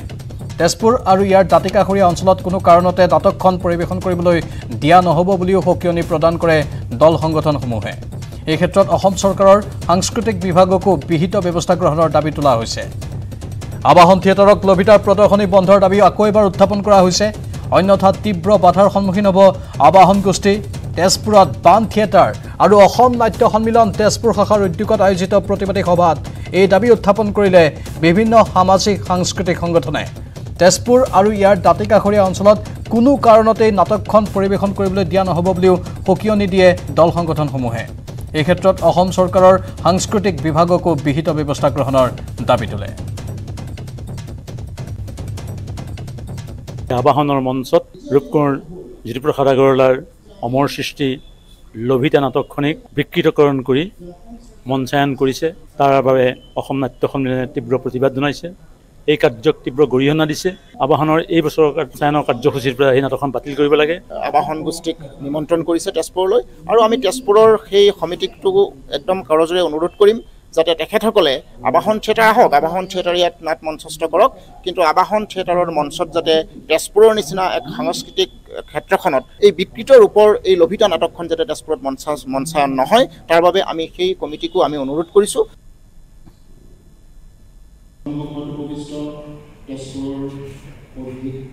আৰু এই ক্ষেত্ৰত প্ৰতিক্ৰিয়া প্ৰকাশ কৰিছে জুবিন গাৰ্গৰ পত্নী গৰিমা শইকীয়া গাৰ্গেও। লভিতাৰ কথাটো ক'বলৈ গ'লে আমি সকলোৱে জ্যোতিপ্ৰসাদ আগৰৱালাদেৱ আমাৰ যিহেতু আমি ছবি- জগতৰ সৈতে জড়িত আমাৰ পিতৃ স্বৰূপ তেখেত আৰু তেখেতৰ কোনো সৃষ্টিয়ে আমি বিকৃত হোৱাটো নিবিচাৰোঁ। গতিকে লভিতাক লভিতাৰ মতেই যদি নিজৰ মতে তেওঁ তেওঁলোকে উপস্থাপন কৰে তেতিয়া ভাল হ'ব। তেনে তেনেকেই মঞ্চস্থ কৰক সেয়াই বিচাৰিছোঁ। বিকৃতকৰণ যদি হৈছে মই নাটকখন নাই চোৱা আৰু যদি বিকৃতকৰণ কৰা হৈছে তেতিয়াহ'লে সেয়া অচিৰে বন্ধ কৰিবলৈ যি যিদৰে দাবী জনোৱা হৈছে বা যিদৰে সকলোৱে পদক্ষেপ এটা গ্ৰহণ কৰিছে সেই পদক্ষেপ সবল হওক আৰু তেওঁলোকে নিজেই প্ৰযোজনা গোষ্ঠী তেওঁলোক নিজেই সজাগ হওক আৰু তেওঁলোকে ভাবক যে তেনেকুৱা এটা সৃষ্টি কাৰ্য আমাৰ যি অসমৰ তেওঁলোকে কৈছে যে তাত কাৰো কপিৰাইট নাই। কিন্তু জ্যোতিপ্ৰসাদৰ সৃষ্টিৰাজিৰ ওপৰত সমগ্ৰ অসমীয়াৰ নালাগে সমগ্ৰ আমাৰ দেশৰ সকলোৰে সেই দায়িত্ব আছে আমি সেইখিনি পালন কৰিবই লাগিব। মুম্বাইত এজন যুৱকে ব্যতিক্ৰমী ৰূপত পালন কৰিলে জন্মদিন। যি ব্যতিক্ৰমী জন্মদিনৰ দৃশ্য সম্প্ৰতি ভাইৰেল হৈছে ছ'চিয়েল মিডিয়াত।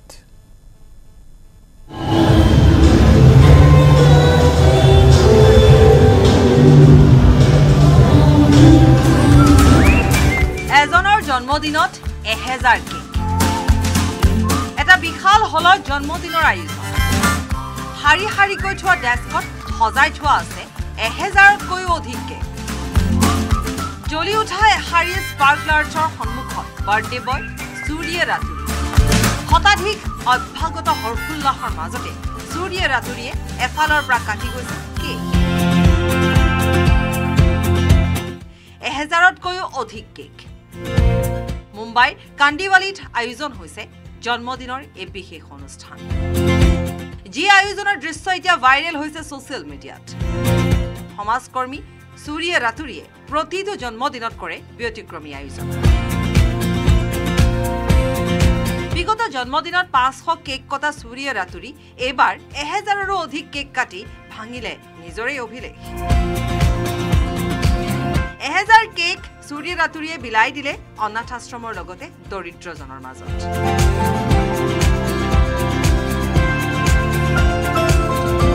News desk report news eighteen Assam north east.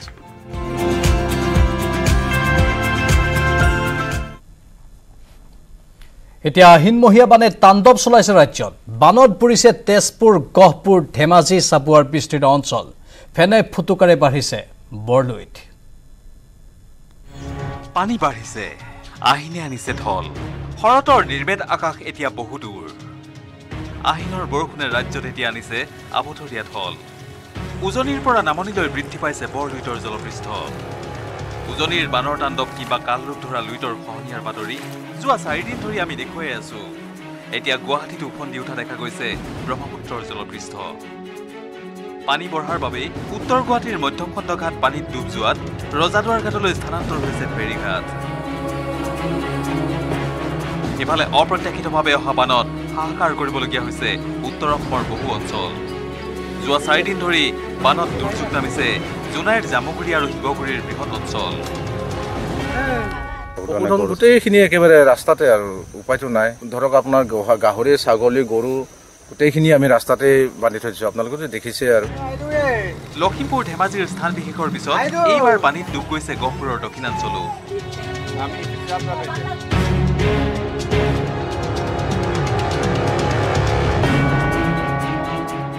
মাজুলীত লুইতৰ বাঢ়নি পানীয়ে বুঢ়াইছে বিঘাই বিঘাই কৃষিভূমি। মাটিমাহ মগুমাহৰ খেতি এতিয়া পানীৰ তলত। ইফালে আহিনৰ বানত জাহ গৈছে ডিব্ৰুগড় জিলাৰ চাবুৱাৰ মিঠাকটা গেৰেকী নেপালী গাঁও। ইফালে অসমৰ লগতে অৰুণাচলতো একেই বান বিভীষিকা। কৰবাত খহিছে মাটি কৰবাত নামিছে পানী। চিয়াং নৈৰ পানী বঢ়াৰ ফলত এতিয়া প্লাৱিত হৈছে ডি এৰিং সংৰক্ষিত বনাঞ্চল। Bureau report news eighteen Assam north east.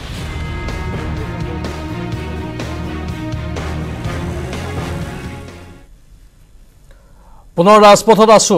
মূল্যবৃদ্ধিৰ বিৰুদ্ধে জিলাই জিলাই গৰজি উঠিল আছুৰ নেতাকৰ্মী। সম্পত্তি কৰ বৃদ্ধিৰ প্ৰস্তাৱ বাতিলৰো দাবী তুলিলে প্ৰতিবাদকাৰীয়ে। মূল্যবৃদ্ধি ৰোধ কৰক। ৰোধ কৰক ৰোধ কৰক। মূল্যবৃদ্ধি ৰোধ কৰক। অত্যধিক কৰ সংগ্ৰহ বন্ধ কৰক। কৰৰ বজাৰ জাপি দিয়া বন্ধ কৰক এই দাবী আছুৰ। মূল্যবৃদ্ধি ৰোধ কৰিব নোৱাৰা বিজেপি চৰকাৰ হয় হয়। হয় হয় হয়। উত্তাল হৈ উঠিল গুৱাহাটীৰ দীঘলী পুখুৰী পাৰ।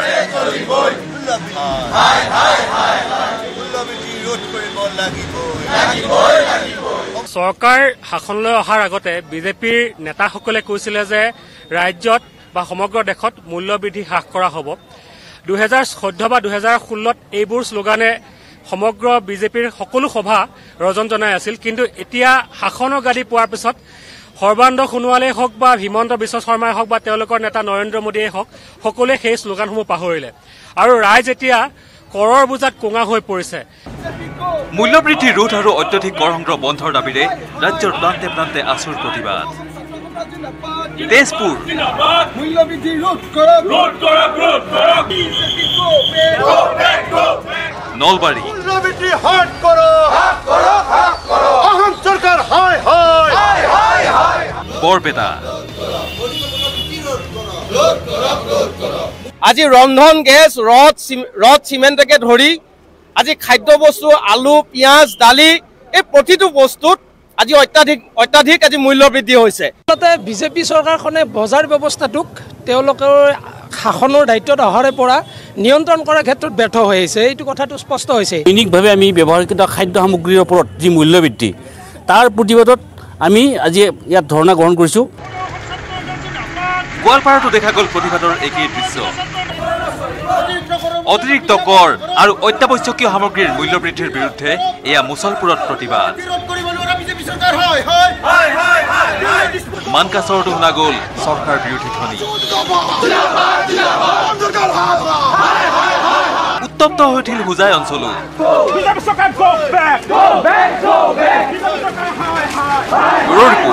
এইটিন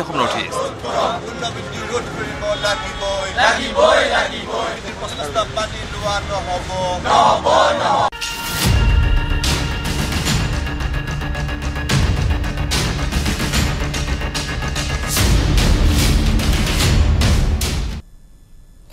গোসাইগাঁও মহকুমা ন্যায়িক দণ্ডাধীশ আদালতত হাজিৰ পৰিবহণ বিষয়া সোমেশ্বৰ ব্ৰহ্ম মুছাহাৰীক আদালতত হাজিৰ মুছাহাৰীৰ তিনি সহযোগীকো। হাজিৰ কৰোৱা হ'ল ৰিচাৰ্ড ইছলাৰী মনোজ বসুমতাৰী আৰু সৌভিক দেগ। আদালতলৈ অহাৰ পূৰ্বে গোসাইগাঁও আৰ এন বি চিকিৎসালয়ত স্বাস্থ্য পৰীক্ষা কৰাই চাৰিগৰাকীৰ। শ্ৰীৰামপুৰত চিণ্ডিকেটত জড়িত অভিযোগত গ্ৰেপ্তাৰ দ্বিতীয়সহ চাৰিজন। আমি পুনৰবাৰ জনাইছোঁ গোসাইগাঁও মহকুমা ন্যায়িক দণ্ডাধীশ আদালতত হাজিৰ কৰোৱা হয় পৰিবহণ বিষয়া সোমেশ্বৰ ব্ৰহ্ম মুছাহাৰীক। আদালতত হাজিৰ মুছাহাৰীৰ তিনি সহযোগীক। হাজিৰ কৰোৱা হ'ল ৰিচাৰ্ড ইছলাৰী মনোজ বসুমতাৰী আৰু সৌভিক দেক আদালতত লৈ অহাৰ পূৰ্বে গোসাইগাঁও আৰ এন বি চিকিৎসালয়ত স্বাস্থ্য পৰীক্ষা কৰাই চাৰিগৰাকীৰ। শ্ৰীৰামপুৰত চিণ্ডিকেটত জড়িত অভিযোগত গ্ৰেপ্তাৰ কৰা হৈছে দ্বিতীয়সহ চাৰিজনক।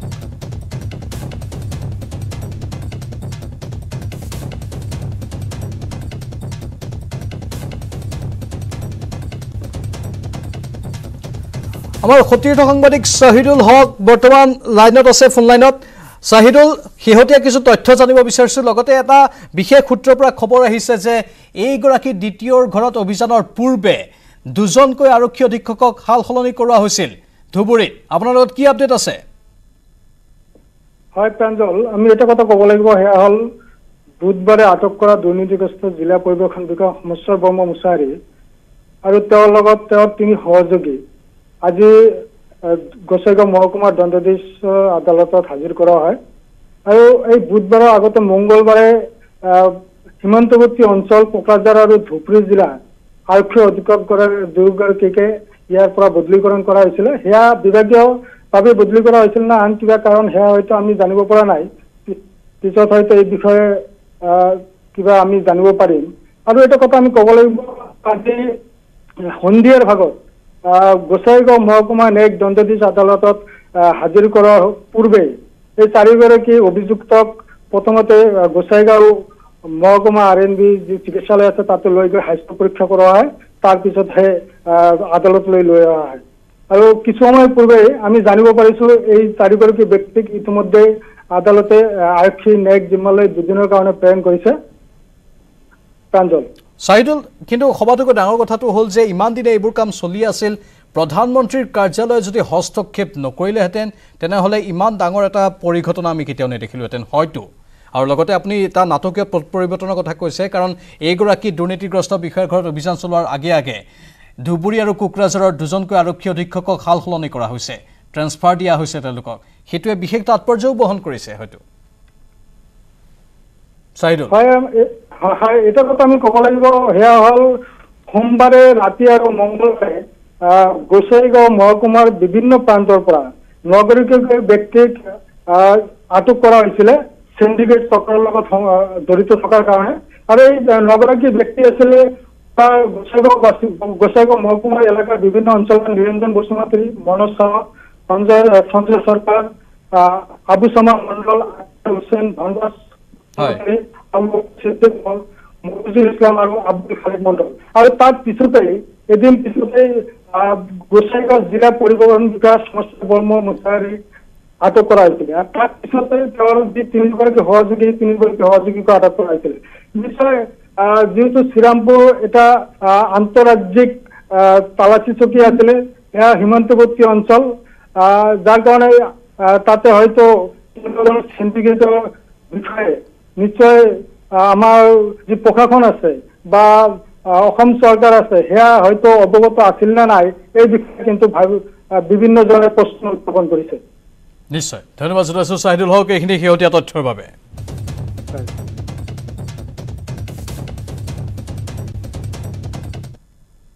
মুঠতে চিণ্ডিকেটৰ নেতৃত্বত পৰিবহণ বিষয়া জালত কোকৰাঝাৰৰ ভাৰপ্ৰাপ্ত পৰিবহণ বিষয়া সোমেশ্বৰ ব্ৰহ্ম মুছাহাৰী। ধৃত পৰিবহণ বিষয়াজনৰ ঘৰত উদ্ধাৰ হ'ল ছয়ত্ৰিছ লাখ টকা। শ্ৰীৰামপুৰত চিণ্ডিকেট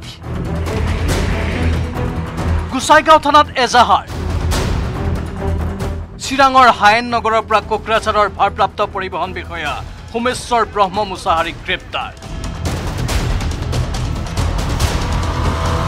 বুধবাৰে মাজনিশাৰ অভিযানত আৰক্ষীয়ে ধৃত পৰিবহণ বিষয়াৰ ঘৰৰ পৰা জব্দ কৰিলে নগদ ছয়ত্ৰিছ লাখ টকা।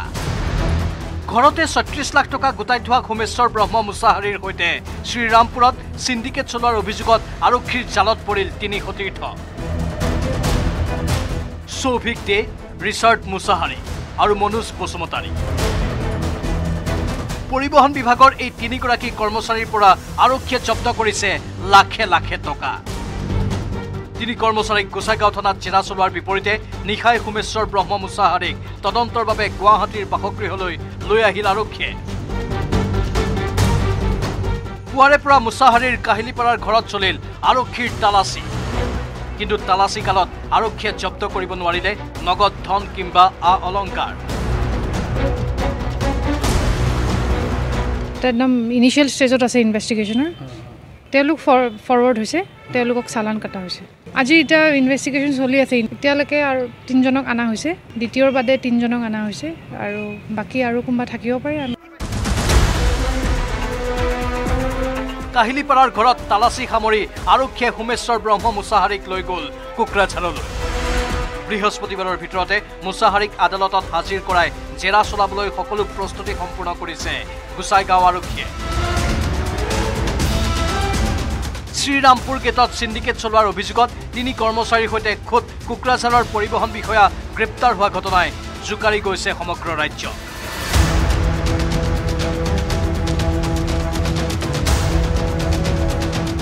কোকৰাঝাৰৰ পৰা সুৰজ বসুমতাৰী আৰু গুৱাহাটীৰ পৰা ভাস্কৰজ্যোতি হাজৰিকাৰ report news eighteen Assam north east.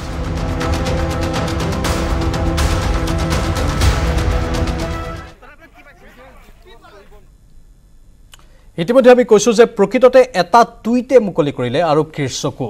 বহিৰাজ্যৰ এজন অখ্যাত ট্ৰাক চালকৰ টুইটৰ পাছতেই তৎপৰ হ'ল আৰক্ষী। আৰক্ষীৰ অভিযানত জালত পৰিল কোকৰাঝাৰৰ এগৰাকী জিলা পৰিবহণ বিষয়া সোমেশ্বৰ ব্ৰহ্ম মুছাহাৰীৰ লগতে। তিনি সতীৰ্থ ট্ৰাক চালকৰ এটা টুইটত তোলপাৰ ৰাজ্য। টুইটৰ বাবেই আৰক্ষীৰ জালত পৰিল সোমেশ্বৰ ব্ৰহ্ম মুছাহাৰী শ্ৰীৰামপুৰ গেটত ভাবুকি ধন দাবীৰে ত্ৰাসৰ সৃষ্টি কৰিছিল কোকৰাঝাৰৰ পৰিবহণ বিষয়া সোমেশ্বৰ ব্ৰহ্ম মুছাহাৰীয়ে শৌভিক দে ৰিচাৰ্ড মুছাহাৰী মনোজ বসুমতাৰীকে ধৰি বিভাগৰ একাংশ কৰ্মচাৰীক দিন ডকাইতৰ দৰে গঢ় দিছিল সোমেশ্বৰ ব্ৰহ্ম মুছাহাৰীয়ে। কিন্তু এই কাণ্ড ইমান দিনে চকুত পৰা নাছিল আৰক্ষীৰ। সোমেশ্বৰ ব্ৰহ্ম মুছাহাৰীৰ ধন দাবীত অতিষ্ঠ হৈ কোনো এক অখ্যাত ট্ৰাক চালকে দিয়া টুইটত হোৱা দোৱা লাগিল আৰক্ষীৰ বৰঘৰত। দহ অক্টোবৰত গোচাইগাঁও থানাত আৰক্ষীয়ে নিজাববীয়াকৈ ৰুজু কৰিলে এটা গোচৰ। গোচৰ ৰুজুৰ পিছদিনাই শ্ৰীৰামপুৰত চিণ্ডিকেট চলোৱা নটা দালালক গ্ৰেপ্তাৰ কৰিলে আৰক্ষীয়ে।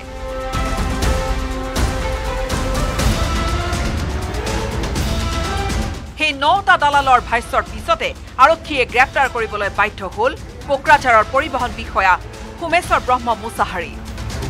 ট্ৰাক চালকৰ টুইটে খুলি দিয়া দুৱাৰেৰে সোমোৱা আৰক্ষীৰ জালত পৰাৰ সম্ভাৱনা আছে। পৰিবহণ বিভাগৰ ক্ষীৰতী গাইড পৰিণত কৰা বহু বিষয়া।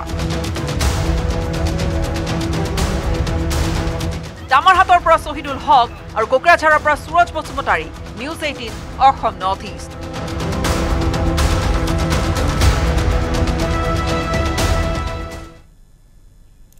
শোণিতপুৰৰ ৰঙাপুৰত এতিয়া বন্যহস্তীয়ে ত্ৰাসৰ সৃষ্টি কৰিছে।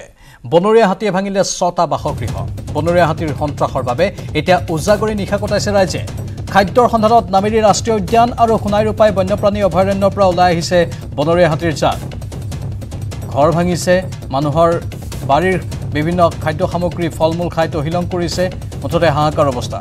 এয়া শোণিতপুৰৰ ৰঙাপুৰৰ খবৰ য'ত বন্যহস্তীয়ে সন্ত্ৰাসৰ সৃষ্টি কৰিছে। বনৰীয়া হাতীয়ে ভাঙিছে ছটা বাসগৃহ। বনৰীয়া হাতীৰ সন্ত্ৰাসৰ বাবে এতিয়া উজাগৰি নিশা কটাইছে ৰাইজে। খাদ্যৰ সন্ধানত নামেৰী ৰাষ্ট্ৰীয় উদ্যান আৰু সোণাই ৰূপাই বন্যপ্ৰাণী অভয়াৰণ্যৰ পৰা ওলাই আহিছে বনৰীয়া হাতীৰ বৃহৎ জাক আগদিনাখন আহিছে চাৰিটা তাৰ পিছদিনাখন আহিছে এটা চব ভাঙি চিঙি থৈ দিলে এতিয়া আমি ক'ত যাম কেনেকৈ থাকিম পোৱালি লৈ ধান চাউল চব খালে আমাৰ খাব একোৱে নাই एक दो तीन चार दिन हो जाते हैं ऐसा दिकदार करते हैं हाथी गिला पूरा चार पांचटा आया है हम ही तो छेना छोटो छोटो है लेके कितना भागते थक बोई और एखन तो कोनो खाए के लिए भी कोनो नहीं है घर दूरा भंगाई के खत्म हो गई বৃহস্পতিবাৰে ৰাজভৱনত উদযাপন কৰা হয় কাৰেৱা চথ উৎসৱ বিভিন্ন ক্ষেত্ৰৰ মহিলাৰ সৈতে অসমৰ প্ৰথম মহিলা প্ৰেমমুখীয়ে অংশগ্ৰহণ কৰে এই কাৰেৱা চথ কাৰ্যসূচীত কাৰ্তিক মাহৰ কৃষ্ণ পক্ষৰ চতুৰ্থ দিনা কাৰেৱা চথ উদযাপন কৰা হয় এই দিনটোত বিবাহিত মহিলাসকলে তেওঁলোকৰ স্বামীৰ দীঘলীয়া জীৱনৰ বাবে উপবাসে থাকে আৰু ৰাতি চন্দ্ৰ দেখাৰ পিছতহে উপবাস খোলে উত্তৰ ভাৰতৰ বহু ঠাইত কাৰৱা চৌথৰ দিনা স্বামীৰ মুখখন চালনীৰে চোৱাৰ পৰম্পৰা আছে बहनों को न हम आमंत्रित करते हैं कि इकट्ठे मिलके ये पूजा तो हर घर में होती है हर अ, यहाँ पे हिंदू स्त्री करती है लेकिन अपने अपने ढंग से करते हैं तो मैं ये चाहती हूँ मैं ये चाहती हूँ कि अ, सब हम इकट्ठे मिलके इस त्योहार को मनाएं ताकि एक दूसरे को शुभकामनाएं देते हुए ये त्योहार आगे बढ़े বাতৰিখিনিতে সময় হৈছে চমু বাণিজ্যিক বিৰতিৰ অতি সোনকালে উভতি আহিম সাধারণ স্টিল এনেকৈ পরে মাইথন স্টিল এনেকৈ পরে ধমকৈ কেইযোৰ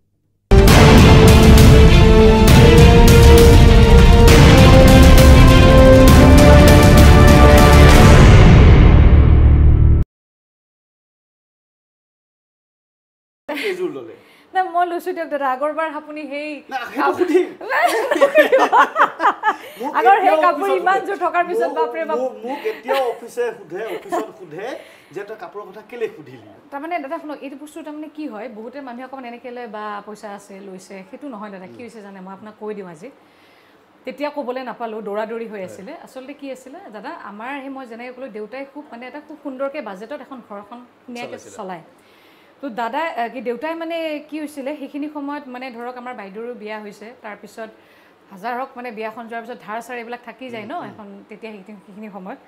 গতিকে সেই তাৰপিছত মই মানে ডান্স শিকিবৰ কাৰণে গ'লোঁ। তো ডান্সত যেতিয়া যাওঁ কিবা এটা যেতিয়া প্ৰগ্ৰেম থাকে ৰিহাৰ্চেল থাকে। ডেইলি থাকে। আৰু সেই ৰিহাৰ্চেলত মানে কি হয় আপোনাৰ বাকীবিলাকে চবেই সলাই সলাই আহে। মই মাত্ৰ এটা ফ্ৰক বা খুব বেছি দুটা ফ্ৰক। সেই দুটা ফ্ৰকেদি মানে গৈ থাকোঁ। মানুহৰ চকুত পৰি যায় যে আঙুৰে কিয় মানে তেতিয়া সেইবিলাকো থাকে ন লগৰ মাজত? তাই এটা ফ্ৰকেই পিন্ধি আহে এনেকুৱা হেন থাকেই। তো তাৰপিছত সেই প্ৰগ্ৰেম কৰোঁতে কিবা কৰোঁতেও মই অমুকৰ পৰা কাপোৰ লৈ আহোঁ। মোৰ এতিয়াও বান্ধৱী আছে বহুত বান্ধৱী। তেওঁলোকৰ কাপোৰ পিন্ধি পেলাই মই মানে ভি চি ডিত এক্টিং কৰিছিলোঁ। শাড়ীবিলাক কাৰোবাৰ কাৰোবাৰ খুজি আনো কেতিয়াবা কেতিয়াবা কিছুমান শাড়ী বেয়া হৈ যায়। আকৌ মাৰ গালি খাওঁ কিনি দিওঁ গৈ পেলাই। মায়ে কিনি দিয়ে, "তই কিয় কাপোৰ খুজি খুজি লৈ যাওঁ? কিন্তু উপায়ো নাছিলে। গতিকে এনেকুৱা ধৰণৰ সময়বিলাক আমি প্ৰায় পাঁচ ছয় বছৰ তেনেকৈ কটাইছোঁ। জোনদা ইমান গুণ্ডা যিমান কাপোৰ পিন্ধিছোঁ তাৰ আধা কাপোৰ কিন্তু মই বেলেগৰ পৰা খুজি আনি পেলাই মই পিন্ধি পেলাই এক্টিং কৰিছিলোঁ। গতিকে কি হয় যেতিয়া মোৰ হাতত যেতিয়া মই নিজে যেতিয়া মানে উপাৰ্জন কৰিলোঁ সেই যিটো এটা কষ্ট এটা সময়ত কষ্ট খাইছোঁ ন যে কাপোৰৰ কাৰণে খুজি খুজি আনি পিন্ধিছোঁ কিবা হৈছোঁ সেই যিটো কষ্ট খাইছিলোঁ এতিয়া মানে পইচা পৰাৰ লগে লগে যেনেকৈ নহওক মই ক'ৰবাত কাপোৰযোৰ দেখিছোঁ কিনিমেই। আগতে কাপোৰৰ কাৰণে বহুত কষ্ট খাইছিলোঁ। এতিয়া? যোৱাটো হিচাপ মোৰ মনত আছে। আকৌ সুধিছে, আকৌ কমেণ্টত গালি পাৰিব। যোৱাটো হিচাপ মোৰ মনত আছে। আছে নথকা নহয়। আৰু আছে। নকওঁ নকওঁ সংখ্যাত ক'লে মোক আকৌ গালি পাৰিব। আছে কাপোৰ। এটা কথা? মই নাই এটা? নালাগে ক'বলৈ কিন্তু কাপোৰ ঢেৰ আছে মোৰ সেইটো হয়। আৰু কাপোৰৰ কাৰণে বহুত গালিও খাওঁ লোৱাৰ কাৰণে। কিন্তু উপায় নাই মই কষ্ট খাইছিলোঁ ন দাদা এটা সময়ত সেইটো কোনে বুজিব? কষ্টটো কষ্ট উচুল হৈ গ'ল এতিয়া কষ্টতকে বেছি পাবি নাই নাই নাই নাই কষ্টতকৈ বেছি নহয় বহুত কষ্ট খাইছোঁ। মই পাঁচ বছৰ বুলি কৈছোঁহে মোৰ কেৰিয়াৰটোত জানেইতো আপুনি থিয়েটাৰলৈকে মই কিমান বছৰ কষ্ট কৰিছোঁ ষ্ট্ৰাগল কৰিছোঁ। গতিকে মই কাপোৰ আছে নথকা নহয়। বহুত কম কৰোঁ। কিন্তু বহুত কম কৰোঁ কিন্তু কিন্তু কিন্তু মই কিন্তু এটা কথা মই অলপ বুদ্ধিয়ক সেইটো ক্ষেত্ৰত। মই কাপোৰযোৰ কাটি কুটি মই বনাওঁ ঠিকছে। মোৰ পিন্ধা কাপোৰযোৰকে মই বনাই দিওঁ মানুহে গমেই নাপায়। মই পাটৰ কাপোৰ তেনেকৈ বহুত পুৰণা পাটৰ কাপোৰ এনেকুৱা আছে মই কাটি দুযোৰ কাপোৰ মিলাই পেলাই মই কাপোৰ বনাই দিওঁ। মানুহে পিছত ভাবে যে অঁ ক'ত কিনিলে? আঙুৰ কিন্তু সেইযোৰ পুৰণা কাপোৰ। তেনেকৈ মই বোৱা কাপোৰবিলাকো কিনি পেলাই আকৌ নতুনকৈ কাটি মেলি কিবা কিবি কৰি দিওঁ। সেইটো কোনো মানুহে গম নাপায়। যে তেনেকৈও কিছুমান কভাৰ হৈ গৈছে ন যে পুৰণা কাপোৰেই বুলি এতিয়ালৈকে পোন্ধৰ ষোল্লযোৰ হৈছে। এ দাদা মাৰিব আপুনি এতিয়া মাৰিব বুজি পাইছে? কম হৈছে। চাই এজনীক নাই, এনেকুৱা টাইপ বহুত বেলেগ ধৰণৰ কম কমেণ্ট আহি যাব দাদা। কম হৈছে। মানে কণ্ট্ৰভাৰ্চিলে ভয় লাগে। এই ব- নিজে যিবিলাক ফিল কৰোঁ যে এইবিলাক কথা পাতিব নালাগে এইবিলাক ক'ব নালাগে এইবিলাক পিছত আলোচনা হ'ব নালাগে তাতকৈ বহুত বেলেগ ধৰণৰ কথা আছে সেইবিলাকত নিজে ভাবোঁ যে হ'ব নালাগে। আৰু কিছুমান বস্তুত হ'ব লাগে যিটোৰ পৰা মানুহে কিবা এটা হেৰি পায় সাহস পায় বা প্ৰেৰণা পায় যে এইটো হ'ব পাৰে তেনেকুৱা বিষয় কিন্তু এইটোৰ পৰা আমাৰ লাভ হৈ আছে। কিবা আঘাত দিছে নেকি? অঁ দিছে ৱাও বৰ ধুনীয়া কথা সুধিছে এই যে মাজতে যে এটা যে পাৰ্টি অফিচত আমাৰ এটা যে ধৰ্ণা কাৰ্যসূচী এটা হৈছিল। মনত পৰিছেনে আপোনাৰ? সেই ধৰ্ণা কাৰ্যসূচীটোত আঙুলতা একো কোৱাই নাছিলে একো মুৰ্দাবাদেই কোৱা নাছিলে।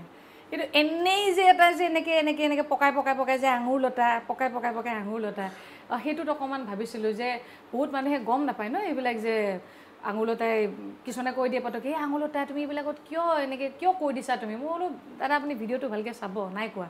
চাই পেলাই আকৌ কয় অঁ তুমিতো একোৱেই কৰা নাই।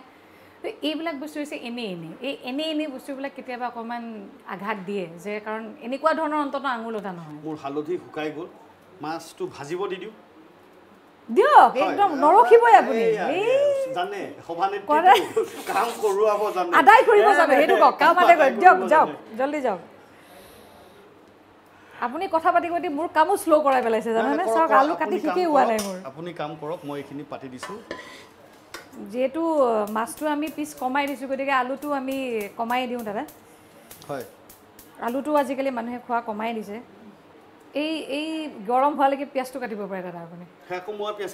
পিঁয়াজটো মানে কথা আছে মানে এই চকু পানী ওলোৱাৰ পিছত মোৰ কাজল চকু চকু হৈ নাথাকে আৰু বুজিছেনে? এইটো হ'লেতো দিগদাৰী হৈ যাব। আগন্তুক তিনিটা প্ৰগ্ৰামলৈকে আৰু মহিলা মই পলিটিচিয়ান নেমাতোৱে নেকি? দিয়ক। চকুৰ কাজল কিয় নষ্ট কৰিব বিচাৰিছে দাদা নকৰোঁ, নকৰোঁ, আপুনি নকৰোঁ, নকৰোঁ, নকৰোঁ। কান্দিবলৈ মই আপোনাক অঁ, ইয়ালৈ অনাই নাই। সেইটোৱে কথা। আজি মই, পূজাৰ আ, সময়ত- পূজাৰ সময়ত মই কান্দিবলৈ অঁ, আপোনাক অনাই আৰু। এনেও পূজাৰ যিহেতু সময় আপুনি নিজেই কৈছে ন যে। মহিলাবিলাক প্ৰাইভেট পাকঘৰত থাকেই গতিকে এইখিনি সময়ত মহিলাকতো আৰু কন্দুৱাব নালাগে পিঁয়াজেদি হওক বা অন্য কাৰণেদিয়ে হওক আচ্ছা আচ্ছা মই পিঁয়াজ কটা মানে আপুনি আৰু কেইটামান কথা পাতি লওঁ। প্ৰথম কথা হ'ল খাই কি ভাল পায়? কাৰণ পূজাৰ সময়ত যদি যায় মানে পূজাৰ সময়ত মানুহে বাহিৰত খায় কিবা বেলেগ খাব বিচাৰে কোনোবাই বিৰিয়ানী খাব বিচাৰে কোনোবাই ক'ৰবাত হোটেলত একেলগে সকলোৱে মিলি খাব বিচাৰে আপোনাৰ খোৱাৰ পচন্দ কি? পূজাৰ সময়ত বা জিলেপিখন খাম। বাৰু অঁ মানে সেইটো আৰু বাকী ফাষ্ট ফুড মই এনেও আগে পিছে ইমান বহুত বেছি নাখাওঁ। গতিকে ইমান তেনেকুৱা কোনো কথা নাই কিন্তু কেতিয়াবা এই আমাৰ ধৰক গাঁৱত যেতিয়া যোৱা হয় পূজা চাবলৈ। খুব ধুনীয়া সেই আপোনাৰ লুচি আৰু যে এনেকৈ যে মটৰ চটৰ দি পেলাই যে এটা ঘুগনিটো? বনাই যে সেইটো খাই বহুত এতিয়াও ভাল লাগে মানে। এতিয়াও যাওঁতে যদি বাটৰ কাষত পায় গাড়ীখন ৰখাই খায়নে পটককৈ নাখাওঁ পূজা বুলি হয়তো এদিন খাম কাৰণ সদায় খালেতো চেচেই আৰু আঙুলতা আঙুলতা হৈ নাথাকে আৰু গোটেই। ফুলি যাব নহয় জানো? কথাটো হ'ল যে নিজকে মেইনটেইন কৰিবলৈ কি কৰে? নিজকে মানে শৰীৰটোৰ কাৰণে। মানে মই আপোনাক কৈ দিছোঁ যে মই আগতে জিম কৰিছিলোঁ যেতিয়া অভিনেত্ৰী হৈ আছিলোঁ এই ৰাজনীতিত অহাৰ পিছৰ পৰা কমি গৈছিল সময়টো মিলাব নোৱাৰা হৈ গৈছিলোঁ। কিন্তু সেইটো ভুল আছিলে ৰখাই দিয়াটো। যেনেকৈ নহওক আমি শৰীৰটো প্ৰথমতে চাব লাগিছিল। কেৰাহী গৰম হ'ল। কেড়ায় তেল দি পেঁয়াজ আমার গাড়ি কুমার ইলেকট্রিক রিক্সা চ্যালেঞ্জ আদা আচ্ছি কামাই কাবাদা Kumar engineering exceeding expectations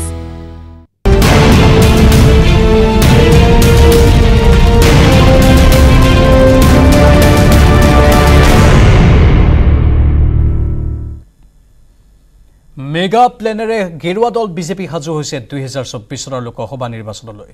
নিজৰ দখলত নথকা এশ চৌৰাল্লিছটা সমষ্টিক টাৰ্গেট হিচাপে লৈ হেট্ৰিকৰ লক্ষ্যৰে আগবাঢ়িছে দলটো।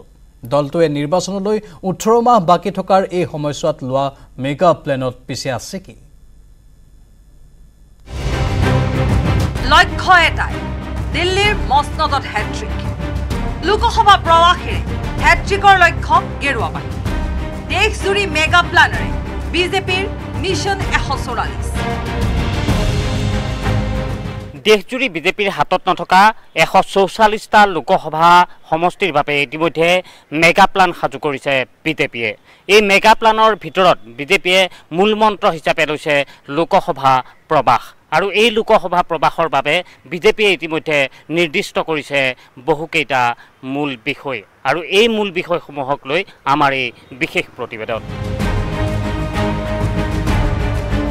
দুহেজাৰ ঊনৈছৰ নিৰ্বাচনত যিবোৰ সমষ্টি বিজেপিয়ে দখল কৰিব পৰা নাছিল সেইবোৰ সমষ্টিক এবাৰ মুখ্যতঃ অধিক গুৰুত্ব দিছে শাসকীয় দল বিজেপি।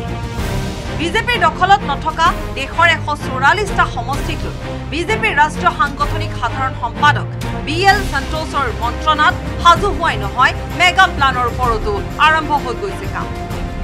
বিজেপিয়ে ইয়াৰ বাবে মূলতে লৈছে লোকসভা প্ৰৱাস যোজনা। পিছে কি আছে এই যোজনাত? বিজেপিৰ বিশেষ যোজনা মতে বিজেপিৰ শীৰ্ষ নেতা মন্ত্ৰীয়ে বিজেপিৰ সাংসদ নথকা সমষ্টিত কৰিব লাগিব প্ৰৱাস প্ৰৱাসৰ সময়ত চিনাক্ত কৰিব লাগিব চৰকাৰী হিতাধিকাৰী। চৰকাৰী হিতাধিকাৰীৰ ঘৰে ঘৰে গৈ হিতাধিকাৰীক যোগদান কৰাব লাগিব বিজেপি অকল হিতাধিকাৰীক টাৰ্গেট কৰিলে নহ'ব। সমাজত প্ৰভাৱ থকা ব্যক্তিক আনিব লাগিব দললৈ এই ক্ষেত্ৰত বিজেপিৰ শীৰ্ষ নেতৃত্বই মূলতঃ গুৰুত্ব দিছে যুৱচাম বিজেপিৰ টাৰ্গেট দেশৰ যুৱচাম যুৱচামক দললৈ আকৰ্ষিত কৰি দলত যোগদান কৰোৱাৰ সমানে সমানে নিৰ্দিষ্ট কৰি দিয়া ওঠৰ মাহত জ্যেষ্ঠ পুৰণি বিজেপিক সন্মান জনোৱাৰ দায়িত্ব মিছনেৰে জড়িত হৈ থকা সকলো নেতাৰ।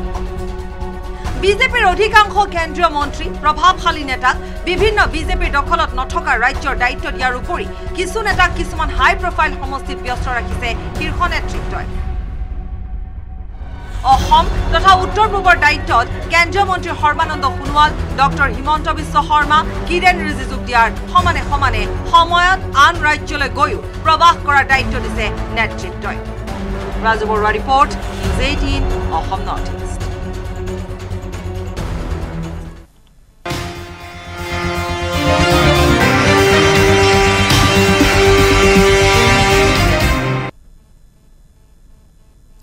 G M চিৰ জাননী সন্দৰ্ভত প্ৰদেশ কংগ্ৰেছৰ সভাপতি ভূপেন বৰাৰ ক্ষোভ। পত্নীৰ নামত থকা ঘৰ মাটিৰ বাবে তেওঁলৈ অহা জাননীত জাঙুৰ খাই উঠিছে ভূপেন বৰা। মহানগৰীৰ ঘৰ মাটিৰ তথ্য বিচাৰি ভূপেন বৰালৈ তিনিদিনৰ সময় দি পৌৰ নিগমে প্ৰেৰণ কৰা জাননীত উত্তাল হৈছে ৰাজ্যৰ ৰাজনীতি।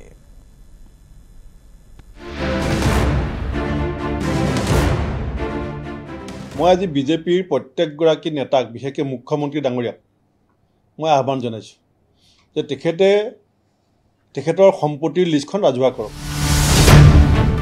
মুখ্যমন্ত্ৰী আৰু বিজেপি চৰকাৰৰ মন্ত্ৰীৰ সম্পত্তিৰ হিচাপ ৰাজহুৱা কৰিবলৈ আহ্বান জনাইছিল ভূপেন বৰাই। কোনদিনাখন বিজেপিয়ে তেওঁলোকৰ সম্পত্তি ৰাজহুৱা কৰিব নেতাসকলে একেদিনাখন ময়ো ৰাজহুৱা কৰিম। এদিন পিছতেই ভূপেন বৰালৈ আহিল গুৱাহাটী পৌৰ নিগমৰ জাননী।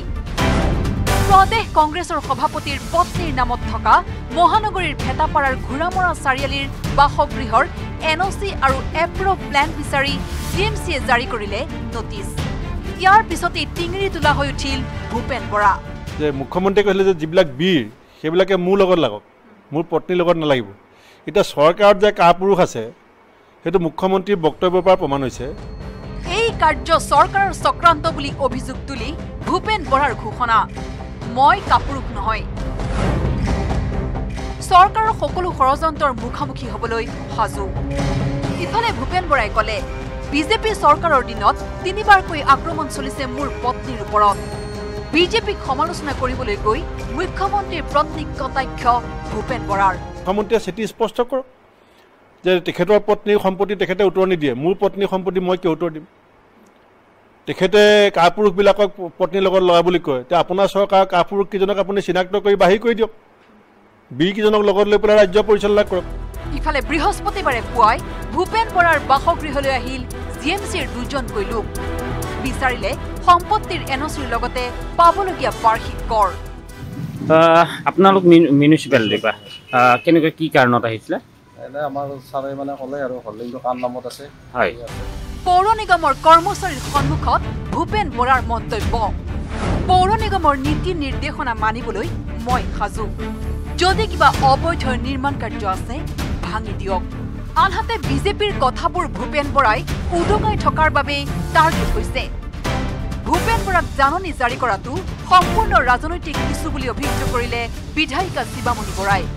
আৰু তেওঁ যিহেতু তেওঁলোকৰ যিখিনি কথা উদঙাই আছে। গতিকে তেওঁক টাৰ্গেট কৰি লৈছে। Bureau' report news eighteen Assam north east. দুহেজাৰ তেইছ চনত অনুষ্ঠিত হ'বলগীয়া নাগালেণ্ড বিধানসভাৰ নিৰ্বাচনৰ পূৰ্বে বিজেপি নেতৃত্বাধীন এন ডি এ চৰকাৰে নগা বিদ্ৰোহী সংগঠনসমূহৰ সৈতে একক তথা চূড়ান্ত চুক্তি কৰিবলৈ বিশেষ তৎপৰতা আৰম্ভ কৰিছে।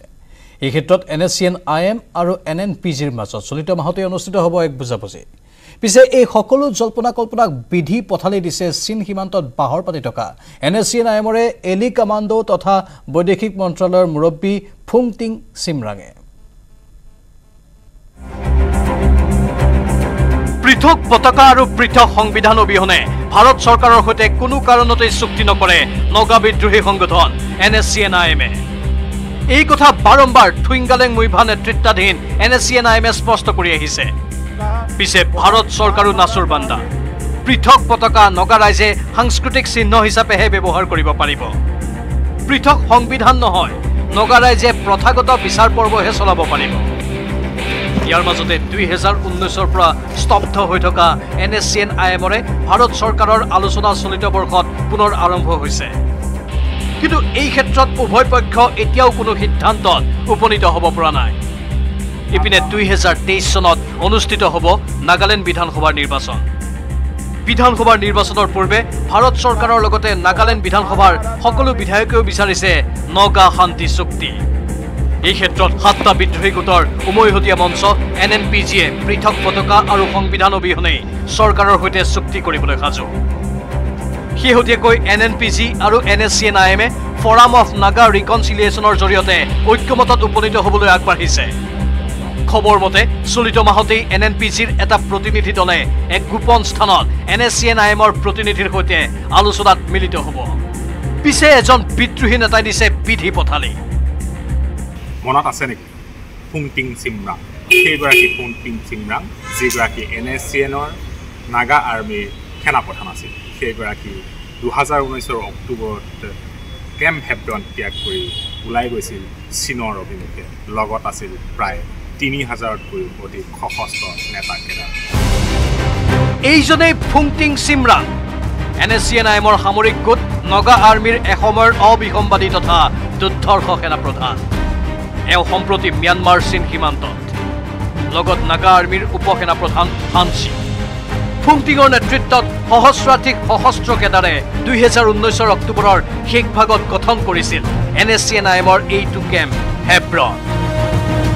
মূলতঃ চীনৰ সহায়ত পুনৰ স্তব্ধপ্ৰায় হৈ পৰাশস্ত্ৰ বিদ্ৰোহক শক্তিশালী কৰিবলৈ কেম্প হেব্ৰন ত্যাগ কৰা ফুংটিঙৰ দলটোৱে ভাৰত চৰকাৰৰ সৈতে সাৰ্বভৌম স্বাধীন নাগালিমৰ অবিহনে চুক্তি কৰিবলৈ নাৰাজ।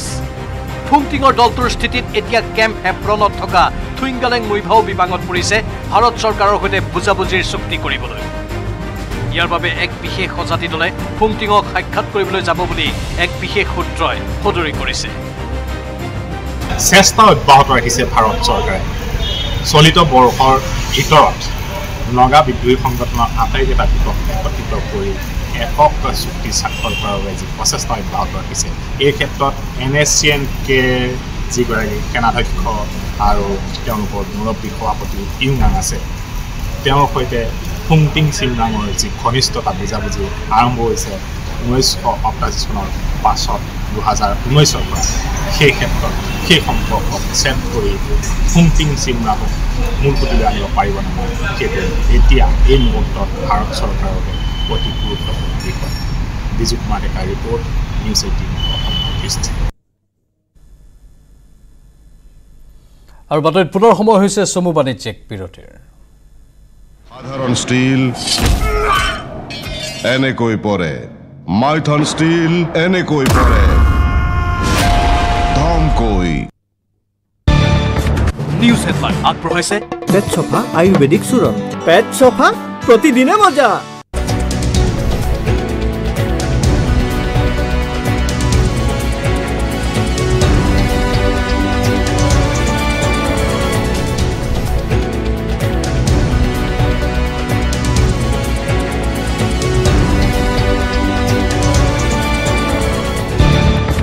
নিউজ হেডলাইন আগবঢ়াইছে পেট চফা আয়ুৰ্বেদিক চূৰণ পেট চফা প্ৰতিদিনে মজা।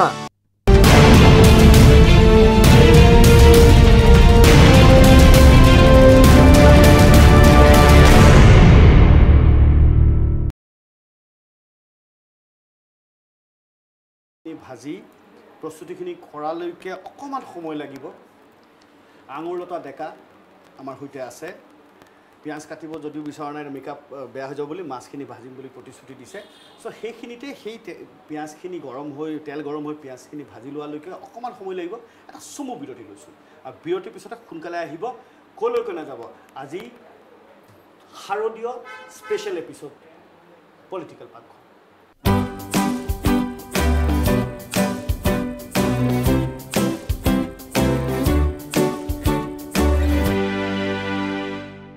বিৰতিৰ পিছত স্বাগতম আপোনালোকে চাই আছে পলিটিকেল পাকঘৰ শাৰদীয় বিশেষ স্পেচিয়েল এপিছড আৰু আমাৰ সৈতে আছে আঙুৰতা ডেকা বিজেপি মহিলা মৰ্চাৰ সভানেত্ৰী অভিনেত্ৰীটো নকলে দিয়ক। অভিনেত্ৰী সভানেত্ৰী। সকলো নেত্ৰী নেত- আপুনি নেতৃত্ব দি ভাল পায় এতিয়া আমি প্ৰথমতে মাছটো ভাজিলোঁ মাছটো ধুনীয়াকে সুন্দৰকে ভজা হৈ গ'ল। মাছ ভজা। হ'ল। পূজাৰ স্পেচিয়েল এতিয়া দুৰ্গা পূজা এখন কটাবলৈ কিন্তু এটা মাছ ভাজাই হৈ যায় আঞ্জা নহ'লেও বুজাই বুজি যায় যে কি কৰিব পাৰি এতিয়া কি দিম? এতিয়া আপুনি তেলটো ধুনীয়াকে গৰম হৈ গৈছে এই পাঁচফোৰণটো অকণমান।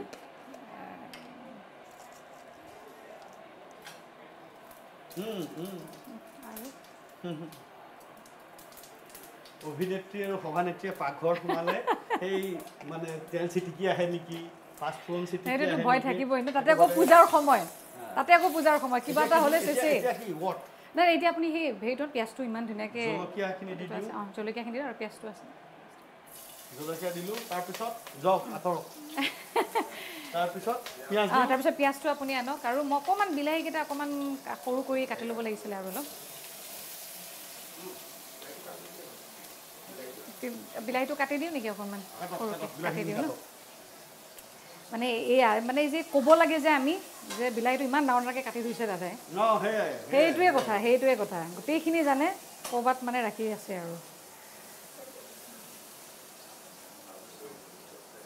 সচৰাচৰ সচৰাচৰ কিন্তু আঙুৰ এটা ডেকা কেনেকুৱাকৈ কিচেনত সোমাই বিলাহী কাটি থকা আপুনি নেদেখে। সভাই মেলে ভাষণ বক্তৃতা আৰু চেক পালেই নাচ আৰু গান এইখিনিত আপুনি পাব। কিন্তু এনেকুৱাকৈ বিলাহী কাটি থকা নাপায়। এয়া আমাৰ সৌভাগ্য হৈ গ'ল। হৈ গৈছে? দিয়ক। নাই নাই হৈ যাব এইখিনি। হৈ গৈছে। আমাৰ আইতাই মানে এই পাৰৰ আঞ্জাটো ইমান ধুনীয়া ৰান্ধিছিলে। কেইদিনমান আগত আইতা ঢুকাল মোৰ। খুব ধুনীয়া বনাইছিলে। মছলা একদম? হা? জালুক দিয়া? অঁ জালুক দিয়া খুব ধুনীয়াকৈ মানে বনাইছিলে। নিমখ আৰু হাল হালধি দিব লাগিব। অকণমান লৰাই ল'লে হ'ল। হালধি আৰু নিমখ কোনফালে আছে? আপোনাৰ ফালে আছে আপুনিয়ে দি দিয়ক। নাই আপুনি বাপ। বাপৰে বাপ বাপৰে বাপ আজি মানে মই বনোৱাহে খাই এৰিব। ৰাইজে সেইটো আপোনাৰ বনোৱাটোহে খাব লাগিব বছ হালধি দিলে নিমখটো অকণ কমাই দিব। হৈ যাব। অ'কে।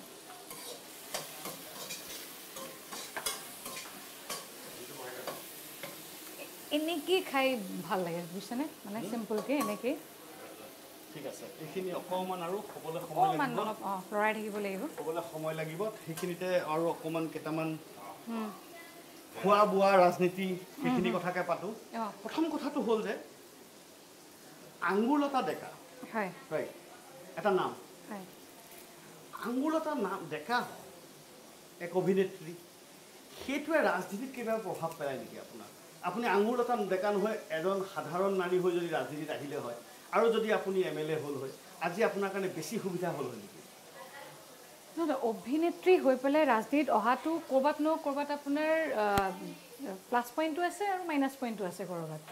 প্লাছ পইণ্ট এইটোৱে যে মোৰ ৰাইজৰ মাজত গৈ পেলাই মোক নতুনকৈ আকৌ মানে চিনাকি দিবলগীয়া হোৱা নাই যে অমুকত ঘৰ তমুকত।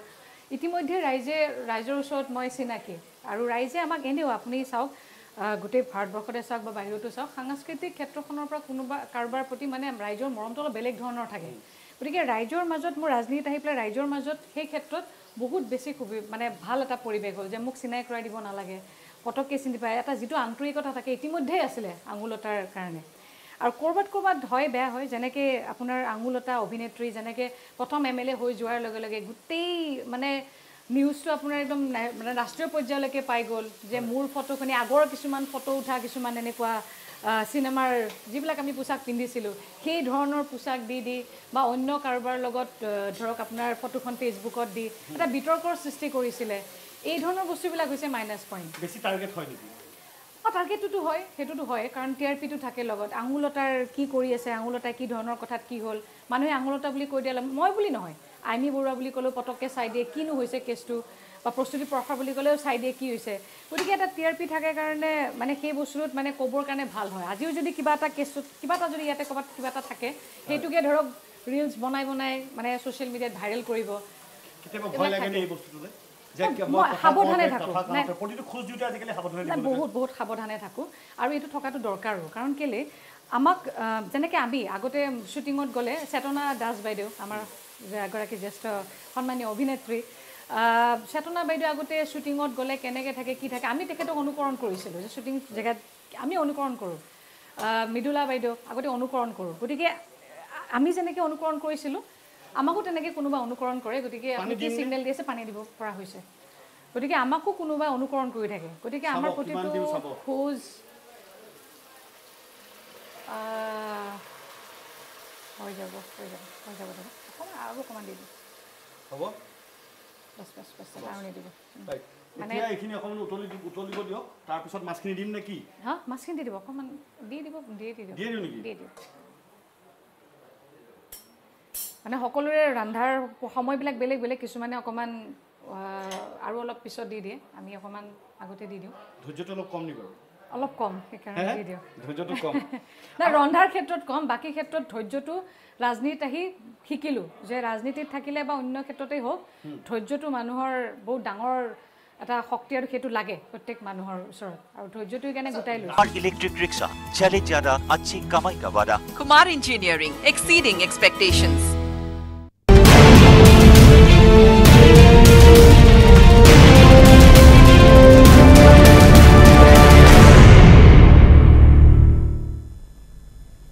কৰ্মচাৰীৰ জাতীয় সাজপাৰৰ কথা আপোনাৰ মনত আছেনে? বিজেপি চৰকাৰৰ প্ৰথম কাৰ্যকালত প্ৰৱৰ্তন কৰা এই নিয়মক পাহৰিলে সকলোৱে। পিছে নগাঁৱৰ এগৰাকী কৰ্মচাৰীয়ে জাতীয় সাজপাৰৰ বাবে এৰিলে লং পেণ্ট চাৰ্ট। সপ্তাহৰ দুটা দিনত চৰকাৰী কৰ্মচাৰীক জাতীয় সাজপাৰ পৰিধান কৰি আহিবলৈ চৰকাৰে কৰা আহ্বানক সঁহাৰি জনাই জিলা উপায়ুক্তৰ পৰা চতুৰ্থ বৰ্গৰ কৰ্মচাৰীলৈকে সকলোৱে জাতীয় সাজপাৰ পৰিধান কৰি অহাৰ কথা আপোনাৰ মনত আছেনে? মনত আছেনে বৰ্তমানৰ মুখ্যমন্ত্ৰী তথা তেতিয়াৰ স্বাস্থ্যমন্ত্ৰী হিমন্ত বিশ্ব শৰ্মাই কাৰ্যালয়লৈ জাতীয় সাজপাৰ পিন্ধি অহাৰ কথা? পিছে সেয়া আছিল বিজেপি চৰকাৰৰ প্ৰথমটো কাৰ্যকালৰ কাহিনী। কভিডকালীন পৰিস্থিতিৰ পিছতেই সকলোৱে পাহৰিলে জাতীয় সাজপাৰৰ কাহিনী। কিন্তু সকলোৱে পাহৰিলেও নগাঁও জিলা পৰিষদৰ এইগৰাকী কৰ্মচাৰীয়ে পাহৰা নাই জাতীয় সাজপাৰৰ বিষয়টো। সেয়ে দুহেজাৰ সোতৰ চনৰ পৰা তেওঁ জাতীয় সাজপাৰ পিন্ধিয়েই কাৰ্যালয়লৈ আহে। এইগৰাকী নগাঁও জিলা পৰিষদৰ চতুৰ্থ বৰ্গৰ কৰ্মচাৰী ফটিক চন্দ্ৰ দাস। দুহেজাৰ সোতৰ চনৰ পৰা নিয়মীয়াভাৱে তেওঁ জাতীয় সাজপাৰ পৰিধান কৰিয়েই পালন কৰি গৈছে বিভাগীয় দায়িত্ব। ঊনৈছ ন দুহেজাৰ সোতৰৰ পৰা মই সকলো লং পেণ্ট চাৰ্ট জোতা চেণ্ডেল চব বাদ দিলোঁ। ধৰ্মীয়ভাৱে আৰু চৰকাৰে যি ঘোষণা কৰিছে জাতীয়ভাৱে মই জাতীয় অস্তিত্ব ৰক্ষাৰ কাৰণে দুয়োটা কথা অটুট ৰাখি মই তেতিয়াৰ পৰা এতিয়ালৈকে পিন্ধি আছোঁ আৰু মই যিমান দিন জীয়াই থাকোঁ বা আমাৰ নগাঁও জিলা পৰিষদত মই যিমান দিন কৰ্ম কৰোঁ সিমান দিন আপোনালোকে মোক এনেকৈয়ে দেখিব দাসৰ মতে তেওঁ জাতীয় সাজপাৰ পৰিধান কৰি জাতিৰ প্ৰতি তেওঁৰ অন্তৰত থকা দায়বদ্ধতাৰ পৰিচয় দিব বিচাৰে।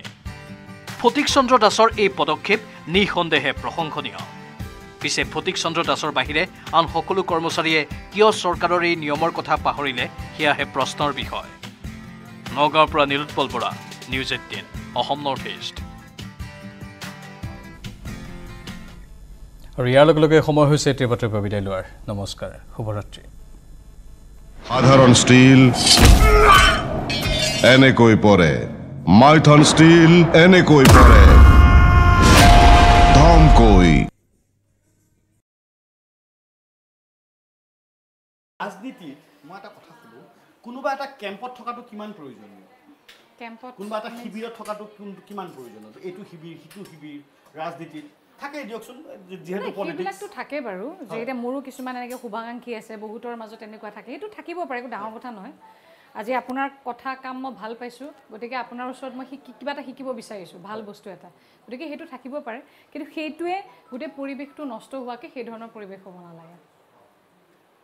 চ' এতিয়া ধৰি লওক আপুনি মই আগৰ কথাটো কৈ দিছোঁ যে আমাকো বহুতে অনুকৰণ কৰি থাকে। আমাৰ কথা বতৰা চাল চলন গতিকে আমি সেই ক্ষেত্ৰত সজাগ হোৱাটো ভাল। যিহেতু আমাৰ পাব্লিকে জানে ক'ৰবাত গৈ থাকিলেও জানে যে আঙুল এটা গৈ আছে। বা দোকান এখনত সোমাই দিয়াৰ লগে লগে আঙুল এটা আহিছে পটককৈ চাই চেল্ফি একপি উঠে। গতিকে সেইকাৰণে আমাৰ যিমান পাৰোঁ চেষ্টা কৰোঁ যে যাতে ক'ৰবাত ৰাইজৰ মাজত থাকোঁতেই হওক বা ক'ৰবাত ৰাস্তাতে হওক ক'ৰবাতেই হওক যিখিনি নৱপ্ৰজন্ম উঠি অহা আছে তেওঁলোকৰ আগত যাতে আমাৰ কেতিয়াও পজিশ্যনটো নষ্ট নহয় সেইখিনিৰ কাৰণে সজাগ হৈ থাকোঁ। পূজাৰ বতৰ। ৰাজনীতি আৰু পাতিব মন যায় কিন্তু তথাপি পূজা পূজা ভাৱ এটা আহে হয় নহয়? হয়। চ' প্ৰথম কথা হ'ল যে আঙুলতা ডেকাই থাকোঁতে আঙুলতা ডেকাই গানো গায়। হয় মানে তিনি চাৰি লাইনটো মানে পূজা বুলি আজি আৰু নিৰাশ নকৰিব শাৰী মেখেলা চাদৰ কেইটা আছিলতো নুশুনাই নকলেই। আমি অনুমান কৰিছোঁ যে আপুনি ত্ৰিছ চল্লিছ যোৰ কিনিছে। কিনিছে ডেকাই প্ৰতিদিনে নতুন চাদৰ মেখেলা।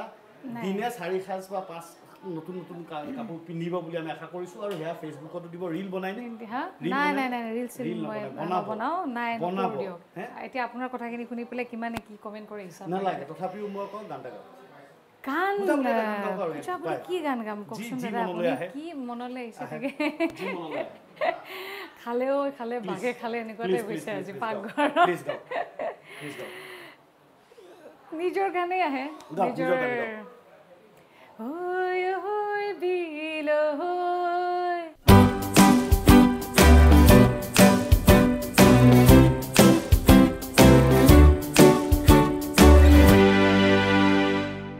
এতিয়া আমাৰ পাকঘৰত আহি উপস্থিত হ'বহি সুৰেখা চেত্ৰী আৰু জিনা ৰাজকুমাৰ।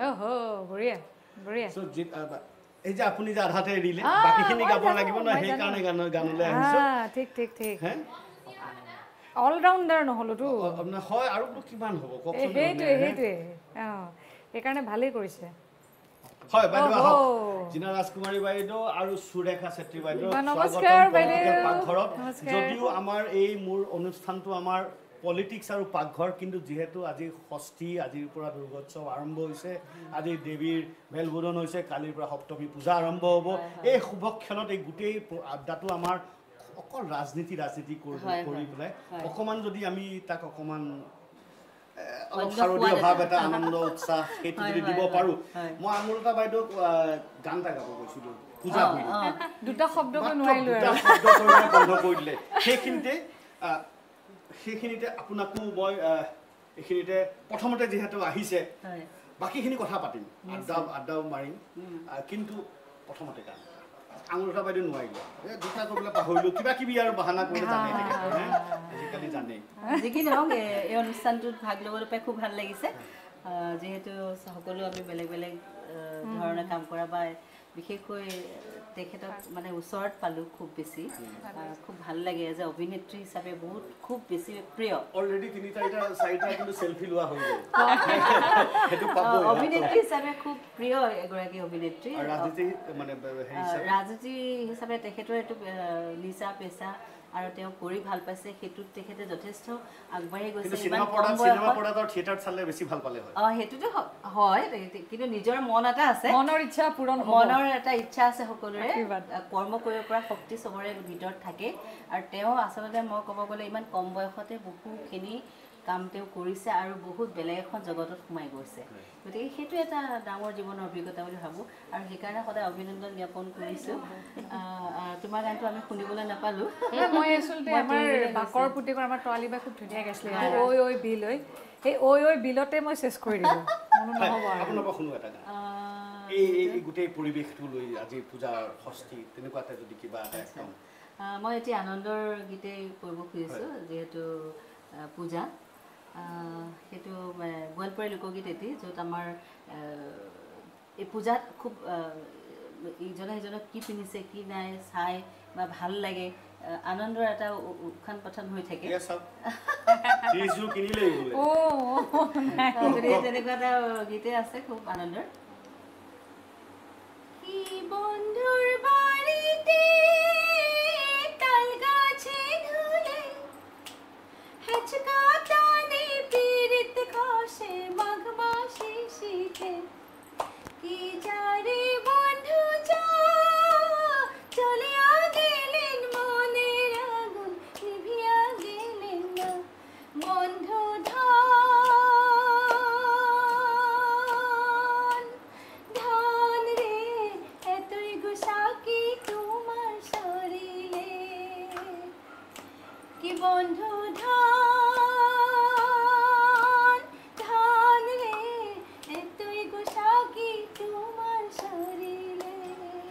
চেত্ৰী আমাৰ সৈতে আছে সুৰেখা চেত্ৰী বঢ়িয়া। আৰু আড্ডালৈ যাম গানৰ আখৰ যেতিয়া আখৰটো বহিছে ইয়াত এইটো ব- বন্ধ কৰি দিব যেন নেপালী গান। পূজা বুলি নেপালী আপোনালোকৰ নেপালী সমূহ সমুদায়ৰ মাজত কিন্তু পূজা দুৰ্গা পূজাটো খুব ডাঙৰ উৎসৱ এটা। হয় হয় হয় পূজা বুলি। আহ, তাৰ আগতে সকলোকে দুৰ্গা পূজাৰ শুভেচ্ছা জনালোঁ। লগতে খুব ভাল লাগিছে বাক পাই আৰু জিনাবাক বহুত দিনৰ মূৰত পাইছোঁ। নেপালী সম্পূৰ্ণ নাগাওঁ মই এটি নেপালী গীত কৰিছিলোঁ ধুনীয়া ধুনীয়া গীতবোৰ ৰাইজৰ মাজলৈ আগবঢ়াইছে খুব ভাল গায়িকা তাই চেষ্টা কৰিছোঁ মোৰ বকতে সাজিলি এটি ধুনীয়া চৰা ঘৰ তাতে দেখি তোক নেলাগে ভাগ বৰ বেয়াকৈ আঁকিলি মোৰ মনৰে দেৱালত তাতে মৰম নামৰ তিনিটি আখৰ দেউৰালি ভাগেৰা মায়া हो जीवनयो घामा छाया हो हे देउराली भागेरा माया हो जीवनयो घामा छाया আমার রাস্তা আমার গাড়ি কুমার ইলেকট্রিক রিক্সা চ্যালেঞ্জ ज्यादा अच्छी कमाई का वादा Kumar Engineering, exceeding expectations.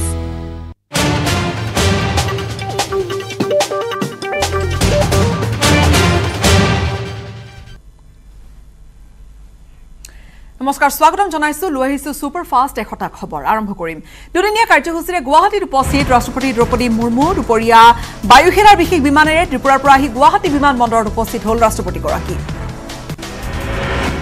বৃহস্পতিবাৰে বৰঝাৰ বিমান বন্দৰত অসম আৰক্ষীৰ অভিবাদন গ্ৰহণ কৰিলে ৰাষ্ট্ৰপতি দ্ৰৌপদী মুৰ্মুৱে। তাৰ পিছতে বায়ুসেনাৰ হেলিকপ্টাৰেদি খানাপাৰাত উপস্থিত হয় ৰাষ্ট্ৰপতিগৰাকী। খানাপাৰাৰ পৰা কইনাধৰা ৰাজ্যিক অতিথিশালালৈ ৰাওনা হয় ৰাষ্ট্ৰপতি। কইনাধৰাত দুপৰীয়াৰ আহাৰ গ্ৰহণ কৰি বিয়লি আই আই টি গুৱাহাটীৰ অনুষ্ঠানত অংশ ললে ৰাষ্ট্ৰপতি মুৰ্মুৱে। আই আই টিত ছুপাৰ কম্পিউটাৰ পৰম কামৰূপা উদ্বোধন কৰিলে ৰাষ্ট্ৰপতিগৰাকীয়ে। এটা গৱেষণা আৰু উন্নয়ন লেবৰেটৰী সমীৰ উদ্বোধন কৰিলে ৰাষ্ট্ৰপতিগৰাকীয়ে। ইয়াৰ পিছতে একেটা অনুষ্ঠানতে ভাৰ্চুৱেলি ধুবুৰী চিকিৎসা মহাবিদ্যালয় হাস্পতালখন উদ্বোধন কৰিলে ৰাষ্ট্ৰপতি মুৰ্মুৱে। ডিব্ৰুগড় আৰু জবলপুৰত নেশ্যনেল ইনষ্টিটিউট অৱ ভাইৰলজিৰ মাণ্ডলিক শাখাৰ আধাৰশিলাও ভাৰ্চুৱেলি স্থাপন কৰিলে ৰাষ্ট্ৰপতি মুৰ্মুৱে। সন্ধিয়া ষ্টাফ কলেজত অংশগ্ৰহণ কৰিব। দ্বিতীয়টো কাৰ্যসূচীত নিশাটো ৰাজ্যিক অতিথিশালাত কটাব দেশৰ ৰাষ্ট্ৰপতিগৰাকীয়ে। শুকুৰবাৰে দেশৰ ৰাষ্ট্ৰপতি দ্ৰৌপদী মুৰ্মুৱে দৰ্শন কৰিব কামাখ্যা মন্দিৰ। ইয়াৰ পিছতে শংকৰদেৱ কলাক্ষেত্ৰত চৰকাৰী অনুষ্ঠানত অংশ ল'ব ৰাষ্ট্ৰপতি মুৰ্মুৱে। ভাৰ্চুৱেলি উদ্বোধন কৰিব চাহ বাগিচাৰ এশখন আদৰ্শ বিদ্যালয়। দীৰ্ঘদিনীয়া অপেক্ষাৰ অন্তত উদ্বোধন হ'ল। অৱশেষত ধুবুৰী চিকিৎসা মহাবিদ্যালয়খন পোন্ধৰ নৱেম্বৰৰ পৰা চিকিৎসা মহাবিদ্যালয়খনত এম বি বি এছৰ পাঠ্যক্ৰমৰ পাঠদান আৰম্ভ হ'ব। ভাৰ্চুৱেলি অনুষ্ঠিত এক অনুষ্ঠানত ধুবুৰীত উপস্থিত থাকে সাংসদ পবিত্ৰ মাৰ্ঘেৰিটা। কোকৰাঝাৰ দুৰ্নীতিগ্ৰস্ত দ্বিতীয় সোমেশ্বৰ ব্ৰহ্ম মুছাহাৰী গোসাইগাঁও মহকুমা আদালতত হাজিৰ কৰোৱা হয়। দ্বিতীয়ৰ লগতে আন তিনি সহযোগীকো আদালতত হাজিৰ। আদালতত হাজিৰৰ পিছতে আৰক্ষীয়ে ল'ব জিম্মাত বুধবাৰে সোমেশ্বৰ ব্ৰহ্ম মুছাহাৰী কোকৰাঝাৰ স্থিত বাসগৃহৰ পৰা উদ্ধাৰ হৈছিল ছয়ত্ৰিশ লাখ টকা। শ্ৰীৰামপুৰ গেটত চিণ্ডিকেটত জড়িত মুছাহাৰী মুছাহাৰীৰ সৈতে গ্ৰেপ্তাৰ হৈছিল তিনি সতীৰ্থ। হিজাব বিতৰ্কত উচ্চতম ন্যায়ালয়ৰ ৰায়। বিভাজিত ৰায় দিলে উচ্চতম ন্যায়ালয়ে। বাহাল থাকিব কৰ্ণাটক উচ্চ ন্যায়ালয়ৰ ৰায়। চি জে আইয়ে গঠন কৰিব নতুন বিচাৰপীঠ। অধিক ন্যায়াধীশেৰে গঠন হ'ব নতুন বিচাৰপীঠ। দুজন ন্যায়াধীশে দিলে সুকীয়া সুকীয়া মত। হিন্দীত চিকিৎসা বিজ্ঞানৰ শিক্ষা। গৃহমন্ত্ৰীয়ে উন্মোচন কৰিব M B B S. Hindi ভাষাৰ পাঠ্যপুথি। দেওবাৰে এম বি বি এছৰ পাঠ্যপুথি মুকলি কৰিব। অমিত শ্বাহে সাতান্নব্বৈজন চিকিৎসকে প্ৰস্তুত কৰি উলিয়াইছে এই গ্ৰন্থ। অসমীয়াতো এম বি বি এছৰ পাঠ্যপুথি প্ৰকাশৰ কাম সম্পূৰ্ণ হোৱাৰ দিশত ডাক্তৰ ধ্ৰুৱজ্যোতি বৰাৰ নেতৃত্বত চলিছে কাম কাজ মধ্যপ্ৰদেশত আগন্তুক বৰ্ষত আৰম্ভ হ'ব শিক্ষাবৰ্ষৰ পৰা হিন্দী এম বি বি এছৰ পাঠ্যক্ৰম। ভূপেন বৰাৰ বাসগৃহত জি এম চিৰ কৰ সংগ্ৰহক যিকোনো মুহূৰ্তত জি এম চিয়ে ল'ব পাৰে বিহিত ব্যৱস্থা হেমন্ত কাকতি জয়ন্ত শৰ্মাই কৰিলে পৰিদৰ্শন। ভূপেন বৰাৰ পত্নীৰ নামত আছে ঘৰটোৰ নথি পত্ৰ ভূপেন বৰালৈ জাননী জাৰি কৰাৰ পিছতে প্ৰতিক্ৰিয়া বটদ্ৰৱাৰ কংগ্ৰেছ বিধায়িকা শিৱমণি বৰাৰ ভূপেন বৰাৰ জাননী প্ৰেৰণ কৰাটো সম্পূৰ্ণ ৰাজনৈতিক ইছ্যু বুলি ক'লে বিধায়িকাগৰাকীয়ে। নগা শান্তি চুক্তিৰ বাবে কেন্দ্ৰীয় চৰকাৰৰ সাজু হোৱাৰ সময়তে বিধি পথালি দিছে N S C N I এমৰ বৈদেশিক গোটে। সাৰ্বভৌমত্বৰ দাবীত অটল হৈ আছে এলি কামাণ্ডৰ নেতা Phungting Shimrang. Phungting N S C N I এমৰ সামৰিক গোট নাগা আৰ্মীৰ সেনাপ্ৰধান আছিল। শিৱসাগৰ গৌৰীসাগৰত এগৰাকী মহিলাক দলবদ্ধ ধৰ্ষণ। এই জঘন্য ঘটনাত জড়িত পাঁচ অভিযুক্তক গ্ৰেপ্তাৰ। এতিয়া পলাতক অৱস্থাত আন এটা পাখণ্ড। মহানগৰীৰ লাচিত নগৰত ঘটিল এটা ভয়ংকৰ অঘটন তিনিমহলীয়া এটা অট্টালিকাৰ পৰা পৰি গৈ মৃত্যুক আঁকোৱালি ললে এজন শ্ৰমিকে। নিহত শ্ৰমিকজনৰ নাম ভোলা। জগন্নাথ এপাৰ্টমেণ্টত সংঘটিত হৈছে। এই ঘটনা মহাদেৱ ডেকাৰ ভাতৃৰ ঘৰত নিৰ্মাণ কাৰ্য চলি থকাৰ মাজতে ঘটিছিল অঘটন। মহানগৰীৰ লাচিত নগৰৰ শিৱ মন্দিৰত বিহাৰৰ ৰাজেশ কুমাৰৰ সৈতে বিবাহত বহিল পোন্ধৰ বছৰীয়া কিশোৰী। চাইল্ড লাইনে খবৰ লাভ কৰাৰ মাত্ৰকে ভংগৰ আৰক্ষীৰ সহযোগত উদ্ধাৰ কৰিলে দুয়োকে বাল্য বিবাহ কাৰ্য সম্পাদন কৰোৱাৰ অভিযোগত পুৰোহিতক আটক কৰিছে আৰক্ষীয়ে। গহপুৰৰ যুৱক সুমন বেহেৰা এজন ৰোগীক উন্নত চিকিৎসাৰ বাবে নিছিল গুৱাহাটী চিকিৎসা মহাবিদ্যালয় হাস্পতাললৈ। ইয়াৰ পিছতে আঠ অক্টোবৰৰ পৰা ৰহস্যজনকভাৱে সন্ধানহীন হৈ আছে যুৱক সুমন বেহেৰা। দেৰগাঁও ব্ৰহ্মপুত্ৰ অঞ্চলৰ জৰাগুৰিত প্ৰবঞ্চকৰ দলক কৰা হৈছে আটক। প্ৰবঞ্চকৰ দলে ঘৰে ঘৰে ৰন্ধন গেছৰ পিয়ল কৰাৰ লগতে নিম্নমানৰ সামগ্ৰী প্ৰদান কৰি অবৈধভাৱে ধন সংগ্ৰহৰ গুৰুতৰ অভিযোগ উত্থাপন হৈছে। দক্ষিণ শালমৰাত বাল্য বিবাহ অনুষ্ঠান কৰা অভিযোগত তেৰজনক আটক কৰা হৈছে। পাতাকাটা আৰু মোটাখোৱাৰ অঞ্চলৰ এগৰাকী পোন্ধৰ বছৰীয়া কিশোৰীক বিয়া দিয়াৰ অভিযোগত পৰিয়ালৰ লোকৰ লগতে আটক কৰিছে আত্মীয়কো। কাছাৰত ড্ৰাগছ বিৰোধী অভিযান কাছাৰৰ বৰখলা লৰচিং পাৰত কাছাৰ আৰক্ষীৰ এটা দলে অভিযান চলাই জব্দ কৰিলে। দুহেজাৰ বটল কফ চিৰাপ এই ঘটনাত জড়িত এজন লোকক আটক কৰি আছে অব্যাহত সোধা পোছা। ডিগবৈত বুজন পৰিমাণৰ হেৰইনসহ এজন ড্ৰাগছ সৰবৰাহকাৰীক আটক ধৃত সৰবৰাহকাৰীটোৰ পৰা এশ এক দশমিক শূন্য চাৰি গ্ৰাম হেৰইন জব্দ এই সৰবৰাহত জড়িত আন দুজন লোক এতিয়া পলাতক। গোলাঘাটৰ জামুগুৰি বকুল তলত আৰক্ষীয়ে জব্দ কৰিছে বৃহৎ পৰিমাণৰ অৰুণাচল প্ৰদেশীৰ প্ৰদেশৰ সুৰা নিপু সোণোৱাল নামৰ লোকজনে নিজ গৃহত মজুত কৰি ৰাখিছিল কাৰ্টুনে কাৰ্টুনে অৰুণাচলী সুৰা পশ্চিম কাৰ্বি আংলং জিলাৰ অসম মেঘালয় সীমান্তত অব্যাহত আছে বন সম্পদ ধ্বংস যজ্ঞ খেৰণী বন বিভাগে অভিযান চলাই জব্দ কৰিলে বহু মূল্যৱান কাঠ। ৰাজ্যত ক্ৰমাৎ বৃদ্ধি পাই উঠিছে। যুৱতী নিৰুদ্দিষ্ট হোৱাৰ ঘটনা। এইবাৰ বেৰাপানীৰ পৰা নিৰুদ্দিষ্ট হৈছে বিনু শইকীয়া নামৰ এগৰাকী যুৱতী। ন অক্টোবৰৰ পৰা নিৰুদ্দিষ্ট হৈ আছে বিনু শইকীয়া। মঙলদৈ আৰক্ষীৰ বৃহৎ সফলতা। আৰক্ষীৰ জালত পৰিছে সাতটাকৈ চোৰ ধোলা। হীৰাপাৰা গাঁৱৰ পৰা সাতটাকৈ দুৰ্ধৰ্ষ চোৰক আটক কৰিছে আৰক্ষীয়ে। ভিন্ন সামগ্ৰী চুৰি কৰি সন্ত্ৰাস সৃষ্টি কৰি গৈছিল দলটোৱে। ডুমডুমাত দিন দুপৰতে অটো ৰিক্সাৰ বেটাৰী চুৰিৰ এটা ঘটনাই চুৰি কাণ্ডৰ সৈতে জড়িত চোৰক ৰাইজে হাতে লোটে ধৰাৰ পিছতে ডুমডুমাৰ আৰক্ষী প্ৰশাসনক চমজাই দিয়ে। মহানগৰীৰ মঠঘৰীয়া দুটাকৈ চুৰিৰ ঘটনা ঘটিল। মঠঘৰীয়াৰ শ্ৰীমন্ত শংকৰদেৱ কলা কৃষ্টি কলা সংস্কৃতি বিকাশ কেন্দ্ৰ নামৰ নামঘৰটোৰ পৰা চোৰে লুটিলে পঁচিছ হাজাৰ টকা। ইপিনে নামঘৰৰ গাতে লাগি থকা ইছলামনগৰ মছজিদৰ পৰা পাঁচ হাজাৰ টকা লুটিলে চোৰে। মৰিগাঁও জাগিৰোড সংযোগী পথত এটা ভয়ংকৰ দুৰ্ঘটনা এখন যাত্ৰীবাহী আৰু এখন মালবাহী বাহনৰ মাজত হোৱা মুখামুখি সংঘৰ্ষত দখাৱৈত বাগৰি পৰিল দুয়োখন বাহন। অৱশ্যে কথমপি প্ৰাণ ৰক্ষা পৰিছে চাৰিগৰাকী যাত্ৰীৰ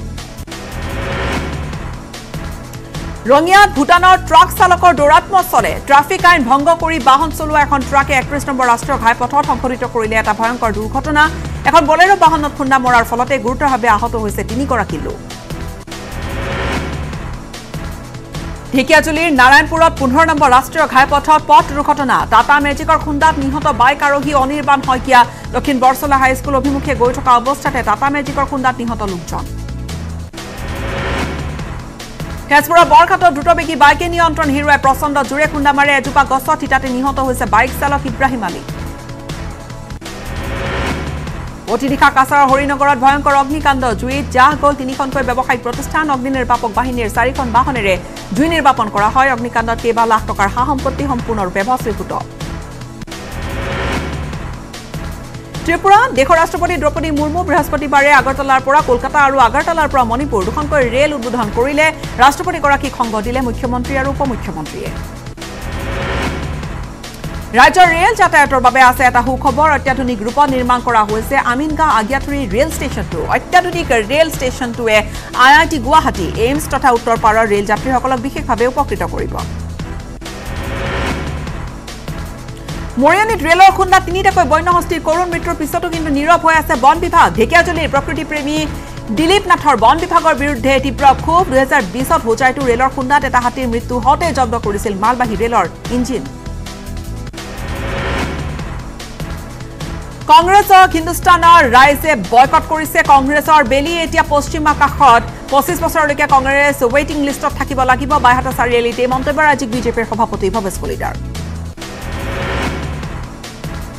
নলবাৰী জিলা ছাত্ৰ সন্থাৰ প্ৰতিবাদ। অত্যাৱশ্যকীয় সামগ্ৰীৰ দাম বৃদ্ধি আৰু অতিৰিক্ত কৰ জাপি দিয়াৰ বিৰুদ্ধে এই প্ৰতিবাদ সদৌ নলবাৰী জিলা ছাত্ৰ সন্থাৰ বিক্ষোভ কাৰ্যসূচী ৰূপায়ণ আৰক্ষীয়ে বাধা প্ৰদান কৰিলে। প্ৰতিবাদী সমদলক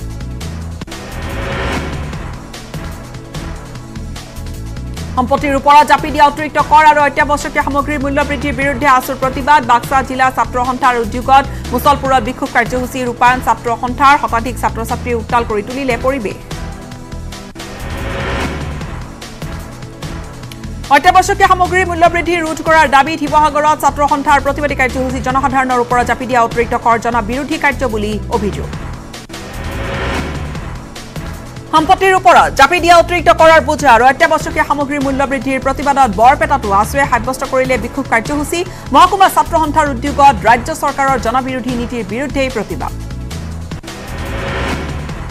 চিয়াঙৰ জলপৃষ্ঠ বৃদ্ধিৰ পিছতে অৰুণাচল প্ৰদেশত অবৰ্ণনীয় বান পৰিস্থিতিৰ সৃষ্টি। পূব চিয়াং জিলাত ডি এৰিং বন্যপ্ৰাণী অভয়াৰণ্যত বান বিভীষিকা। অঞ্চলটোত বন্যপ্ৰাণী ৰেঞ্জত বানৰ ফলত কৰ্তব্য পালনত অসুবিধাৰ সন্মুখীন হৈছে বনকৰ্মীসকল বৃদ্ধি পাইছে ব্ৰহ্মপুত্ৰৰ জলস্তৰ। গুৱাহাটী মধ্যম খণ্ড ঘাট পানীত ডুব যোৱাৰ ফলত স্থানান্তৰ কৰিবলগীয়া হৈছে ফেৰী সেৱাৰ ব্যৱস্থা ৰজাদুৱাৰ ঘাটলৈ। মাজুলীৰ ভকত চাপৰি কৃষকৰ মাজত হাহাকাৰ। ব্ৰহ্মপুত্ৰৰ বাঢ়নী পানীয়ে বুঢ়াই পেলাইছে বিঘাই বিঘাই কৃষি পথাৰ। অনিষ্ট হৈছে ষোল্লখনকৈ গাঁৱৰ ৰাইজৰ মাটিমাহ। মগুমাহকে ধৰি বিভিন্ন শস্য গাঁৱৰ মূল পথটো এতিয়া জলমগ্ন কৰিছে বাঢ়নী পানীয়ে জোনাইটো বানে সৃষ্টি কৰিছে বিভীষিকাময় পৰিৱেশৰ বানৰ কবলত অৰ্ধ শতাধিক পৰিয়াল। চিয়াং নদীৰ লগতে বিভিন্ন নৈ উপনৈৰ জলস্তৰ বৃদ্ধি পাইছে লগতে আহিনমহীয়া বানে লৈছে সংহাৰী মূৰ্তি। আহিনৰ বানত বিধ্বস্ত চাবুৱাৰ বিন্ধাকটা গেৰেকী নেপালী গাঁওখন বাঢ়নী পানীয়ে চপৰা চপৰে খহাইছে। গেৰেকী নেপালী গাঁৱৰ বিস্তীৰ্ণ অঞ্চল ইতিমধ্যে পানীত জাহ গৈছে ঘৰ বাৰীৰ লগতে বিদ্যালয় পৰ্যন্ত। গহপুৰৰ দক্ষিণাঞ্চলৰ ব্ৰহ্মপুত্ৰৰ বাঢ়নী পানীয়ে অনিষ্ট কৰিছে কৃষি পথাৰবোৰৰ। আহিনমহীয়া বানে খেতিয়কৰ সপোনবোৰ টচ টচ কৰিছে হাহাকাৰ লাগিছে খেতিয়কৰ। লংকাৰ বৰদলৈ পথাৰ এম ই মাদ্ৰাছাত প্ৰধান শিক্ষয়িত্ৰীয়ে দুৰ্নীতি কৰা গুৰুতৰ অভিযোগ। এই অভিযোগ উত্থাপন কৰিছে বিদ্যালয় পৰিচালনা সমিতিৰ সভানেত্ৰী আৰু উপসভাপতিয়ে। মধ্যাহ্ন লগতে বিদ্যালয় আন্তঃগাঁথনিৰ নামত দুৰ্নীতি কৰাৰ গুৰুতৰ অভিযোগ উত্থাপন। কোকৰাঝাৰ পদ্মবিল ফুকাগাঁও ৰেলপথত মুমূৰ্ষ অৱস্থাত উদ্ধাৰ হ'ল যুৱক। উদ্ধাৰ কৰা যুৱকজনক নাগালেণ্ড ৱেনচাঙৰ উইংটো বুলি চিনাক্ত কৰা হৈছে। বেংগালুৰু এক্সপ্ৰেছত গুৱাহাটী অভিমুখে আহি থকা অৱস্থাত ৰেলৰ পৰা পৰি যোৱাৰ সন্দেহ। কাজিৰঙা ৰাষ্ট্ৰীয় উদ্যানত গড়ৰ মৃত্যুক লৈ চাঞ্চল্য বাৰ্ধক্যজনিত কাৰণতে অৱশ্যে গড়টোৰ মৃত্যু ঘটা বুলি জনা গৈছে। কহৰা বনাঞ্চলৰ প্ৰৱেশ দ্বাৰত উদ্ধাৰ কৰা হৈছিল গড়টো বন বিষয়াই উদ্ধাৰ কৰিছে গড়ৰ শিংটো। ঢেকীয়াজুলিৰ চিৰাজুলি শ্বহীদ কুমলী দেৱী প্ৰাথমিক স্বাস্থ্য কেন্দ্ৰত ওলমি আছে। এতিয়া তলা বৰ্তমান হাবি জংঘলেৰে আৱৰি ধৰিছে লগতে পৰিণত হৈছে গোটেই অঞ্চল ভূত বাংলালৈ। তীৰ্থনগৰী হাজো দুই নম্বৰ ভেলকৰৰ ৰাইজে বিপদসংকুলভাৱে এখন বাঁহৰ সাঁকোৰে পাৰাপাৰ হৈ আছে। কলাজল নৈৰ ওপৰত এখন দলং নিৰ্মাণৰ দাবী আছে। দীৰ্ঘদিনীয়া ৰাইজৰ বিধায়িকা সুমন হৰিপ্ৰিয়াক বিষয়টো গুৰুত্ব দিয়াৰ বাবে দাবী জনাইছে। তিনিচুকীয়াত পথৰ বিধ্বস্তৰ ৰূপ ৰংপুৰীয়া গাঁও পঞ্চায়তৰ অন্তৰ্গত হিজুগুৰি মহাদেৱ পথটো বাৰ মাহে ভৰি থাকে বোকা পানীৰে। শ্ৰম মন্ত্ৰী সঞ্জয় কিষাণক পথ কৰিবৰ বাবে বহুবাৰ লিখিতভাৱে আবেদন কৰাৰ পিছতো নিদিয়া নিদিয়াৰ গুৰুতৰ অভিযোগ। বাক্সাত পথৰ দুৰাৱস্থাই জীয়াতো ভুগাইছে পথচাৰী। পথৰ মাজত সৃষ্টি হোৱা দ দ গাতে ব্যাহত কৰিছে যাতায়াত ব্যৱস্থা বাগানপাৰা পৰিষদীয় সমষ্টিৰ অন্তৰ্গত নৱষ্টি জোপাদং সংযোগী পথৰ জৰাজীৰ্ণ অৱস্থা উন্নীত কৰাৰ দাবী জনাইছে ৰাইজে। কলিয়াবৰৰ শিলঘাটত ব্ৰহ্মপুত্ৰৰ কাল ৰূপ ধাৰণ শিলঘাটৰ ৰবৰ বাৰী দ্ৰুতগতিত খহিছে ভেটি মাটি শংকিত শিলঘাটৰ ৰবৰ বাৰী গাঁৱৰ বাসিন্দা ঘৰ দুৱাৰ ভাঙি নিৰাপদ স্থানলৈ যাত্ৰা কৰিছে ভুক্তভোগীয়ে। ৰহা উন্নয়ন খণ্ডৰ অন্তৰ্গত দীঘলীয়াতিত পথ নিৰ্মাণক কেন্দ্ৰ কৰি ৰাইজ যথেষ্ট অসন্তুষ্ট লাওফলাবৰী নিৰ্মাণ হৈ থকা পথটো নিম্নমানৰ হোৱাৰ অভিযোগ উত্থাপন কৰিছে স্থানীয় দল সংগঠন লগতে স্থানীয় অঞ্চলবাসীয়ে। গহপুৰৰ পশ্চিম কলাবাৰী আৰু ধন্দি সংযোগী পথত দলং নিৰ্মাণৰ দাবী খাৰৈ নৈৰ ওপৰতে দৈনিক টুলুঙা নাৱেৰে মৰণত শৰণ দি যাতায়াত কৰিছে শিক্ষাৰ্থীয়ে। বিশ্বনাথৰ চতিয়াৰ দক্ষিণ অঞ্চলত অৱস্থিত ভোজমাৰী নিম্ন বুনিয়াদী প্ৰাথমিক বিদ্যালয়লৈ ব্ৰহ্মপুত্ৰ বাঢ়নি পানীয়ে কঢ়িয়াই আনিছে। তীব্ৰ ভাবুকি বিদ্যালয়ৰ কাষত চপৰা চপৰে খহিছে নৈৰ গৰা অসম চাহ নিগমৰ অধীনৰ গোলাঘাট জিলাৰ মিছামৰা চাহ বাগিচা নাই উপযুক্ত চিকিৎসা সেৱাৰ ব্যৱস্থা। চিকিৎসালয়ত নাই চিকিৎসক নাই নাৰ্ছ পাবলৈ নাই। ঔষধ পৰ্যন্ত এটা উৱলি যোৱা ঘৰতে চলি আছে চিকিৎসা। শিৱসাগৰ জিলাৰ প্ৰশাসনত পৰিণত হৈছে। কেন্দ্ৰীয় চৰকাৰে ৰূপায়ণ কৰা অটল জ্যোতি যোজনা। সম্পূৰ্ণৰূপে প্ৰশাসনত পৰিণত হৈছে। গোটেই যোজনা গ্ৰাম্যাঞ্চলত দুহেজাৰ ওঠৰৰ পৰা দুহেজাৰ একৈছৰ ভিতৰত এই আঁচনিৰ অধীনত বহু লাখ টকা ব্যয় কৰি স্থাপন কৰা অধিকাংশ ষ্ট্ৰীট ছ'লাৰ লাইট বৰ্তমান বিকল হৈ পৰি আছে। জল জীৱন মিছন আঁচনিৰ কাম নিম্নমানৰ হোৱাৰ অভিযোগ টিয়কৰ চাউদাং গাঁৱত নিৰ্মাণ কৰি থকা আঁচনিখনৰ কাম নিম্নমানৰ অভিযোগ বিভাগীয় কৰ্তৃপক্ষক। কাজিৰঙাত এজন ব্যক্তিয়ে লাভ কৰিলে দুটাকৈ চৰকাৰী আৱাস গৃহ দুহেজাৰ বিছ চনত সংঘটিত হৈছে এই দুৰ্নীতি। অনিয়ম দেখি হতভম্ব হৈছে অসম বিধানসভাৰ এঘাৰজনীয়া সৰ্বদলীয় হিচাপ পৰীক্ষক সমিতি। গোলাঘাট জিলাৰ বিভিন্ন উন্নয়নমূলক কামৰ খতিয়ান ল'বলৈ কাজিৰঙাত উপস্থিত হয় দলটো। মধ্য কাজিৰঙা গাঁও পঞ্চায়তৰ চেপেনা কুবুৱাৰ মন বাহাদুৰ সোণবাৰীৰ নামৰ দুটাকৈ প্ৰধানমন্ত্ৰী আৱাস যোজনা গৃহ আবণ্টন হোৱাৰ তথ্য লাভ কৰিছে দলটোৱে। পৰাৰ গৃহ জিলাত অভাৱ অভিযোগৰ মাজেৰে চলিছে সৰুপথাৰ খণ্ড পশু চিকিৎসালয়খন চিকিৎসালয়খনত কেৱল দুজন কৰ্মচাৰীৰ দ্বাৰাই চলি আছে কাম কাজ বিগত এটা বছৰে স্থায়ী চিকিৎসক অবিহনে চলিছে এই চিকিৎসালয়। পুঁজি বিতৰণক কেন্দ্ৰ কৰি নগাঁও জিলা পৰিষদত এতিয়া অন্তকণ্ডল। বিজেপিৰ দখলত আছে নগাঁও জিলা পৰিষদ। সভানেত্ৰীৰ বিৰুদ্ধে ক্ষোভ উজাৰিছে বিজেপিৰ একাংশ জিলা পৰিষদৰ সদস্যই। বাক্সাৰ হাতীত হাতীৰ ভয়ত ঘৰ বাৰী এৰি পলাইছে ৰাইজে। মানসৰ প্ৰশিক্ষণপ্ৰাপ্ত হাতীয়ে বনৰীয়া হাতী খেদি পঠিওৱাৰ চেষ্টা চলাইছে বন বিভাগে। ভাৰ ভূটান সীমান্তৰ বাটাবাৰী কেইবাখনো গাঁৱত বিগত দুটা মাহ ধৰি হাতীয়ে চলাই গৈছে তাণ্ডৱ।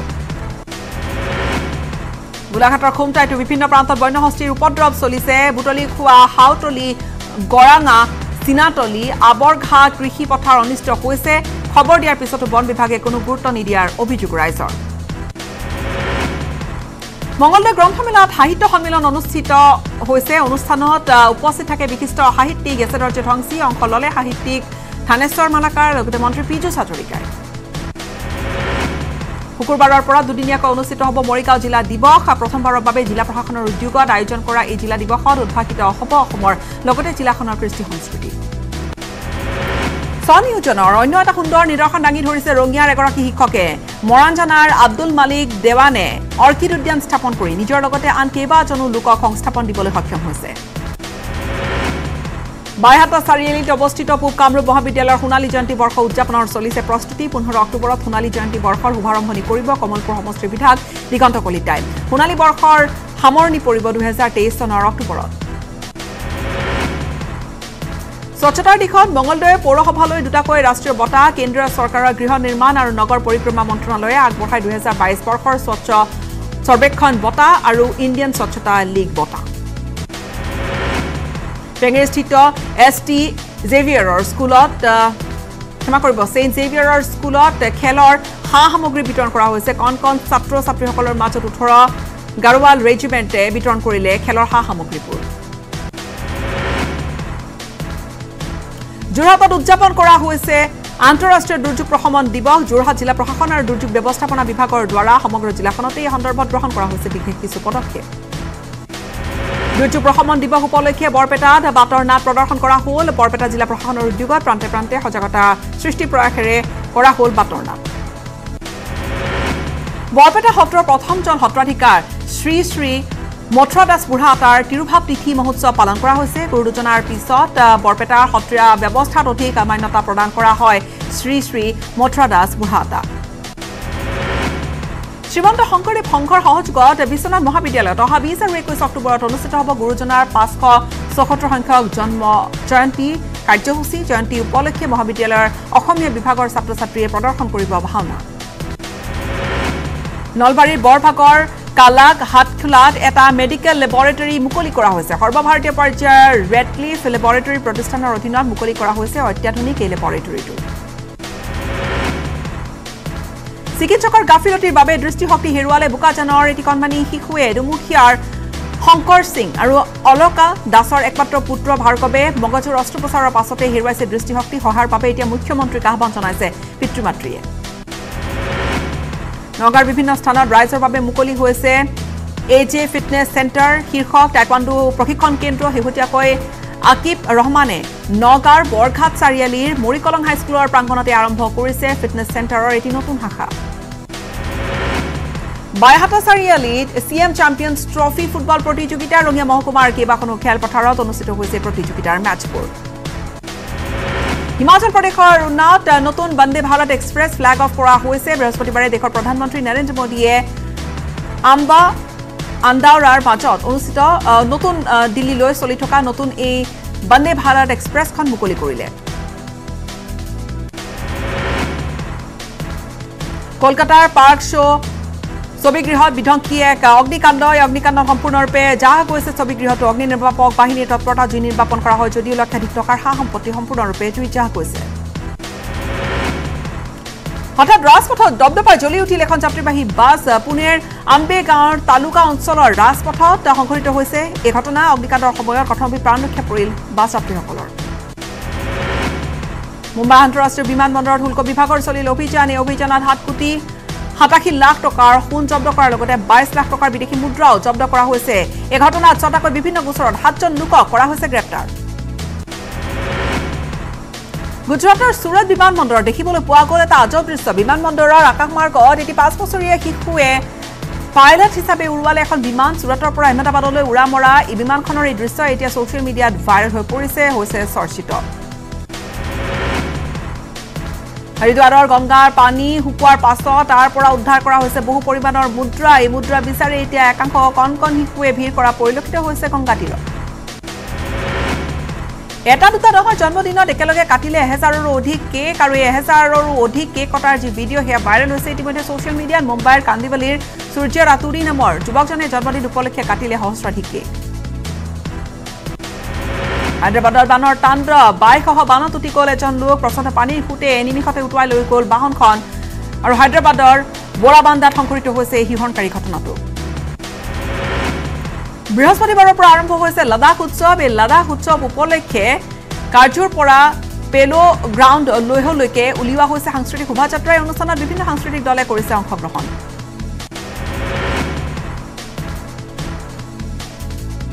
ৰাছিয়া ইউক্ৰেইনৰ চাৰিটা ভূখণ্ড দখল কৰা কাৰ্য গৰিহণা দিছে ৰাষ্ট্ৰসংঘই। কাৰ্য গৰিহণা দি ৰাষ্ট্ৰসংঘৰ সাধাৰণ পৰিষদে গৃহীত কৰিলে এটা প্ৰস্তাৱ। এশ তিয়াল্লিছখন সদস্য ৰাষ্ট্ৰই প্ৰস্তাৱৰ সপক্ষে ভোটদানৰ বিপৰীতে পাঁচখন সদস্যই ৰাষ্ট্ৰই বিপক্ষে ভোটদান কৰিলে। একে সময়তে ভাৰতকে ধৰি পঁয়ত্ৰিছ দেশ বিৰত থাকিল আচলতে ভোটদানৰ পৰা ৰাছিয়াৰ নিৰাপত্তা পৰিষদত ৰাছিয়াই একেধৰণৰ প্ৰস্তাৱক ভেটো দিয়াৰ কিছুদিন পিছতে ভাৰতে এৰাই চলিছিল এই প্ৰস্তাৱ। চি আই চি সন্মিলনৰ বাবে কাজাকিস্তানত উপস্থিত ৰাছিয়াৰ ৰাষ্ট্ৰপতি ভ্লাডিমিৰ পুটিন ৰাছিয়াৰ ৰাষ্ট্ৰপতি ভ্লাডিমিৰ পুটিন অন্যান্য অংশীগ্ৰহণকাৰী দেশৰ নেতাসকলৰ সৈতে জিকা শীৰ্ষক সন্মিলনত অংশ ল'ব। ইউক্ৰেইনৰ কিভত বিমান আক্ৰমণৰ চাইৰেনৰ শব্দ শুনা গৈছে চাৰিওফালে। বৃহস্পতিবাৰে পুৱাৰ ভাগত শুনিবলৈ পোৱা গ'ল এই চাইৰেনৰ শব্দ। ৰাছিয়াৰ আক্ৰমণৰ সময়তে এলাৰ্ট জাৰি কৰি দেশখনৰ সেনাবাহিনীয়ে সতৰ্ক কৰি দিয়ে। ব্ৰাজিলত ৰাষ্ট্ৰপতি পদৰ নিৰ্বাচনী প্ৰচাৰ অভিযান তুংগত ৰিঅ'ৰ ফেভেলাত ৰাছিয়াৰ ৰাষ্ট্ৰপতি পদৰ যি প্ৰাৰ্থী লুইচ ইনাচিঅ' লুলা দ্য চিলভাই চলাইছে নিৰ্বাচনী প্ৰচাৰ। ত্ৰিছ অক্টোবৰত অনুষ্ঠিত হ'ব দ্বিতীয় পৰ্যায়ৰ নিৰ্বাচন। টাইৱানত এতিয়াৰে পৰা ভংগ কৰা হ'ল কোৱাৰেণ্টাইনৰ নীতি নিয়মখিনি কভিড কোৱাৰেণ্টাইন বন্ধ কৰি দ্বীপটোৰ সীমান্ত সম্পূৰ্ণৰূপে মুকলি কৰাৰ পিছত টাইৱানলৈ আগমন ঘটা আন্তঃৰাষ্ট্ৰীয় পৰ্যটকক সুন্দৰকৈ জনালে আদৰণি। ব্ৰাজিল আৰু আৰ্জেণ্টিনাৰ সীমান্তৱৰ্তী ইগুৱাছু জলপ্ৰপাতত সাধাৰণতকৈ প্ৰায় দহ গুণ বেছি পানী প্ৰবাহ ৰেকৰ্ড কৰা দেখা গৈছে যাৰ ফলত ব্ৰাজিলৰ ফালে পৰ্যটকৰ বাবে থকা দলঙৰ যাতায়াত ইতিমধ্যে বন্ধ কৰি দিয়া হৈছে। মেক্সিকোত উদযাপন কৰা হৈছে মেক্সিকো দিৱস। দেশখনৰ এই দিৱসৰ দিনটোতে খিলঞ্জীয়া লোকসকলে সম্প্ৰদায়ৰ বিৰুদ্ধে হোৱা বৈষম্য আৰু হিংসাৰ অন্ত পেলোৱাৰ দাবীত সাব্যস্ত কৰিলে প্ৰতিবাদ। দৰ্শনাৰ্থীৰ বাবে সাজু জাপানৰ ঘিবলি থিম পাৰ্ক। বহুকেইটা থিম আধাৰত নিৰ্মিত এই আটক ধুনীয়া পাৰ্কখনে এতিয়া দৃষ্টি আকৰ্ষণ কৰিছে জাপানৰ দেশী বিদেশী পৰ্যটকসকলৰ। ইয়াৰে সৈতে সময় হ'ল বিদায় লোৱাৰ। নমস্কাৰ। সাধাৰণ স্টিল এনেকৈ পৰে মাইথন স্টিল এনেকৈ পৰে ধমকৈ।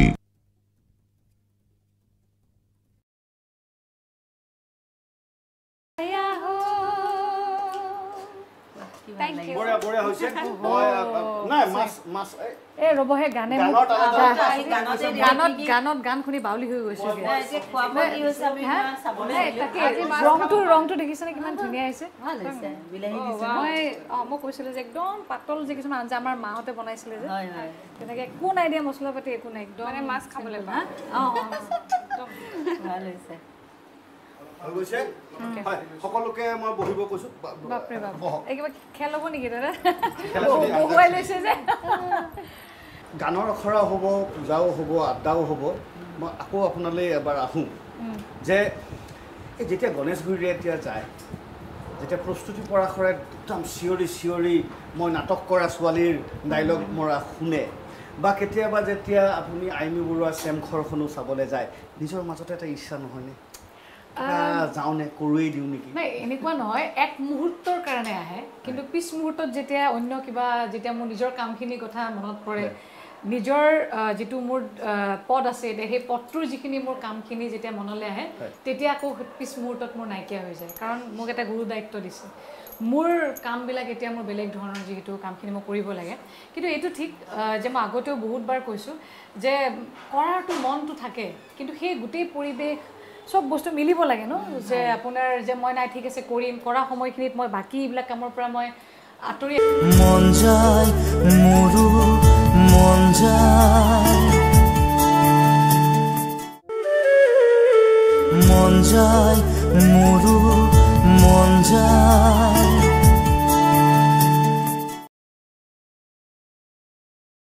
আহিব লাগিব। আৰু ৰাজনীতিত এনেকুৱা এটা আপোনাৰ এইখন এটা এনেকুৱা এটা ট্ৰেক মাজত গেপ নাই।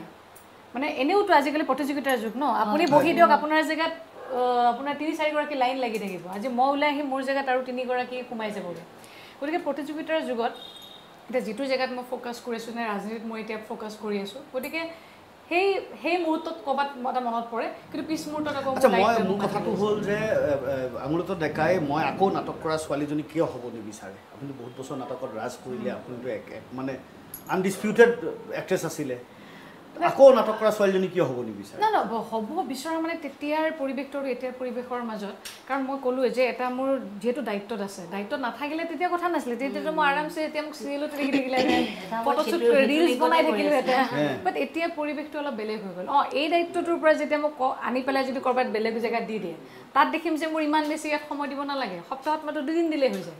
তেতিয়া বাপেকে চাৰি দিনত মই চিৰিয়েল কৰি ফটোশ্বুট কৰি মিলাই ল'ম মই দায়িত্ব কিন্তু এতিয়া অলপমান সময়বিলাক মিলাব পৰা নাই সমগ্ৰ অসম ঘূৰিব লাগে কাৰণে।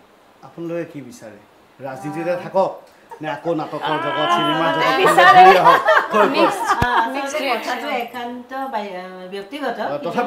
আমাৰো এটা ধৰি লওক পচন্দ আছে। আঙুলতা বুলি ক'লে সেই মুখখন সেই ছবি সেই টিভিত দেখা পৰ্দাত দেখা সেই অভিনয় সেই ছোৱালীজনী আহ, সেই ধৰণৰ সদায় এটা আৱেগ আছে। এনেকৈ পৰে। মাইথন স্টিল এনেকৈ পৰে। ধমকৈ।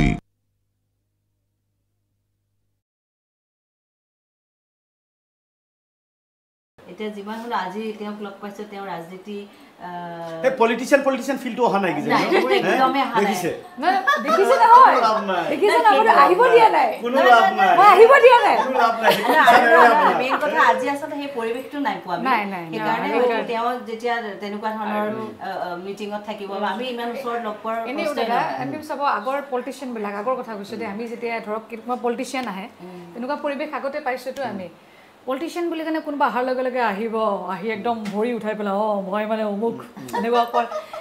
সেই পৰিৱেশটোবিলাক মই নিজেও দেখা পাইছোঁ নিজৰ ৰাজনীতিক ক্ষেত্ৰখনত সেই পৰিৱেশবিলাক নাইকিয়া হৈছে। মুখ্যমন্ত্ৰী এটা গতিকে সেই পৰিৱেশটো ডাঙৰে কৰা নাই কাৰণে আমিও কৰিবলৈ সাহস কৰা নাই বা অহাও নাই মনলৈ যে এনে অমুকে এনেকে কৰি আছে মই কিয় এনেকুৱা কৰিম? গতিকে সেই পৰিৱেশটো নাই কাৰণে আজি ইয়াত আহিছো এটা বেলেগ ধৰণৰ অভিনেত্ৰীক পাইছো নিচিনাই খুব বেছি লাগিছে। একেবাৰে লাগি লাগিছে। নিজৰ এজনী ভণ্টিক লগ পোৱা বা কিন্তু ৰাজনীতিবিদ হিচাপে তেওঁৰ এটা সুকীয়া জেগা আছে। সেই আস- আসনখন তেওঁৰ কাৰণে বেলেগ। আমি সেই আসনখন আমি ল'বও নোৱাৰো বা তেওঁৰ ওচৰত আমি তেনেকে হঠাতে আমি যাবও নোৱাৰো বহুত নীতি নিয়ম থাকে। কিন্তু আজি ইমান গভীৰ ওচৰত আমি পাইছো। গতিকে আমাৰ সেই অনুৰোধ এই এইটো মাছো আছে খাবলৈ ঘৰুৱা মাছো আছে খাবলৈ। এই সেইটো আছেই লগতে।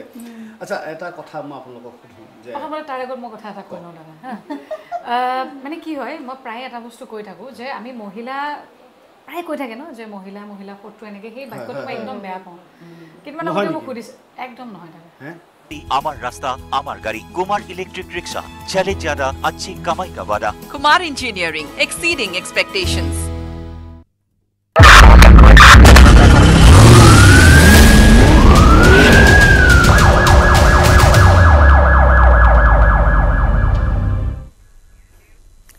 নমস্কাৰ আপুনি চাই আছে অপৰাধনামা চিণ্ডিকেটৰ নেতৃত্বত পৰিবহণ বিষয়া জালত কোকৰাঝাৰৰ ভাৰপ্ৰাপ্ত পৰিবহণ বিষয়া সোমেশ্বৰ ব্ৰহ্ম মুছাহাৰী ধৃত পৰিবহণ বিষয়াজনৰ ঘৰত উদ্ধাৰ কৰা হৈছে ছয়ত্ৰিশ লাখ টকা।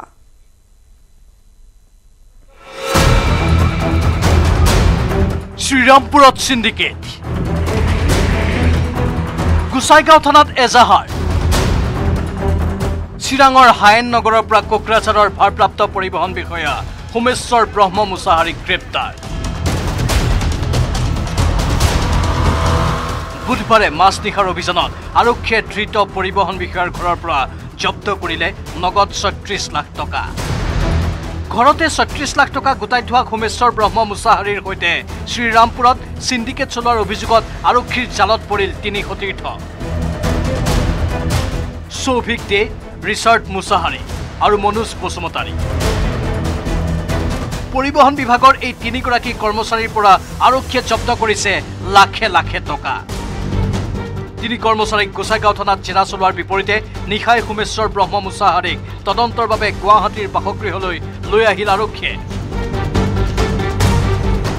পুৱাৰে পৰা মুছাহাৰীৰ কাহিলীপাৰাৰ ঘৰত চলিল আৰক্ষীৰ তালাচী।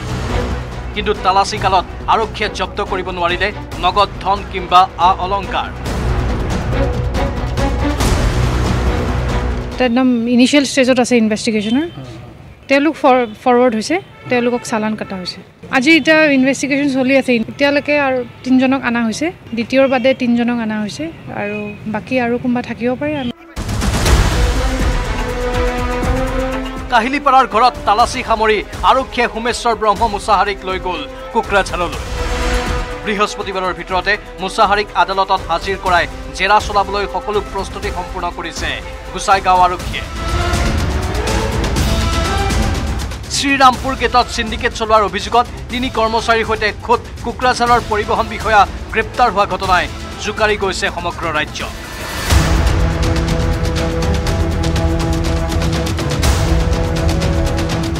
কোকৰাঝাৰৰ পৰা সুৰজ বসুমতাৰী আৰু গুৱাহাটীৰ পৰা ভাস্কৰজ্যোতি হাজৰিকাৰ report news eighteen Assam north east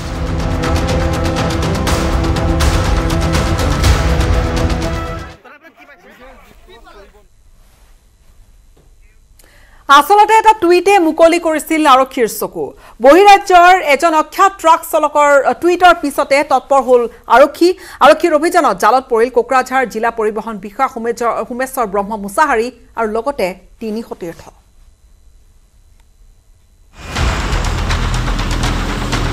truck চালকৰ এটা টুইটত তোলপাৰ ৰাজ্য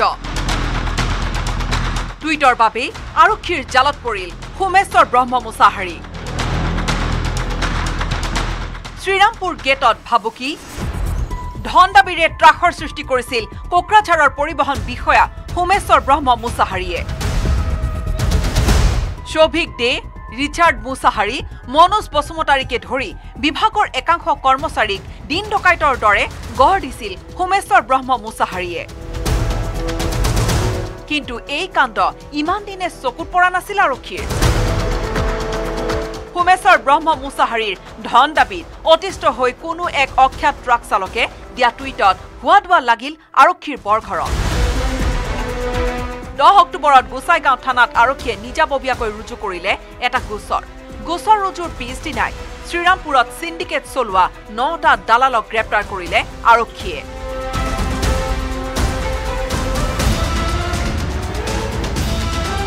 সেই নটা দালালৰ ভাষ্যৰ পিছতে আৰক্ষীয়ে গ্ৰেপ্তাৰ কৰিবলৈ বাধ্য হ'ল কোকৰাঝাৰৰ পৰিবহণ বিষয়া সোমেশ্বৰ ব্ৰহ্ম মুছাহাৰী। ট্ৰাক চালকৰ টুইটে খুলি দিয়া দুৱাৰেৰে সোমোৱা আৰক্ষীৰ জালত পৰাৰ সম্ভাৱনা আছে। পৰিবহণ বিভাগৰ ক্ষীৰতী গাইড পৰিণত কৰা বহু বিষয়া। ডামাৰহাটৰ পৰা শ্বহীদুল হক আৰু কোকৰাঝাৰৰ পৰা Suraj Basumatary news eighteen Assam north east.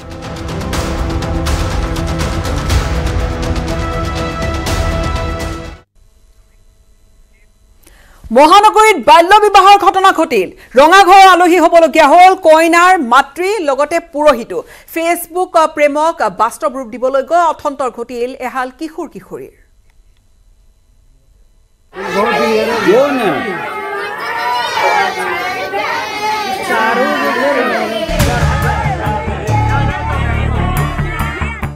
অভিজাত গুৱাহাটীত লজ্জাজনক ঘটনা। বাল্য বিবাহ চলি থকাৰ মাজতেই চলিল আৰক্ষীৰ অভিযান। প্ৰথমে ফেচবুকত চিনাকি তাৰপিছত প্ৰেম। ল'ৰাৰ বয়স ষোল্ল ছোৱালীৰ বয়স পোন্ধৰ। ল'ৰা ইউ পিৰ ছোৱালী অসমৰ। এনেদৰে আগবাঢ়িল কথাবোৰ। প্ৰথমে প্ৰেমিকৰ বিবাহৰ প্ৰস্তাৱ। মানি নললে ছোৱালীৰ ঘৰৰ মানুহে। পিছে ছোৱালীও প্ৰেমত মজগুল তাক নাপালে মৰি যোৱাৰ ভাবুকি ঘৰৰ মানুহক। চিনেমাৰ দৰে প্ৰেম কাহিনী চলি থকাৰ মাজতেই যোৱা দহ তাৰিখে গুৱাহাটীত প্ৰেমিক আহি উপস্থিত হ'ল প্ৰেমিকাৰ ঘৰত। উপস্থিত হৈ দুদিন থাকিয়েই বাৰ তাৰিখে বিয়াত বহিল দুই প্ৰেমিক প্ৰেমিকা। বিয়া মানে এখন বেলেগ ধৰণৰ বিয়া। ইউ পিৰ পৰা অকলে আহিল ল'ৰা। সন্ধিয়া মন্দিৰত আৰতি চলি থকাৰ সময়তেই হঠাৎ পুৰোহিতৰ ওচৰত বিয়া পাতো বুলি বহি দিলে প্ৰেমিক প্ৰেমিকা।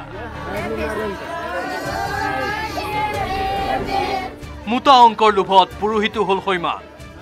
দুটি সন্তানৰ ভৱিষ্যতৰ আশংকা আওকাণ কৰি সকলো আইন ভৰিৰে মোহাৰি ছোৱালীৰ ঘৰতো চলিল বিবাহৰ আয়োজন। পিছে বিবাহৰ মাজতেই আৰক্ষী আৰু চাইল্ড লাইনৰ অভিযানত দুই প্ৰেমিক প্ৰেমিকাৰ লগতে বিবাহ কাৰ্য সম্পাদন কৰা পুৰোহিত তৰুণ কুমাৰ ঝা আৰু মাতৃ সীতা দেৱীক আটক কৰিলে আৰক্ষীয়ে।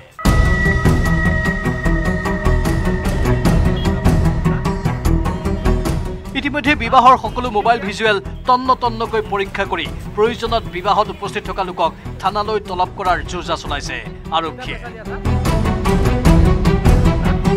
ভাস্কৰ জ্যোতি হাজৰিকাৰ report news eighteen Assam north east.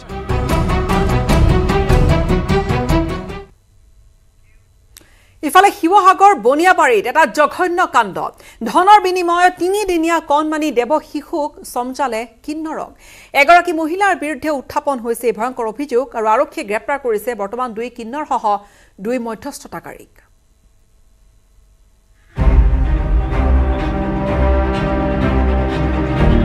ধনৰ বিনিময়ত মহিলাই বেচিলে নিজৰ সদ্যজাত সন্তানক। টকা লৈ দুই কিন্নৰৰ হাতত মাতৃয়ে তুলি দিলে তিনিদিনীয়া কেঁচুৱা। আৰক্ষীৰ হাতত কেঁচুৱা বেচা কিনা কৰা চাৰিজন আটক। এতিয়া মই ইয়াত ফুৰিব নোৱাৰোঁ। যিহেতু কেঁচুৱাটো সৰু হৈ আছে। মই নিজৰ মনত খুচি হৈ পেলাই সিহঁতক মই বিক্ৰী কৰা নাই মই ফুৰিবলৈ দিছোঁ মই কেইদিনমান কাৰণে মই চলিবলৈ সিহঁতি মোক সহায় কৰিছে এঘাৰশ টকা। শিৱসাগৰ বনিয়াবাৰীত ভাড়াতীয়া হিচাপে থকা নগাঁৱৰ কচুৱনিৰ এগৰাকী মহিলাক গৰ্ভৱতী অৱস্থাতে স্বামীয়ে এৰিছিল সংগ। অসহায় অৱস্থাত পৰা মহিলাগৰাকীয়ে আৰ্থিক দুৰ্যোগত পৰি কিন্নৰৰ পৰা ধাৰলৈ লৈছিল টকা। কেঁচুৱাটো মানে ইহঁতে পঢ়িব নোৱাৰে। যেনেকুৱা কথা মই কেঁচুৱাটো পঢ়িব নোৱাৰোঁ তে ঠিক আছে তে তুমি মোক কিবা এটা খৰচা দিয়া মই কেঁচুৱাটো তোমাক দি দিম। পোন্ধৰ হাজাৰ টকা এক- একেলগত দিয়া নাই ভাঙি ভাঙি দিছে টকাটো। এই সহায়তে শেষত হৈ গৈ কেঁচুৱা বিক্ৰীৰ লেনদেন প্ৰক্ৰিয়া। কেঁচুৱাতে জন্মৰ তিনিদিন পিছতেই বৃহস্পতিবাৰে ধনৰ বিনিময়ত দুই মধ্যস্থতাকাৰী মহিলাৰ সহযোগত কিন্নৰ দুগৰাকীয়ে কেঁচুৱাটো আনিবলৈ গৈছিল। তেতিয়াই কথাৰ ৱাদিহ পাই আৰক্ষীয়ে গ্ৰেপ্তাৰ কৰে আটাইকেইজনক। আটকাধীন চাৰিওগৰাকীকে এই সন্দৰ্ভত সোধা পোছা অব্যাহত ৰাখিছে আৰক্ষীয়ে।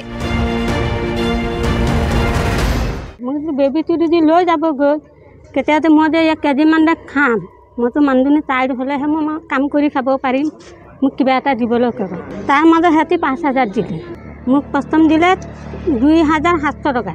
বেবী জন্ম হোৱাৰ আগত। পেলাই সিহঁতি মোক মন্দিৰ লৈ পেলাই মেডিকেল কৰালে বেবী জন্ম হ'ল। তাত খৰচ কৰিলে। মোৰ হাতত সিহঁতি তিনি হাজাৰ টকা দি দিছিলে। পইচাটো দি দি সিহঁতক ঘূৰাই দিব নোৱাৰি কেতিয়া বেবীটো লৈ যাব। শিৱসাগৰৰ পৰা প্ৰদীপ গগৈৰ report news eighteen Assam north east.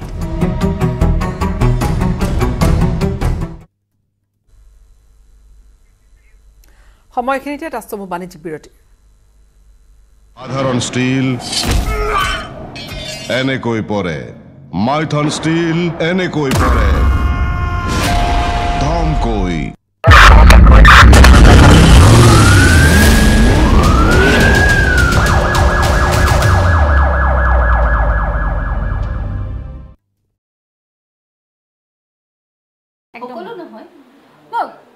মই- মই মই- কিন্তু বেছি বুলি মই নামানো। মই সকলোৰে দৃষ্টিভংগীবিলাক বেলেগ বেলেগ মই নামানো। মই কিয় নামানো?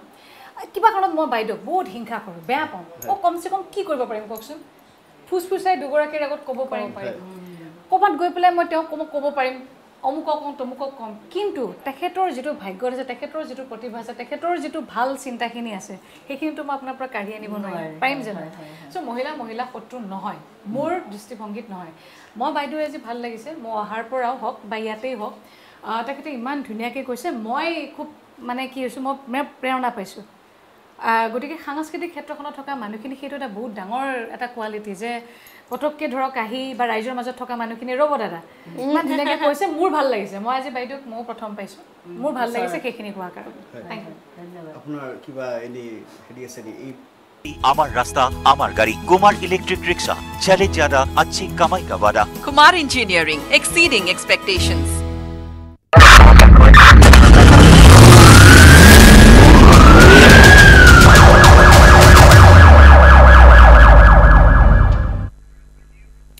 বিয়া খাই ৰঙাঘৰলৈ যাবলগীয়াত পৰিল তেৰজনকৈ লোক আৰু এই ঘটনাটো ঘটিল দক্ষিণ শালমৰা থানাৰ পাতাকাটাৰ কিন্তু কিয় বাৰু ঘটিছিল এই ঘটনা? চাওক এই প্ৰতিবেদন।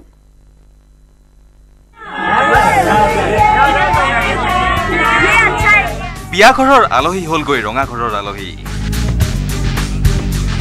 এজন দুজন নহয় দুখনকৈ বিয়াৰ ৰভাতলিৰ পৰা তেৰজনকৈ লোকক উঠাই নিলে আৰক্ষীৰ এটা দলে।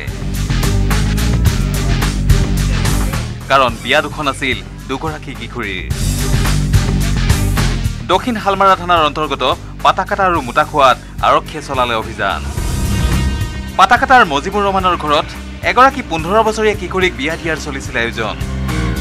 আনহাতে মোটাখোৱাৰ চাহাবুদ্দিনৰ ঘৰত আন এগৰাকী তেৰ বছৰীয়া কিশোৰীৰ বিয়া পতাৰ উদ্যোগ লৈছিল পৰিয়ালটোৱে। দুয়োখন বিয়া চলি থকাৰ সময়তেই আৰক্ষীয়ে অভিযান চলাই পাতাকাটাৰ পৰা নজন আৰু মোটাখোৱাৰ পৰা চাৰিজন লোকক আটক কৰি নিলে অভিযানকাৰী দলটোৱে। প্ৰায় নজনমান মানুহ আৰু মুঠা খোৱাৰ পৰা প্ৰায় চাৰিজন মানুহক আমি ধৰিবৰ কাৰণে সক্ষম হওঁ। আৰু তেওঁলোকক আমি মহামহিনা আদালতত প্ৰেৰণ কৰিছোঁ। আমি আচলতে তাত যোৱাৰ লগে লগে আমি যেতিয়া ইনফৰ্মেশ্যন পাইছোঁ যে তাত বাল্য বিবাহ সম্পন্ন হৈ আছে আমি গৈ পোৱাৰ পাছত আমি তাত থকা মানুহখিনি কৰায়ত্ব কৰিব সক্ষম হওঁ। কিন্তু তেওঁলোক দৰা কইনাখিনি হয়তো মানে আন্ধাৰত সুযোগ লৈ তাত ক'ৰবাত ওচৰত গুচি যায়। বাল্য বিবাহ ৰোধ কৰাৰ ক্ষেত্ৰত অতি কঠোৰ ভূমিকা ল'বলৈ সাজু বুলি সদৰি কৰিলে আৰক্ষী থানাৰ বিষয়াই। চাইল্ড মেৰেজৰ ৰোধ কৰাৰ কাৰণে মানে বহু ধৰণৰ এৱাৰনেছ প্ৰগ্ৰেম পাতি থকা হৈছে। মাননীয় ডি চি মহোদয় আৰু এছ পি মহোদয়ে যিমানখিনি মানে চেষ্টা কৰি আছে বাল্য বিবাহ ৰোধ কৰাৰ কাৰণে কিন্তু আমাৰ যিখিনি ৰাইজ আছে ৰাইজে কোনো ধৰণৰ মানে বৰ্তমানলৈকে সঁহাৰি জনোৱা দেখা পোৱা নাই। আমি কোনো কাৰণত বাল্য বিবাহ সম্পন্ন কৰিব নিদিওঁ আমাৰ এলেকাত। মানকাছৰ পৰা Shahjahan Ali news eighteen Assam north east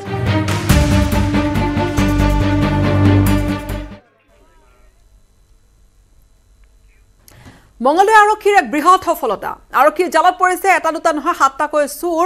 ধূলা হীৰাপাৰা গাঁৱৰ পৰা আৰক্ষীয়ে গ্ৰেপ্তাৰ কৰিছে আটাইকেইজন চোৰক। আৰু ভিন্ন সামগ্ৰী চুৰি কৰি ত্ৰাসৰ সৃষ্টি কৰি আহিছিল এই চোৰৰ দলে। মঙলদৈ আৰক্ষীৰ বৃহৎ সফলতা। আৰক্ষীৰ জালত পৰিল সাতটা চোৰ বুধবাৰে নিশা মঙলদৈ আৰক্ষীয়ে ধূলা হীৰাপাৰা গাঁৱৰ পৰা সাতটাকৈ যুদ্ধৰ সচৰক কৰায়ত্ব কৰে। বহুদিনৰ পৰাই এই চোৰকেইটাই কেইবাটাও অঞ্চলৰ চাইকেল পানীৰ মটৰ টাইলছ কটা মেচিনকে ধৰি বিভিন্ন ধৰণৰ সামগ্ৰী চুৰ কৰি তাণ্ডৱ চলাই আহিছিল। আমি প্ৰথমতে এজন ৱাৰ্ড নম্বৰ ওৱানৰ পৰা ধৰিলোঁ Mangaldai ward number two sorry one নহয় টুৰ পৰা ধৰিলোঁ। আৰু তাৰ লিডিঙতে গৈ পেলাই বাকী আমি ছজন ধোলাৰ পৰা ধৰিলোঁ চৰকাৰ চক। তাৰ পৰা তেওঁলোকৰ হাতৰ পৰা আমাৰ এটা মটৰ এটা টাইলছ খচা মেচিন আৰু এখন চাইকেল ৰিকভাৰী কৰা হৈছে। বাকীখিনি আকৌ আমি ৰিমাণ্ডত আনি সোধপোছ কৰি আৰু কিমান পাৰোঁ আগুৱাই যাম। অসমীয়াত এষাৰ কথা আছে এশ গৰু মাৰিলে বাঘৰো মৰণ। চুৰ কৰি কৰি সকলোতে আতংকৰ সৃষ্টি কৰা এই চুৰ সাতটা অৱশেষত মঙলদৈ আৰক্ষীৰ জিম্মাত পৰিল। চুৰকেইটাৰ নাম আহমদ আলী নুৰুল আমিন হুছেইন আলী তফিজুৰ ৰহমান হজৰত বিল্লাল খুৰছিদ আলী আৰু জিয়াৰুল হক বৰ্তমান আৰক্ষীয়ে সোধপোছ চলাই আছে চোৰকেইটাৰ ওপৰত আমি চাম বাৰু যিখিনি আছে। মঙলদৈ টাউনত ইমানখিনি বেছি হোৱা নাই ইমান চোৰৰ কোনো ৰিপৰ্ট অহা নাছিলে এটা চোৰ হৈছিলে আমি লাগি আছোঁ চাওঁ আমি কিমানখিনি আগুৱাই যাব পাৰোঁ।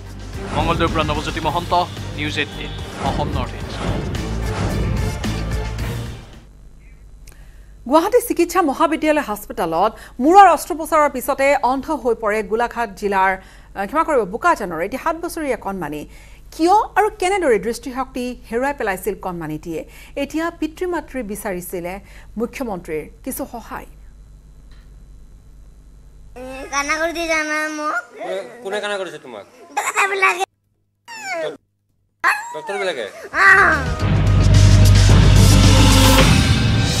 বিলাকে ডক্টৰ বিলাকে কোনো টাকাতে দেখা পাইছিলো আৰু ইয়াতে ইয়াতে দেখাই পোৱা নাই।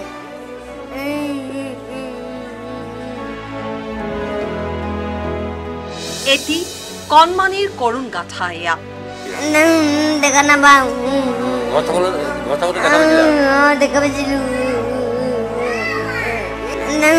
দেখা নাপাওঁ ঘৰত থাকোঁতে ঘৰত থাকোঁতে দেখা পাইছিলা।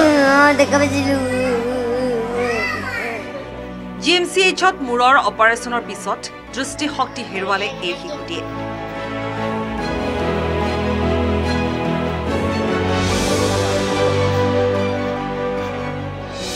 আচলতে কি হৈছিল এই শিশুটিৰ? পিতৃ শংকৰ সিঙৰ মুখেৰে শুনক দুৰ্ভগীয়া শিশুটিৰ কৰুণ কাহিনী। যোৰহাট গৈছিলোঁ যোৰহাট চিটি কৰাৰ পিছত ডাক্তৰে কৈছে যে ব্ৰেইনত পানী হৈছে। তাৰপিছত তাৰ তাতে হেৰি অপাৰেশ্যন কৰাৰ চিষ্টেম নাই। তাৰপিছত আমাক তাৰ পৰা ৰেফাৰ কৰিছে গুৱাহাটী ভাঙৰ মেডিকেল কলেজত পঁচিছ তাৰিখে আমি তেইছ তাৰিখে গৈছোঁ যোৰহাট এই গুৱাহাটী। চৌবিছ তাৰিখে অপাৰেশ্যন হোৱাৰ কথা আছিলে চৌবিছ তাৰিখেতো আমি বস্তুবিলাক বস্তুবিলাক আনিব আনিবলৈ নোৱাৰিলোঁ।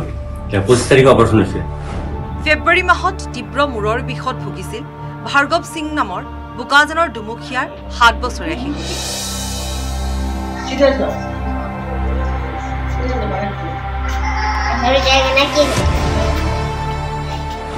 শিশুটিক প্ৰথমে যোৰহাট চিকিৎসা মহাবিদ্যালয় হাস্পতাললৈ লৈ যোৱা হয়।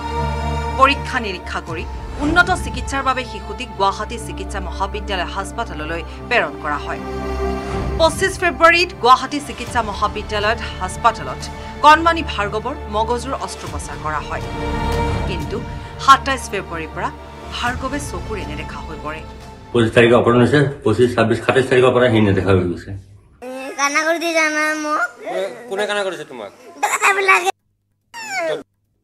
ডক্টৰ বিলাকে আপোনালোকে এই কথাটো মানে হস্পিটেলত জনাইছিলে নে আমি গৈছিলোঁ আমি হেৰি এ, অভিজিত অভিজিত কি বা শৰ্মা আছিলে। দিন হাজিৰা কৰি ঘৰ সংসাৰ চলোৱা শংকৰ সিং আৰু পত্নী অলকা দাস কিং কৰ্তব্য বিমূৰ হৈ পৰিছে। দুচকুৰে সৰিয়হৰ ফুল দেখিছে কণমানিটিৰ পিতৃ আৰু মাতৃয়ে। ই অপাৰেশ্যন হোৱাৰ পিছত তিনিদিন পিছতে আমাক ৰিলিজ দিয়ে। যোনে অপাৰেশ্যন কৰিছে। এই অপাৰেশ্যন হেৰি ডাক্তৰৰ নাম আছিলে মানস বৰা। মুখ্যমন্ত্ৰী ডক্টৰ হিমন্ত বিশ্ব শৰ্মাক কাটৰ আহ্বান জনাইছে। শিশুটিৰ দৃষ্টিশক্তি ঘূৰাই অনাৰ বাবে তেওঁলোকক সহায় কৰক। মোৰ ল'ৰাটোক মুখ্যমন্ত্ৰী হেমন্ত ছাৰে যেন চিকিৎসাৰ বাবদ কিবা সাহায্য কৰে এইখিনি মই আশা কৰি আছোঁ আৰু ল'ৰাটোক যেন মই সুস্থ কৰি আগৰ নিচিনা যেন দেখা পাব দিয়ে। এইখিনি মই আশা কৰি আছোঁ। Bureau' report news eighteen Assam north east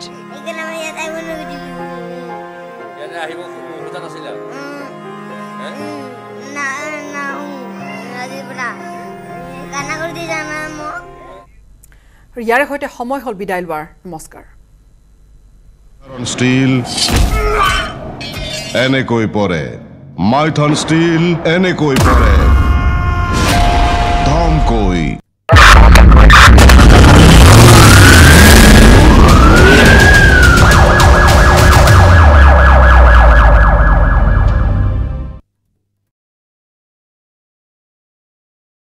কিবা বিশেষ গান মানে আছেনে পচন্দৰ গান? এইটো গালে মই নাই বাইদেউ সুধিম বুলি ভাবি আছিলোঁ বহি থাকোঁতে যে বাইদেউ আপুনি কোনটো এনেকুৱা গান আছে যিটো গান মানে আপুনি গাই নিজে ভাল পায় নিজৰ গান?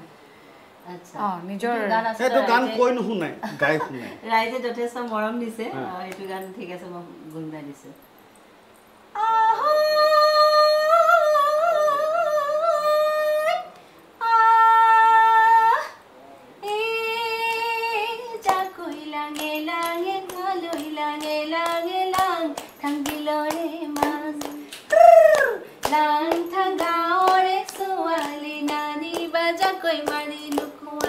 ভাতে জাকৈ মাৰি নোখোৱাই ভাত। জাকৈ লাগে লাগে খালৈ। আজি মাছ হৈছে দেই আজি মাছো হৈছে আজি দেৱীৰো দিন আজি দেৱীৰো দিন মন যায় মোৰো মন যায়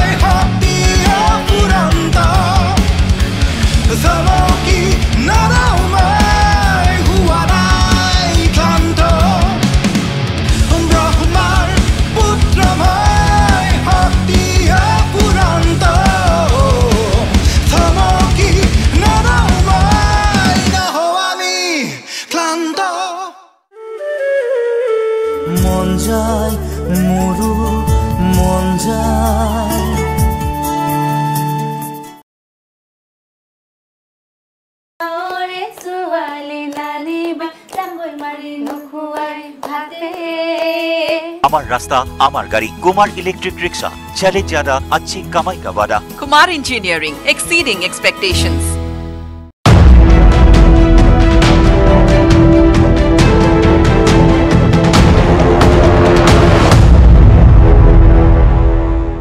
নমস্কাৰ প্ৰিয় দৰ্শক দি প্ৰাইম চলে সকলোকে স্বাগতম জনাইছোঁ মই পাৰ্থ বৰা প্ৰিয় দৰ্শক আজি আমাৰ বিশেষ আলোচনাত আমাৰ সৈতে সংযুক্ত হৈ আছে কলিয়াবৰৰ কংগ্ৰেছ সাংসদ গৌৰৱ গগৈ। গগৈ ডাঙৰীয়া আমাক এইখিনি সময় দিয়াৰ কাৰণে আপোনাক ধন্যবাদ জ্ঞাপন কৰিছোঁ আৰু আমাৰ অনুষ্ঠানলৈ স্বাগতম জনাইছোঁ। ধন্যবাদ। এক বিশেষ সন্ধিখনত আপোনাৰ সৈতে কথা বতৰা হৈছে। কংগ্ৰেছ দল বহু বছৰৰ পিছত চৌবিছ বা পঁচিছ বছৰৰ পিছত যদি মই ভুল কৰা নাই কংগ্ৰেছ দলৰ সভাপতিৰ নিৰ্বাচন হ'বলৈ গৈ আছে সৰ্বভাৰতীয় সভাপতিৰ নিৰ্বাচন। দুজন প্ৰাৰ্থী মল্লিকাৰ্জুন খাৰ্গে আৰু ডক্টৰ শশী থাৰুৰ। আপোনাৰ পচন্দৰ প্ৰাৰ্থী কোন? চাওক মই মল্লিকাৰ্জুন খাৰ্গেজী ডাঙৰীয়াৰ কেম্পেইনত মই কাম কৰিবলৈ এটা সুযোগ পাইছোঁ। মই আশাবাদী যে তেওঁ ন বাৰকৈ বিধানসভা নিৰ্বাচন জিকিছে লোকসভাত তেওঁ লিডাৰ অফ অপজিশ্যন হৈছে ৰাজ্যসভাত তেওঁ লিডাৰ অফ অপজিশ্যন হৈছে তেওঁ চেণ্ট্ৰেলত মিনিষ্টাৰ আছিলে ষ্টেটত তেওঁ মিনিষ্টাৰ আছিল। তো যদি আমি অনুভৱ পৰা চাওঁ যদি আমি নেতৃত্বৰ পৰা চাওঁ যদি আমি বিৰোধী দলক একত্ৰিত কৰা সেই সন্দৰ্ভৰ পৰা চাওঁ তেওঁ আটাইতকৈ উপযুক্ত প্ৰাৰ্থী। আৰু মই আশাবাদী যে অহা ঊনৈছ তাৰিখে যেতিয়া ভোটৰ ফলাফল প্ৰকাশ হ'ব তেওঁ আমাৰ নতুন সভাপতি হ'ব। নতুন সভাপতি হ'ব। অৱধাৰিতভাৱে সকলোৱে কৈ আছে তেওঁ গান্ধী নেহৰু পৰিয়ালৰো পচন্দৰ প্ৰাৰ্থী গতিকে তেওঁ সভাপতি হ'ব। যদিও ছোনিয়া গান্ধী ডাঙৰীয়ানীয়ে স্পষ্ট কৰি দিছে গান্ধী ফেমিলি গোটেই প্ৰক্ৰিয়াটো নিউট্ৰেল হৈ থাকিব। কিন্তু এটা কথা নতুন প্ৰজন্মক কিন্তু আকৰ্ষিত কৰে ডক্টৰ থাৰুৰে। তেওঁৰ যথেষ্ট ফেইন ফেন বেছ আছে তেওঁ এজন প্ৰসিদ্ধ লেখক। গতিকে এটা এটা- চাম বিশেষকৈ নতুন প্ৰজন্মই তেওঁ হোৱাটো বিচাৰে। যিসকলে কংগ্ৰেছক কংগ্ৰেছ আকৌ আগৰ দৰে আত্মপ্ৰকাশ হোৱাটো বিচাৰে শক্তিশালী ৰূপত তেওঁলোকে কিন্তু বিচাৰে। চাওক ডক্টৰ থৰুৰৰ কিছু মই কথাখিনি শুনিছোঁ কিছু কথাখিনি তেওঁ যথেষ্ট ভাল পৰামৰ্শ দিছে। মই আশাবাদী কি যেতিয়া মল্লিকাৰ্জুন খাৰ্গে চাহাব যেতিয়া তেওঁ আমাৰ নতুন সভাপতি হ'ব ডক্টৰ থৰুৰ আমাৰ কংগ্ৰেছ দলটোক আৰু শক্তি কৰাৰ ক্ষেত্ৰত তেওঁ এটা গুৰুত্বপূৰ্ণ ভূমিকা থাকিব। তেওঁ যিখিনি ভাল পৰামৰ্শ এই মুহূৰ্তত দি আছে যিখিনি আমি স্বীকাৰ কৰিব পাৰোঁ যিখিনি আমি ৰূপায়ণ কৰিব পাৰোঁ নিশ্চয় আমি কৰিব পাৰিম। আজি আমাৰ কংগ্ৰেছ দলত যুৱকসকলক আকৰ্ষিত কৰাৰ মানুহখিনিৰ অভাৱ নাই। আমাৰ উত্তৰ ভাৰতৰ কথা কওক দক্ষিণ ভাৰতৰ কথা কওক কিন্তু মই আপোনালোকক আগতেই ক'লোঁ যে আজি আমাৰ নতুন কংগ্ৰেছ সভাপতি এনেকুৱা এজন ব্যক্তি হ'ব লাগে যি সকলোৱে ৰাজনৈতিক দল যিমানখিনি বিৰোধী ৰাজনৈতিক দলখিনি আছে তেওঁলোকক একত্ৰিত কৰিব পাৰে। আৰু মল্লিকাৰ্জুন খাৰ্গে লোকসভাত লিডাৰ অফ অপজিশ্যন মানে চবে চবকে একত্ৰিত কৰিছে। বৰ্তমান তেওঁ ৰাজ্যসভাত আমাৰ যোৱা ৰাজ্যসভা পাৰ্লিমেণ্টৰ ভিতৰত তেওঁ সকলো মিটিং ফ্ল'ৰ লিডাৰ্ছ যিমানখিনি বেলেগ ৰাজনৈতিক দলৰ ফ্ল'ৰ লিডাৰ্ছ আছে তেওঁলোকক মাতি আনি এটা ৰণকৌশল যে সৃষ্টি কৰে। এই যে তেওঁলোকৰ লিডাৰশ্বিপ কেপাচিটি আৰু তেওঁৰ central minister railway central minister labour তেওঁ এছ চি এছ টিৰ কাৰণে নিজৰ যেতিয়া বিধানসভাত আছিলে যথেষ্ট কাম। প্ৰায় বিছ হাজাৰ এছ চি এছ টি কমিউনিটিৰ মানুহখিনি তেওঁলোকে চাকৰি দিছে। তো এক্সপিৰিয়েঞ্চ আৰু গভৰ্নেন্স আৰু ইউনিট ইউনাইটেড ফ্ৰণ্ট যদি কোনোবাই কৰিব পাৰে সেয়া হ'ল খালি খাৰ্গে খাৰ্গে কৰিব পাৰিব। অৰ্থাৎ উদ্দেশ্যটো হৈছে দুহেজাৰ চৌবিছ চনত যিসমূহ বিৰোধী দল আছে বিৰোধী শক্তিসমূহ আছে একত্ৰিত কৰা। খাৰ্গে নেতৃত্বত একত্ৰিত কৰা। সেইটো উদ্দেশ্য। কিন্তু মই আৰু এটা প্ৰশ্ন সুধিব বিচাৰিছোঁ অসমৰ প্ৰসংগলৈ আহিম। কিন্তু ভাৰতীয় জনতা পাৰ্টীয়ে সচৰাচৰ কংগ্ৰেছক সমালোচনা কৰে এই পৰিয়ালকেন্দ্ৰিক ৰাজনীতিৰ কাৰণে। এতিয়া কথাটো হ'ল গান্ধী নেহেৰু ফেমিলি অপৰিহাৰ্য কংগ্ৰেছৰ কাৰণে বুলি ৰাজনৈতিক বিশ্লেষকসকলে কয় ঊনৈছ তাৰিখৰ পিছত ঊনৈছ তাৰিখে ৰিজাল্ট ডিক্লেয়াৰ হ'ব ঊনৈছ তাৰিখৰ পিছত এটা নতুন কংগ্ৰেছ অৱতীৰ্ণ হ'বনে খাৰ্গে নেতৃত্বত যি যিটো যিটো যিটো দলত এই পৰিয়ালকেন্দ্ৰিক ৰাজনীতি নাথাকিব বা গান্ধী পৰিয়ালৰ প্ৰভাৱ কম হ'ব? চাওক বিজেপিৰ দলে সদায় পৰিয়ালকেন্দ্ৰিক ৰাজনীতিৰ কথা কয়। কিন্তু যদি আপোনালোকে চায় নতুনকৈ কোন ভৰ্তি হ'ল বিজেপিত জ্যোতিৰাদিত্য সিন্ধিয়া জিতেন প্ৰসাদ আৰু নেহৰু গান্ধীৰ পৰিয়ালৰ পৰা এজন সদস্যও আজি বিজেপি দলত আছে বৰুণ গান্ধী তেওঁৰ সাংসদ। তো সেইকাৰণে এই যে পৰিয়ালকেন্দ্ৰিক ৰাজনীতি তেওঁলোকে যেতিয়া কয় বিজেপিয়ে তেওঁলোকৰ চাওক আজি অনুৰাগ ঠাকুৰ পৰিয়ালৰ পৰা আহিছে জয়ন্ত সিনহা পৰিয়ালৰ পৰা আহিছে। আজি B C C I B C C আইটো গোটেই বাবে আজি এটা পৰিয়ালকেন্দ্ৰিক হৈ গৈছে। B C C I secretary কোন? অমিত শ্বাহ পুতেক তেওঁ কি কিবা ৰঞ্জী ট্ৰফিৰ কেপ্টেইন হৈ আহিছে নেকি? আজি বি চি চি আই যে পৰিয়ালকেন্দ্ৰিক সেইকাৰণে আমাক দুখ দিয়াতকৈ প্ৰথমে বি চি চি আই পৰিয়ালকেন্দ্ৰিক ৰাজনীতিৰ পৰা মুক্ত কৰকচোন। আ- আগত আমাক পৰামৰ্শ দিয়া আগতে মধ্যপ্ৰদেশৰ জ্যোতিৰাদিত্য সিন্ধিয়া পৰিয়ালকেন্দ্ৰিক যে আজি বিজেপি হৈ গৈছে তাৰ পৰা মুক্ত কৰকচোন। তো সেইকাৰণে ইয়াত একো যুক্তি নাই। হয় মূল কাৰণ কিয় কি আজি নেহৰু গান্ধীৰ পৰিয়াল আজি স্বাধীনতা সংগ্ৰামৰ প্ৰতীক। পণ্ডিত জৱাহৰলাল নেহৰু দহ বছৰ জেলত খাটিলে। আজি নেহৰু গান্ধী পৰিয়াল শ্বহীদৰ এটা প্ৰতীক। প্ৰয়াত প্ৰধানমন্ত্ৰী ইন্দিৰা গান্ধী প্ৰয়াত প্ৰধানমন্ত্ৰী ৰাজীৱ গান্ধী আজি তেওঁলোকে দেশৰ কাৰণে শ্বহীদ হ'ল। আজি নেহৰু গান্ধী পৰিয়াল বিজেপি আৰু মোদী ডাঙৰীয়া বিৰোধিতাও কৰা এটা প্ৰতীক যিহেতু ইমান দিন ইডিত আবদ্ধ কৰাৰ পিছতো ৰাহুল গান্ধী ডাঙৰীয়া ক'লে মই প্ৰধানমন্ত্ৰী মোদীৰ পৰা ভয় নাখাওঁ। তো এই গান্ধী পৰিয়ালক তেওঁলোকে অলপ দুৰ্বল কৰিবলৈ বিচাৰে কিন্তু কেতিয়াও এইটো নহ'ব। আৰু য'ত আপোনাৰ কথা আহিলে কি নতুন? হয়। নতুন আমাৰ কংগ্ৰেছৰ কথা। নতুন কংগ্ৰেছৰ ৰূপ আমি এইবছৰ আৰম্ভণিৰ পৰাই ধাৰণ কৰিলোঁ যেতিয়া আমি উদয়পুৰত নৱসংকল্প শিবিৰ আয়োজন কৰিছিলোঁ। তাতে আমি সিদ্ধান্ত ল'লোঁ সাংগঠনিক নিৰ্বাচন হ'ব। তাতে আমি সিদ্ধান্ত ল'লোঁ ভাৰত জোৰত যাত্ৰা হ'ব। তাতে আমি সিদ্ধান্ত ল'লোঁ যে ৰাহুল গান্ধী ডাঙৰীয়া নিজে খোজকাঢ়ি ভাৰতৰ ভ্ৰমণ কৰিব। তো তেতিয়াৰ পৰা আমাৰ নতুন কংগ্ৰেছৰ আৰু দুহেজাৰ চৌব্বিছৰ কাৰণে প্ৰস্তুত হোৱা আমাৰ ৰণকৌশল আৰম্ভ হ'ল। আৰম্ভ কৰিলে। কিন্তু এটা প্ৰশ্ন ইয়াত থাকি যায় গান্ধী নেহৰু ফেমিলি দলটোৰ কাৰণে অপৰিহাৰ্য হৈ থাকিব। নিশ্চয় আজি আমাৰ ৰাজনৈতিক কোনোবা ভাল পৰিয়াল আছে যি স্বাধীনতা সংগ্ৰামৰ প্ৰতীক যি আমাৰ ত্যাগৰ প্ৰতীক যি প্ৰধানমন্ত্ৰী মোদী ডাঙৰীয়াৰ নাম লৈ তেওঁলোকে সমালোচনা কৰিব পাৰে এইজন পৰিয়ালে আমি কংগ্ৰেছ দলৰ মানুহখিনি আমি ভাল পাওঁ। তো খালি মিডিয়া ক'লে আমি এৰি দিম নেকি? বা বিজেপি কৰিলে এৰি দিম নেকি? আমি ভাল পাওঁ। আজি কওকচোন আৰু কোন ৰাজনৈতিক দলৰ নেতা আছে যিজন কন্যাকুমাৰীৰ পৰা কাশ্মীৰলৈকে খোজকাঢ়িব পাৰে যি এশ পঞ্চাছ দিনৰ পদযাত্ৰা কৰিব পাৰে? আপুনি আৰু মই কৰিব নোৱাৰিম। আমি পাঁচদিন দহ দিন ত্ৰিছ দিন ক'ব পাৰিম মেক্সিমাম। কিন্তু তেওঁ খোজকাঢ়ি গৈছে উইদাউট ব্ৰেক খোজকাঢ়ি গৈছে। সাধাৰণ কথা নেকি? এইটোৱে এই যে প্ৰতীক আজি যে মানুহে তেওঁক চাই সাহস পাইছে যে হয় আজি যদি এই ক্ষমতা থকা চৰকাৰৰ অহংকাৰ যদি কোনোবাই ভাঙিব পাৰে যদি তেওঁলোকৰ যে দমনৰ ৰাজনীতি যদি কোনোবা বিৰোধিতা কৰিব পাৰে সেয়া ৰাহুল গান্ধী হ'ল সেয়া কংগ্ৰেছ দল হ'ল এই যে প্ৰতীক যে বাৰ্তা যে গৈছে যথেষ্ট গুৰুত্বপূৰ্ণ আৰু যদি আমাৰ দলৰ কিবা এটা শক্তি আছে সেই শক্তিটো মই কিয় কৰ্তন কৰিম কিয় মই কাটি দিম? মই মোৰ মোৰ কিবা বেয়া মোৰ হেডটো মোৰ কিবা প্ৰব্লেম হ'লেহে মই নিজৰ এটা যি মোৰ এটা এছেট সেই এছেটটো এৰি দিম মই। নেহৰু গান্ধী ফেমিলি এটা ডাঙৰ এছেট কংগ্ৰেছ পাৰ্টীৰ কাৰণে সেই এছেটটো এৰি দিব পৰা নাযায়। তে অসমৰ প্ৰসংগলৈ আহোঁ। অসমৰ প্ৰসংগত যদি আলোচনা কৰা যায় অসম মই পুনৰ আৰম্ভণিতে কৈছিলোঁ কংগ্ৰেছ এক জটিল সন্ধিখনত আছে। অসম কংগ্ৰেছতো দেখা পোৱা গৈছে। এজনৰ পিছত এজন নেতাই কংগ্ৰেছ ত্যাগ কৰিছে আৰু অভিযোগ উত্থাপন হয় যিকেইজন নেতা কংগ্ৰেছত আছে। বিধায়ককে ধৰি তেওঁলোক মুখ্যমন্ত্ৰীৰ চুটলিপিত চলে। এতিয়া আপুনি ক'লে সৰ্বভাৰতীয় পৰ্যায়ত খাৰ্গেৰ নেতৃত্বত বিৰোধী দলসমূহক একত্ৰিত কৰাৰ প্ৰয়াস চলি আছে। অসমত কিন্তু তেনে প্ৰয়াস পৰিলক্ষিত হোৱা নাই। যদিও আপোনালোকে এ অ' ডি এফৰ সৈতে একেলগে নিৰ্বাচন খেলিছিল কিন্তু এতিয়া দুয়ো দলৰ মাজত যথেষ্ট সংঘাত। অসমক লৈ পৰিকল্পনা কি আপোনাৰ? বা খাৰ্গে প্ৰেচিডেণ্ট হোৱাৰ পিছত অসমক লৈ পৰিকল্পনা ইয়াত দুটা কথা আছে। প্ৰথমে আজি বিজেপি দলৰ ভিতৰত বিধায়কসকলৰ সংখ্যাৰ অভাৱ নাই। মানে আজি আমাৰ যোৱা একৈছ নিৰ্বাচনৰ ফলাফল যথেষ্ট স্পষ্ট। বিজেপি আৰু এই অগপৰ তেওঁলোকৰ নেতৃত্বাধীন চৰকাৰে যথেষ্ট এটা বহুমত পাইছে। আজি এতিয়াই যে তেওঁলোকে হিমন্ত বিশ্ব শৰ্মা বিশেষকৈ ডাঙৰীয়াই যে বিধায়কখিনি লৈ আছে সেইটো বিজেপি আন্তৰিক লবিকেন্দ্ৰিক ৰাজনীতি এটা প্ৰমাণ। যিহেতু মুখ্যমন্ত্ৰী মহোদয়ে আজিও তেওঁ বিজেপিৰ ভিতৰত তেওঁ গ্ৰহণযোগ্যতা অলপ কম। যি আৰু তেওঁলোকে যি ধৰণে বিজেপিত সোমাই তেওঁলোকে আৰু তেওঁলোকৰ বাহিনী যুৱ বাহিনীখিনি যিদৰে বিজেপিক সোমাই চাৰ্জিকেল ষ্ট্ৰাইক কৰি আছে আৰু বিজেপিৰ মুখ্যমন্ত্ৰী চৰকাৰৰ মুখ্যমন্ত্ৰী হৈ যোৱাৰ পিছত মাত্ৰ নিজৰ ব্যক্তিগত ধন সম্পত্তি বৃদ্ধি কৰি আছে। এইখিনি অভিযোগ আজি দিল্লীলৈ গৈ আছে। দিল্লীয়ে কি কোন দিন তেওঁক আঁতৰাই দিয়ে কোনো ক'ব নোৱাৰে। সেইকাৰণে নিজৰ স্থিতি মজবুত কৰিবলৈ আজি তেওঁ কংগ্ৰেছৰ পৰা মানুহখিনি তাত লৈ গৈছে কিয়? নিজৰ লবিটো বৃদ্ধি কৰিবলৈ। এই যে বিসম্বাদৰ যে পেজ দি ডক্টৰ হিমন্ত বিশ্ব শৰ্মা ডাঙৰীয়া আজি ইয়াৰে মূল কাৰণ হৈছে নহ'লে আজি বিজেপি দলৰ বিধায়কৰ সংখ্যা কম নেকি? আজি যথেষ্ট কাম কৰিব পাৰে। কিন্তু তেওঁ যে পুৰণা বিজেপিখিনি আঁতৰাই ৰাখিছে প্ৰাক্তন মুখ্যমন্ত্ৰী সৰ্বানন্দ সোণোৱাল ডাঙৰীয়া খুব ৰণকৌশলেৰে আঁতৰাই ৰাখিলে সেই যে ফাক যে চলি আছে তাৰ কাৰণে আজি অস্থিৰতা আজি বিৰোধী দলৰ মাজত চলি আছে। য'ত আপোনাৰ কথা আহিলে এ আই ডি এফত মই আগতেও স্পষ্ট কৰিছিলোঁ যে বিধানসভা নিৰ্বাচনত ময়ো বিচাৰিছিলোঁ কি আমাৰ মিত্ৰ আমাৰ গোটৰ এটা চৰকাৰ হওক বা আমাৰ বিৰোধী দলখিনি একজোট হওক। মই লুৰিণজ্যোতি গগৈ ডাঙৰীয়াকো আহ্বান জনাইছোঁ। মই অখিল গগৈ ডাঙ গগৈ ডাঙৰীয়াকো আহ্বান জনাইছোঁ।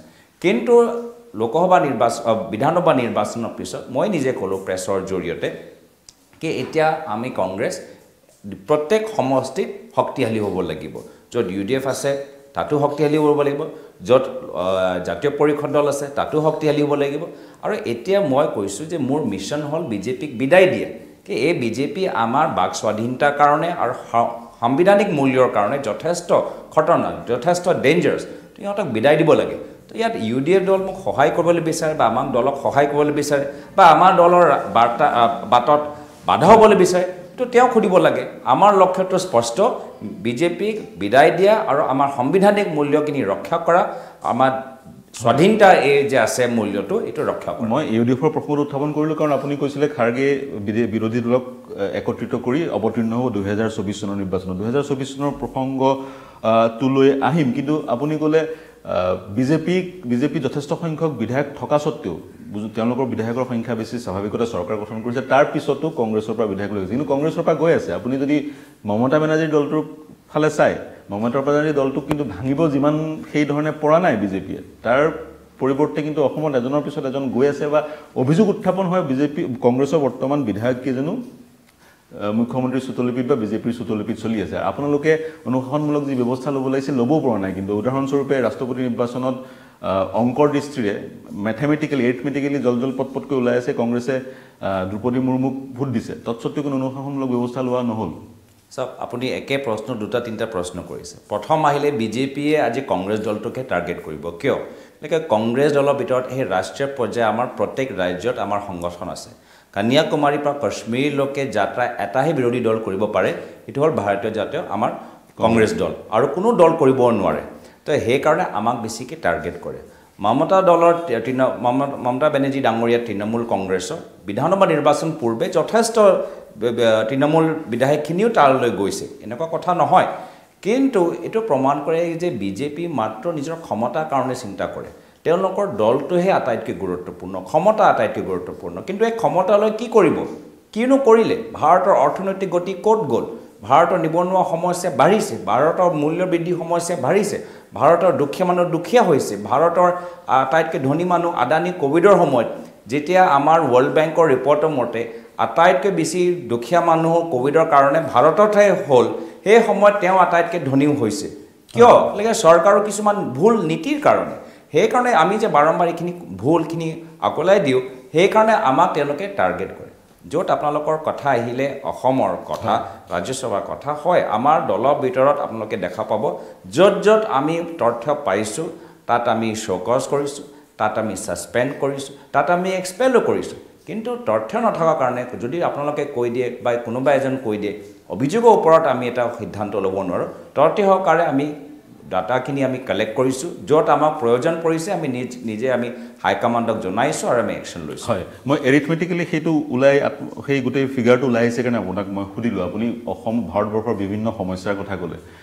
বিজেপি চৰকাৰৰ দিনত সেই সমস্যাসমূহ বৃদ্ধি হৈছে। অসমৰ নিজৰ কিছু কিছু সুকীয়া সমস্যা আছে। এতিয়া যদি আজিৰ তাৰিখত মই উদাহৰণ এটা দিওঁ এন এছ পি চিৰ যি ভূস্খলন ভূমিস্খলন সেইটো এটা ডাঙৰ সমস্যাৰূপে এতিয়া উঠি আহিছে আত্মপ্ৰকাশ কৰিছে।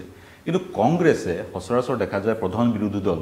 কংগ্ৰেছ অবিহনে কংগ্ৰেছৰ নেতৃত্ব নহ'লে বিৰোধীও একত্ৰিত হ'ব নোৱাৰে বুলি ৰাজনৈতিক বিশ্লেষকে কয় বা আপুনিও ক'ব।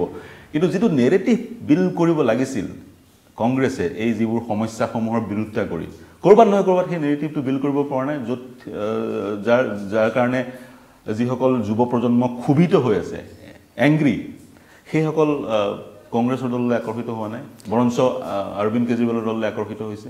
চাওক জনসংযোগৰ লৈ আমি অলপ নতুনকৈ অলপ চিন্তা কৰিব লাগিব। কিয়?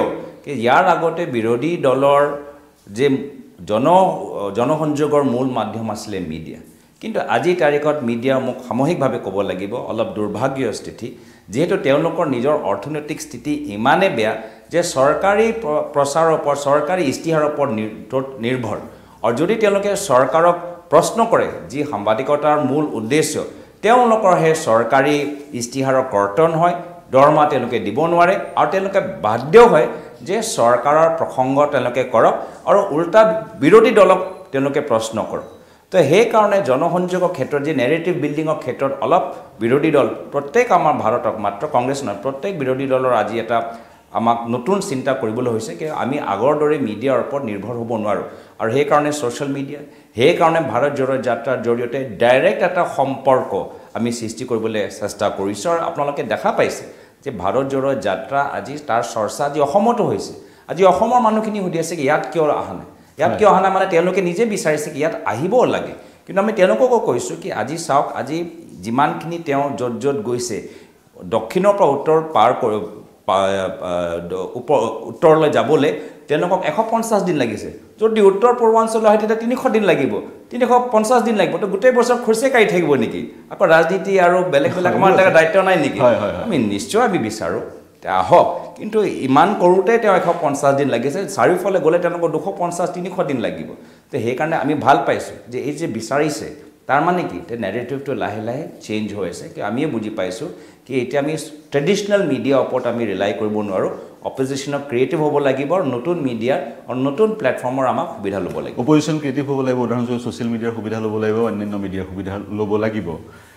আম আদমী পাৰ্টি এটা বিৰোধী দল গুজৰাটত তেওঁলোকে আত্মপ্ৰকাশ কৰিছে কিন্তু সেই দলটোৱে যি মেইন ষ্ট্ৰীম মিডিয়া আপুনি কথা কৈছে সেই মেইন ষ্ট্ৰীম মিডিয়াকো সুন্দৰকৈ ব্যৱহাৰ কৰা পৰিলক্ষিত হৈছে। কংগ্ৰেছে যেতিয়া নিজৰ নেৰেটিভ বিল কৰিব নোৱাৰে সচৰাচৰ দেখা যায় মেইন ষ্ট্ৰীম মিডিয়াত মিডিয়াক তেওঁলোকে দুখ দিয়ে। মেইন ষ্ট্ৰীম মিডিয়াৰ কিছু সমস্যা আছে ইনহেৰেণ্ট কিছু প্ৰব্লেম আছে যিখিনি আপুনি আপোনাৰ মুখেৰে ইতিমধ্যে শুনি লৈ তাত সত্যতা থাকিব পাৰে। কিন্তু আপোনালোকৰ নিজৰ এতিয়া আম আদমী পাৰ্টি আম আদমী পাৰ্টিলৈ চাওক তেওঁলোকে এটা নেৰেটিভ বিল কৰিছে। সেই ধৰণে কৰিব পৰা নাযায়নে? প্ৰতিবাৰে মেইন ষ্ট্ৰীম মিডিয়াক এইটো এইটো এইটো টেম্পৰেৰী যোৱা বছৰ মন মনত পৰিছে টি এম চিলৈ যথেষ্ট মানুহে কয় T M C T M C T M C. কৈ আছিলে কি হ'ল T M C? T M C বেংগলত ভাল কৰিলে কিন্তু গোৱাত গৈ তেওঁলোকে কি পালে? নটা। আজি ত্ৰিপুৰা বাই ইলেকশ্যনত কি পালে? নটা। অলপ দিন পিছত যেতিয়া ত্ৰিপুৰাত নিৰ্বাচন হ'ব এন অ' টি এত মানে ভোটে নাপালে। যিমান ভোট পাব লাগে মিনিমাম সেইটোও নাপালে তেওঁলোকে। একে আজি অৱস্থা আম আদমী পাৰ্টি গুজৰাটত হ'বলৈ গৈ আছে আৰু হিমাচল প্ৰদেশত হৈ আছে হ'বলৈ গৈ আছে। তো এইখিনি টেম্পৰেৰী ফ্লেভ কিন্তু আটাইতকৈ যদি মই ভাবোঁ আজিৰ তাৰিখত জীৱিত ৰাজনৈতিক জ্ঞানী আছে মই দুজন নাম লৈছোঁ লালু প্ৰসাদ যাদৱ আৰু শৰদ পাৱাৰ ডাঙৰীয়া। দুয়োজনে কৈছে যে কংগ্ৰেছে বাহিৰে আমাৰ বিৰোধী দলক নেতৃত্ব বা একত্ৰিত কোনো কৰিব নোৱাৰে। তো এইখিনি কথা আম আদমিও জানিব লাগিব কি আমি সকলোৱে একত্ৰিত হ'লেই ৰাহুল গান্ধী ডাঙৰীয়া কংগ্ৰেছ দলৰ নেতৃত্ব হ'লেই আমি আগবাঢ়ি যাব পাৰিম। এইখিনি কথা টি এম চিকো বুজিব লাগিব। কিন্তু আমি বুজাবলৈ চেষ্টা কৰিছোঁ আমি সদায় আমি অ'পেন কিন্তু তেওঁলোকে আমাক সমালোচনা কৰে। সেইকাৰণে আমি নিজৰ কামখিনি কৰি যাম তেওঁলোকে নিজৰ সময়ত নিজে নিজৰ নিজে যি ধৰণে যি ধৰণে চিটুৱেশ্যন এৰাইজ হয় তেওঁলোক আহিব। আপুনি ইয়াতে এটা কথা ক'লে ৰাহুল গান্ধী ডাঙৰীয়াই কংগ্ৰেছৰ নেতৃত্ব লৈ যাওক। গতিকে ডিফেক্ট তেওঁ কংগ্ৰেছৰ নেতৃত্ব অনাগত সময় লৈ যাব। আপুনি কৈছে এছেট কিন্তু তেওঁ সেইকাৰণে লৈ যাব নহয় জানো? মল্লিকাৰ্জুন খাৰ্গে দলটোৰ সভাপতি নিশ্চিতভাৱে সভাপতি। আনকালেও গান্ধী নেহৰুৰ পৰিয়ালৰ বাহিৰৰ লোক সভাপতি হৈছিল। উদাহৰণস্বৰূপে অসমৰ যদি কথা কওঁ দেৱকান্ত বৰুৱা ইত্যাদি ইত্যাদি। চ' ডিফেক্ট লিডাৰ ৰাহুল গান্ধীয়ে হৈ থাকিব। চাওক আজি বিজেপি দলৰ সভাপতি কোন? J P Nadda. প্ৰধানমন্ত্ৰী কোন? প্ৰধানমন্ত্ৰী মোদী। গৃহমন্ত্ৰী কোন? গৃহমন্ত্ৰী অমিত শ্বাহ ডাঙৰীয়া। তিনিজনে আজি বিজেপি নেতৃত্বত আছে। অহাবাৰ লোকসভাত নিৰ্বাচনত তেওঁ এক্সটেনশ্যন পালে সেইকাৰণে জে পি নাড্ডা ডাঙৰীয়া সভাপতি হৈ থাকিব। প্ৰধানমন্ত্ৰী মোদী ডাঙৰীয়া মই ভাবোঁ তেওঁ দুবাৰ আকৌ তেওঁ প্ৰধানমন্ত্ৰী প্ৰাৰ্থী হ'ব। বিচাৰিব। তো একে কথাত আমাৰ দলৰ সভাপতি মাল্লিকাৰ্জুন খাৰ্গে চাহাব থাকিব আৰু প্ৰধানমন্ত্ৰী হিচাপে আমি সদায় ৰাহুল গান্ধী ডাঙৰীয়াক বিচাৰোঁ। গৌৰৱ গগৈ ডাঙৰীয়া আপুনি এটা কথা ক'লে যিটো এক প্ৰকাৰে যদিও বহুবাৰ কংগ্ৰেছৰ বিভিন্ন প্লেটফৰ্মত কোৱা হৈছে আমাৰ কাৰণে এটা ব্ৰেকিং নিউজ স্বৰূপ হ'ল ৰাহুল গান্ধী ডাঙৰীয়াই কংগ্ৰেছ দলৰ প্ৰধানমন্ত্ৰী কেণ্ডিডেট হোৱাৰ অৱকাশ আছে বা তেওঁৱে হ'বগৈ আৰু বিৰোধী দলসমূহে সেই কথা উপলব্ধি কৰিব লাগিব। কংগ্ৰেছ পৰিয়ালৰ অবিহনে বা কংগ্ৰেছ পৰিয়াল নেতৃত্ব নিদিয়া নিদিয়ালৈকে বিৰোধী একত্ৰিত হ'ব নোৱাৰে। স্বাভাৱিক কথা। মই আকৌ কৈছোঁ যে যদিও আমাৰ সাংগঠনিক নিৰ্বাচন বৰ্তমান হৈ আছে ভাৰত জোৰে যাত্ৰাৰ জৰিয়তে ৰাইজৰ মাজত সাহসকৰ এই বাৰ্তা কোনে প্ৰদান কৰিছে? ৰাহুল গান্ধী প্ৰধানমন্ত্ৰী মোদী ডাঙৰীয়া ডাইৰেক্টলি নাম লৈ কোনে সমালোচনা কৰিছিল ৰাহুল গান্ধী ডাঙৰীয়াই। ৰাহুল গান্ধী ডাঙৰীয়াই নিজে খোজকাঢ়ি আজি ভাৰতৰ যে একত্ৰিত কৰা। আজি আমি যাত্ৰাটোক মাত্ৰ আমি দলৰ আমি নিৰ্বাচনলৈ আমি কৰা নাই। ভাৰতৰ ৰাইজ আজি তেওঁলোকক দমন কৰিবলৈ বিচাৰিছে বিজেপি। আজি অসমৰ ভিতৰতো আজি তেওঁলোকক হিতাধিকাৰী এই ৰাজনীতি কৰি কি ক'বলৈ বিচাৰিছে? কি যদি আমাৰ বিজেপিক ভোট দিবা তোমালোকে বেনিফিচিয়াৰী হৈ থাকিবা যদি বিজেপি বিৰুদ্ধে মাত মাতা তোমালোকে চৰকাৰী আঁচনি তোমালোকে সুবিধা নাপাবা। এই যে বেনিফিচিয়াৰী ৰাজনীতি আজি কৰিব বিচাৰিছে আটাইতকৈ দুৰ্ভাগ্যজনক যিহেতু চৰকাৰ যেতিয়া হয় চৰকাৰ সকলোৰে হয়। চৰকাৰ যিসকলে বিজেপিক ভোট দিলে তেওঁলোকৰে চৰকাৰ। চৰকাৰে যিসকলে বিজেপিক ভোট নিদিলে তাত তেওঁলোককো চৰকাৰী। আঁচনি দিব লাগে। মই মই এইটো মোৰ ফিলচফি মই কওঁ যেতিয়া মই ইলেকশ্যনলৈকে মই কংগ্ৰেছ দলৰ প্ৰাৰ্থী কিন্তু সাংসদ হৈ যোৱাৰ পিছত মই সকলৰ সাংসদ সকলৰ প্ৰতিনিধি মই যেতিয়া পাৰ্লিমেণ্টত মই থিয় হওঁ কলিয়াবৰ লোকসভা সকলৰ মানুহৰ হৈ মই মাত মাতোঁ সমগ্ৰ অসমবাসী ৰাইজৰ হৈ মই মাত মাতোঁ।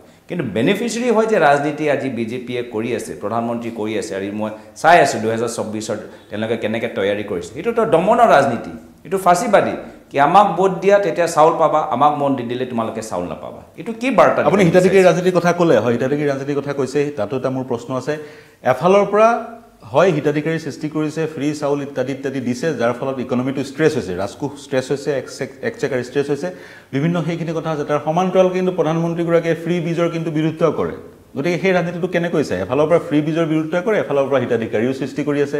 সেইটো এটা প্ৰশ্ন। দ্বিতীয়টো প্ৰশ্ন যোৱা চাগৈ অসমত পাঁচ যোগ এক ছয় বছৰে বহু হাজাৰ লাখ হিতাধিকাৰী সৃষ্টি কৰিলে। হিতাধিকাৰী বহুতে ক'ব খোজে ৰাজনৈতিক বিশ্লেষকে ক'ব হিতাধিকাৰী ইজ ইকুৱেল টু ভোটাৰ্ছ কেনেকৈ প্ৰতিহত কৰিব আপোনালোকে? সেই যি চিন্তাধাৰা যে এজন হিতাধিকাৰীয়ে যিখিনি পাইছে তেওঁৰ সেয়া অধিকাৰ আৰু সেয়া চৰকাৰৰ বা কাৰোবাৰ মুখ্যমন্ত্ৰীৰ পকেটৰ পৰা পোৱা নাই সেয়া টেক্স পেয়াৰৰ পইচা সেই চিন্তাধাৰা সোমোৱাবলৈ অৱকাশ আপোনালোকৰ আছেনে বা সেই শক্তিশালী ৰূপত আত্মপ্ৰকাশ কৰি ৰাইজক বুজাব পৰা এই আজিৰ আজিৰ আজিৰ তাৰিখত আপোনালোকৰ সিমান শক্তি আছেনে?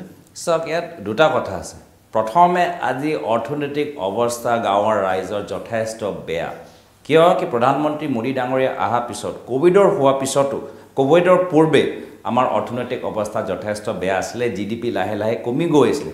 ক'ভিডত আৰু তলত পৰিলে। কিন্তু ডিমনেটাইজেশ্যন সময়তে জি ডি পিৰ পৰা দুই পাৰ্চেণ্ট আমাৰ জি ডি পি কমি গ'ল।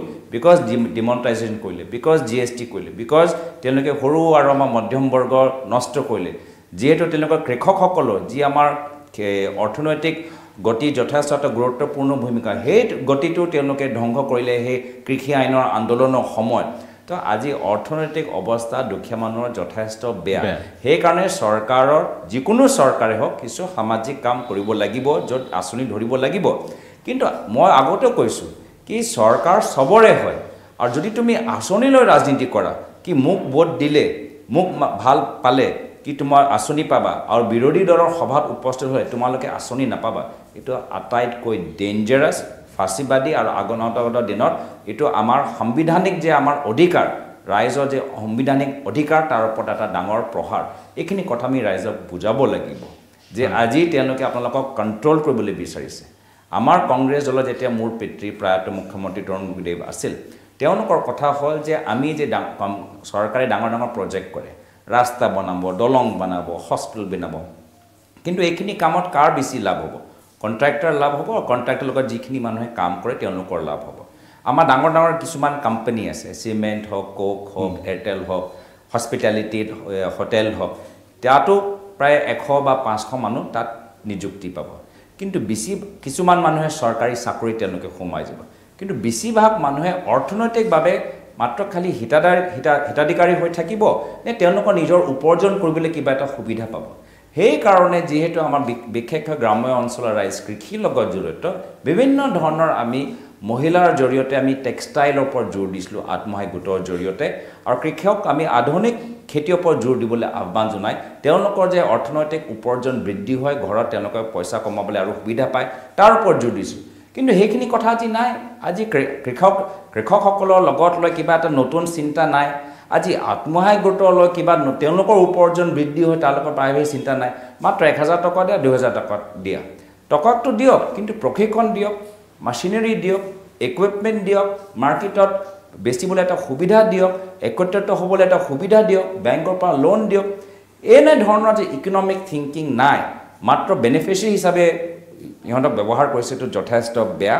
আৰু এইটো ইহঁতৰ ইকনমিক ভিজন যে বৰ্তমান বিজেপি চৰকাৰৰ নাই তেওঁলোকৰ ইকনমিক ভিজন হ'ল নিজৰ বাগান হোৱা নিজৰ প্ৰাইভেট স্কুল খোলা। কাৰ নাম লৈছোঁ আপুনি বুজি পাইছে? নিজৰ বাগান নিজৰ ৰিজৰ্ট নিজৰ প্ৰাইভেট স্কুল দুখীয়া মানুহ কোন চৰকাৰী স্কুলত যাব তাৰ কাৰণে চিন্তা নাই। তৃতীয় কথাটো হ'ল কি আমি ৰাইজক কেনেকৈ বুজাম? ৰাইজে নিজে বুজিছে কি আমাক এক হাজাৰ দুহেজাৰ টকা দি আছে জি এছ টি বঢ়াইছে কৰ বঢ়াইছে। বাছৰ ভাড়া বঢ়াইছে। মেজিক গাঁৱত যে অহা যোৱা মেজিক মেজিকৰ ভাড়া বঢ়াইছে। স্কুলত এতিয়া তিনিশ টকা দিবলৈ হৈছে। তো এক প্ৰকাৰে চৰকাৰে এক হাতৰ পৰা দিছে দুই হাতৰ পৰা ৰাইজৰ পৰা পইচা তুলিছে। ৰাইজৰ পৰা পইচা তুলিছে। প্ৰিয় দৰ্শক এটা বিৰতি ল'ব লাগিব। বিৰতিৰ পিছত অসমৰ ৰাজনীতিৰ বিষয়ে বা বৰ্তমান অসমৰ চৰকাৰখনৰ পাৰফৰ্মেঞ্চৰ বিষয়ে কিছু কথা পাতিম। তাৰ সমান্তৰালকৈ যি বিতৰ্কৰ সূত্ৰপাত হৈছে কং বিজেপিৰ নতুন ভৱনটোক লৈ। কিছু অভিযোগ কংগ্ৰেছৰ আছে আৰু কংগ্ৰেছেও যি নতুন ভৱনটোক ৰাজীৱ ভৱনটোক পুনৰ নিৰ্মাণৰ এক প্ৰচেষ্টা চলাইছে সেই বিষয়ে দুটা কথা দুটামান কথা গগৈ ডাঙৰৰ পৰা জানিব বিচাৰিম কিন্তু এই মুহূৰ্তত মই ল'ব লাগিব এটা বাণিজ্যিক বিৰতি শীঘ্ৰে ঘূৰি আহিম। সাধাৰণ ষ্টীল এনেকৈ পৰে। মাইথন ষ্টীল এনেকৈ পৰে। ধমকৈ।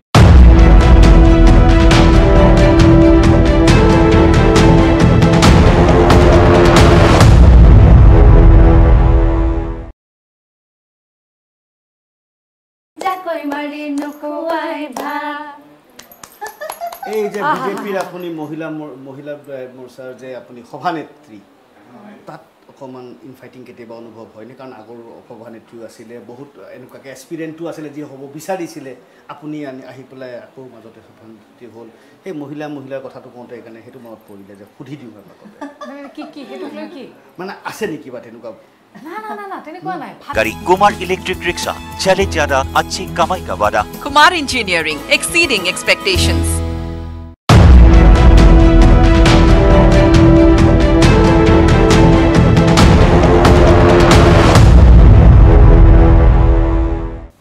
নমস্কাৰ প্ৰিয় দৰ্শক বিৰতিৰ পিছত সকলোকে পুনৰ স্বাগতম জনাইছোঁ। আমাৰ সৈতে সংযুক্ত হৈছে গৌৰৱ গগৈ কলিয়াবৰৰ সাংসদ কংগ্ৰেছৰ নেতা গৌৰৱ গগৈ। ইতিমধ্যে এটা কথা তেওঁ স্পষ্ট কৰিলে সেইটো হৈছে মল্লিকাৰ্জুন খাৰ্গেৰ সমৰ্থনত তেওঁ প্ৰচাৰত নামিছে। কংগ্ৰেছ দলৰ ইতিমধ্যে যিহেতু নিৰ্বাচন চলি আছে আৰু ৰাহুল গান্ধীৰ নেতৃত্বত কংগ্ৰেছ দলটোৱে অগ্ৰসৰ হ'ব অনাগত লোকসভা নিৰ্বাচনত আৰু স্বাভাৱিকতে প্ৰথমবাৰৰ কাৰণে বা বাইছ পঁচিছ বছৰৰ অন্তৰালত গান্ধী নেহৰু পৰিয়ালৰ বাহিৰৰ এজন লোক সভাপতিৰ সভাপতি তেওঁ সভাপতি হিচাপে অধিষ্ঠিত হ'ব।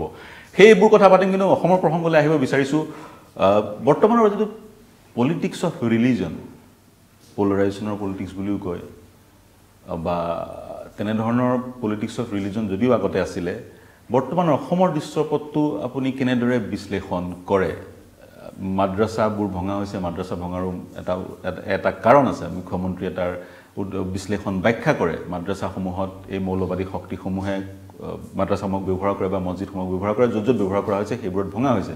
কিন্তু আন এটাও বিশ্লেষণ আছে পলিটিক্স অফ ৰিলিজনৰ এক সূচনা কৰা হৈছে বা আগতেই সূচনা কৰা হ'ল। আপুনি কিদৰে বিশ্লেষণ কৰে গোটেই প্ৰেক্ষাপটটো?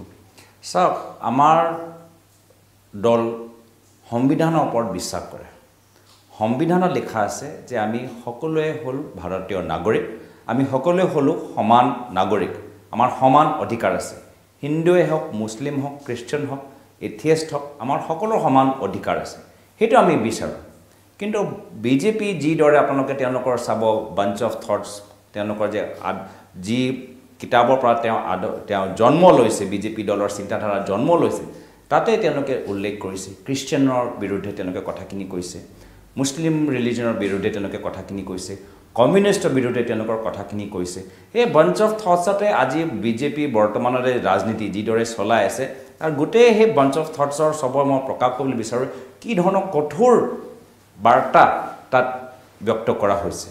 তো সেইকাৰণে এইটো আমাৰ দেশৰ কাৰণে যথেষ্ট আমাৰ আমাৰ কাৰণে সাংঘাতিক এটা পৰিৱেশ।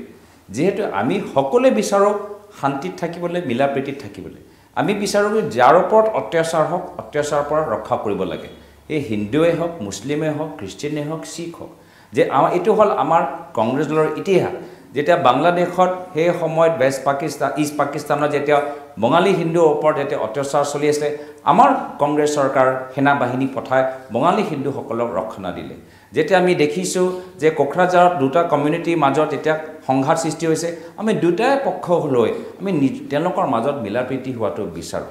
তো সেইকাৰণে উত- উত্তৰ পূৰ্বাঞ্চল অসম ভাৰত আজি সকলোৱে পৃথিৱীয়ে ভাৰতক স্বীকৃতি দিয়ে কি এনেকুৱা এটা দেশ এশ কোটি ওপৰত দেশ য'ত ইমান ধৰ্ম বৰ্ণ ভাষা মানুহখিনি বসবাস কৰে একত্ৰতেনো কেনেকৈ থাকিলে? কোনোৱে ভবা নাছিলে যে ভাৰত স্বাধীন হৈ যোৱাৰ পিছত একত্ৰিত হৈ থাকিব। ভাবিছিলে উত্তৰ ভাৰত বেলেগ হৈ যাব উত্তৰ পূৰ্বাঞ্চল ভাৰত বেলেগ হৈ যাব। কিয় আমি পাৰিলোঁ কি সেই সময়ত কংগ্ৰেছ দলে সংবিধানৰ জৰিয়তে সকলোকে সমান অধিকাৰ দিলে সমান মৰ্যাদা দিলে আৰু সকলোৰে বাবে উন্নয়ন কৰিলে। তো এয়া হ'ল বিজেপি দলৰ ৰাজনীতি যাৰ বিৰোধিতা মই কৰোঁ। আৰু এইটোৱে মোৰ মূল কাৰণ কি আজি মই কংগ্ৰেছ দলত কিয় কংগ্ৰেছ কৰি আছোঁ। কিয় আছে সেইটো এক এটা অন্যতম কাৰণ। কিন্তু কথাটো হৈছে এটা সময় আছিলে ৰাজনৈতিক নেতাসকলে বা প্ৰধানমন্ত্ৰী মুখ্যমন্ত্ৰী বা সাংবিধানিক পদবীত থকা লোকসকলে তেওঁলোকে ৰাজহুৱাভাৱে তেওঁলোকৰ ধৰ্মটো উপাসনাৰ ৱেটো ৰাজহুৱাভাৱে তেওঁলোকে ডিছপ্লে নকৰিছিলে। কিন্তু আজিৰ তাৰিখত ৰাজনৈতিক দৃশ্যপট এনেধৰণৰ হৈ গৈছে সকলো ৰাজনৈতিক দলে ৰাজহুৱাভাৱে ৰাজনৈতিক দলৰ নেতাই ৰাজহুৱাভাৱে তেওঁলোকৰ উপাসনাৰ ৱেটো প্ৰকাৰটো ডিছপ্লে কৰে। উদাহৰণস্বৰূপে যদি মই উদাহৰণ দিওঁ বিজেপিয়েও যদি জয় শ্ৰীৰাম কয় আম আদমী পাৰ্টীৰ নিৰ্বাচনৰ সময়ত জয় হনুমান কয় ইত্যাদি ইত্যাদি। গতিকে সেই ধৰণে ৰাজনৈতিক দলবোৰ আগবাঢ়িছে। কাৰণ সকলোৱে ক'ব খোজে যি আমাৰ এক হিন্দু বা বিজেপিৰ নেতাসকলে বা আৰ এছ এছৰ নেতাসকলে আমাৰ লগত যেতিয়া কথা পাতে অফ দি ৰেকৰ্ড তেওঁলোকে ক'ব খোজে হিন্দুৰ যিটো নৱজাগৰণ ইতিমধ্যে হৈ গ'ল হৈ গৈছে। সকলো হিন্দু এতিয়া জাগ্ৰত হৈছে। এই প্ৰেক্ষাপটত বি- কংগ্ৰেছ দলে সেই ধৰ্মনিৰপেক্ষতাৰ কথাটো দোহাই দি দি কিমান দূৰ ৰাজনৈতিকভাৱে আগবাঢ়িব পাৰিব? আপুনি ৰাজনৈতিকভাৱে বিচক্ষণ ৰাষ্ট্ৰীয় ৰাজনীতিৰ সৈতে জড়িত হৈ আছে সেইটো সেইকাৰণে মই এইটো প্ৰশ্ন সুধিছোঁ। ছাৰ মই অসমৰ কথাই কওঁ। প্ৰয়াত মুখ্যমন্ত্ৰী তৰুণ গগৈদেৱ তেওঁ নামঘৰলৈ যায় গীৰ্জাঘৰলৈ যায় মছজিদলৈ যায় গুৰুদ্বাৰলৈ যায়। তেওঁ যেতিয়া আমাৰ জি এম চিৰ পৰা তেওঁ যেতিয়া আমি দেহটো ওলাইছোঁ মৃতদেহটো আমি লৈ গৈছিলোঁ কলাক্ষেত্ৰলৈ তাৰ আগত নামঘৰলৈ গীৰ্জাঘৰলৈ মছজিদলৈ বুঢ়া মছজিদলৈ গৈছিলোঁ। তো সেইটোৱে প্ৰমাণ কৰে কংগ্ৰেছৰ চিন্তাধাৰা। কি ৰাজহুৱাভাৱে যদি কোনোবাই নিজৰ ধাৰ্মিক চিন্তাধাৰা প্ৰকাশ কৰিবলৈ বিচাৰে তাৰলৈ আমাৰ আপত্তি নাই। কিন্তু যদি কোনোবাই এয়া লৈ আমাৰ সমাজৰ ভিতৰত হিংসা সৃষ্টি কৰে ধৰ্ম লৈ তেওঁলোকে যদি ঘৃণা সৃষ্টি কৰে তাৰ সেইটো লৈ আমাৰ আপত্তি আছে। আজি সেই যদি আৰ এছ এছ বিজেপি হিন্দুৰ মানে হিংসা নেকি? ক'ত লিখা আছে? কোনটো ধৰ্ম গ্ৰন্থত লিখা আছে? হিন্দু মানে হিংসা কৰিব লাগে হিন্দু মানে তলৱাৰ ল'ব লাগে।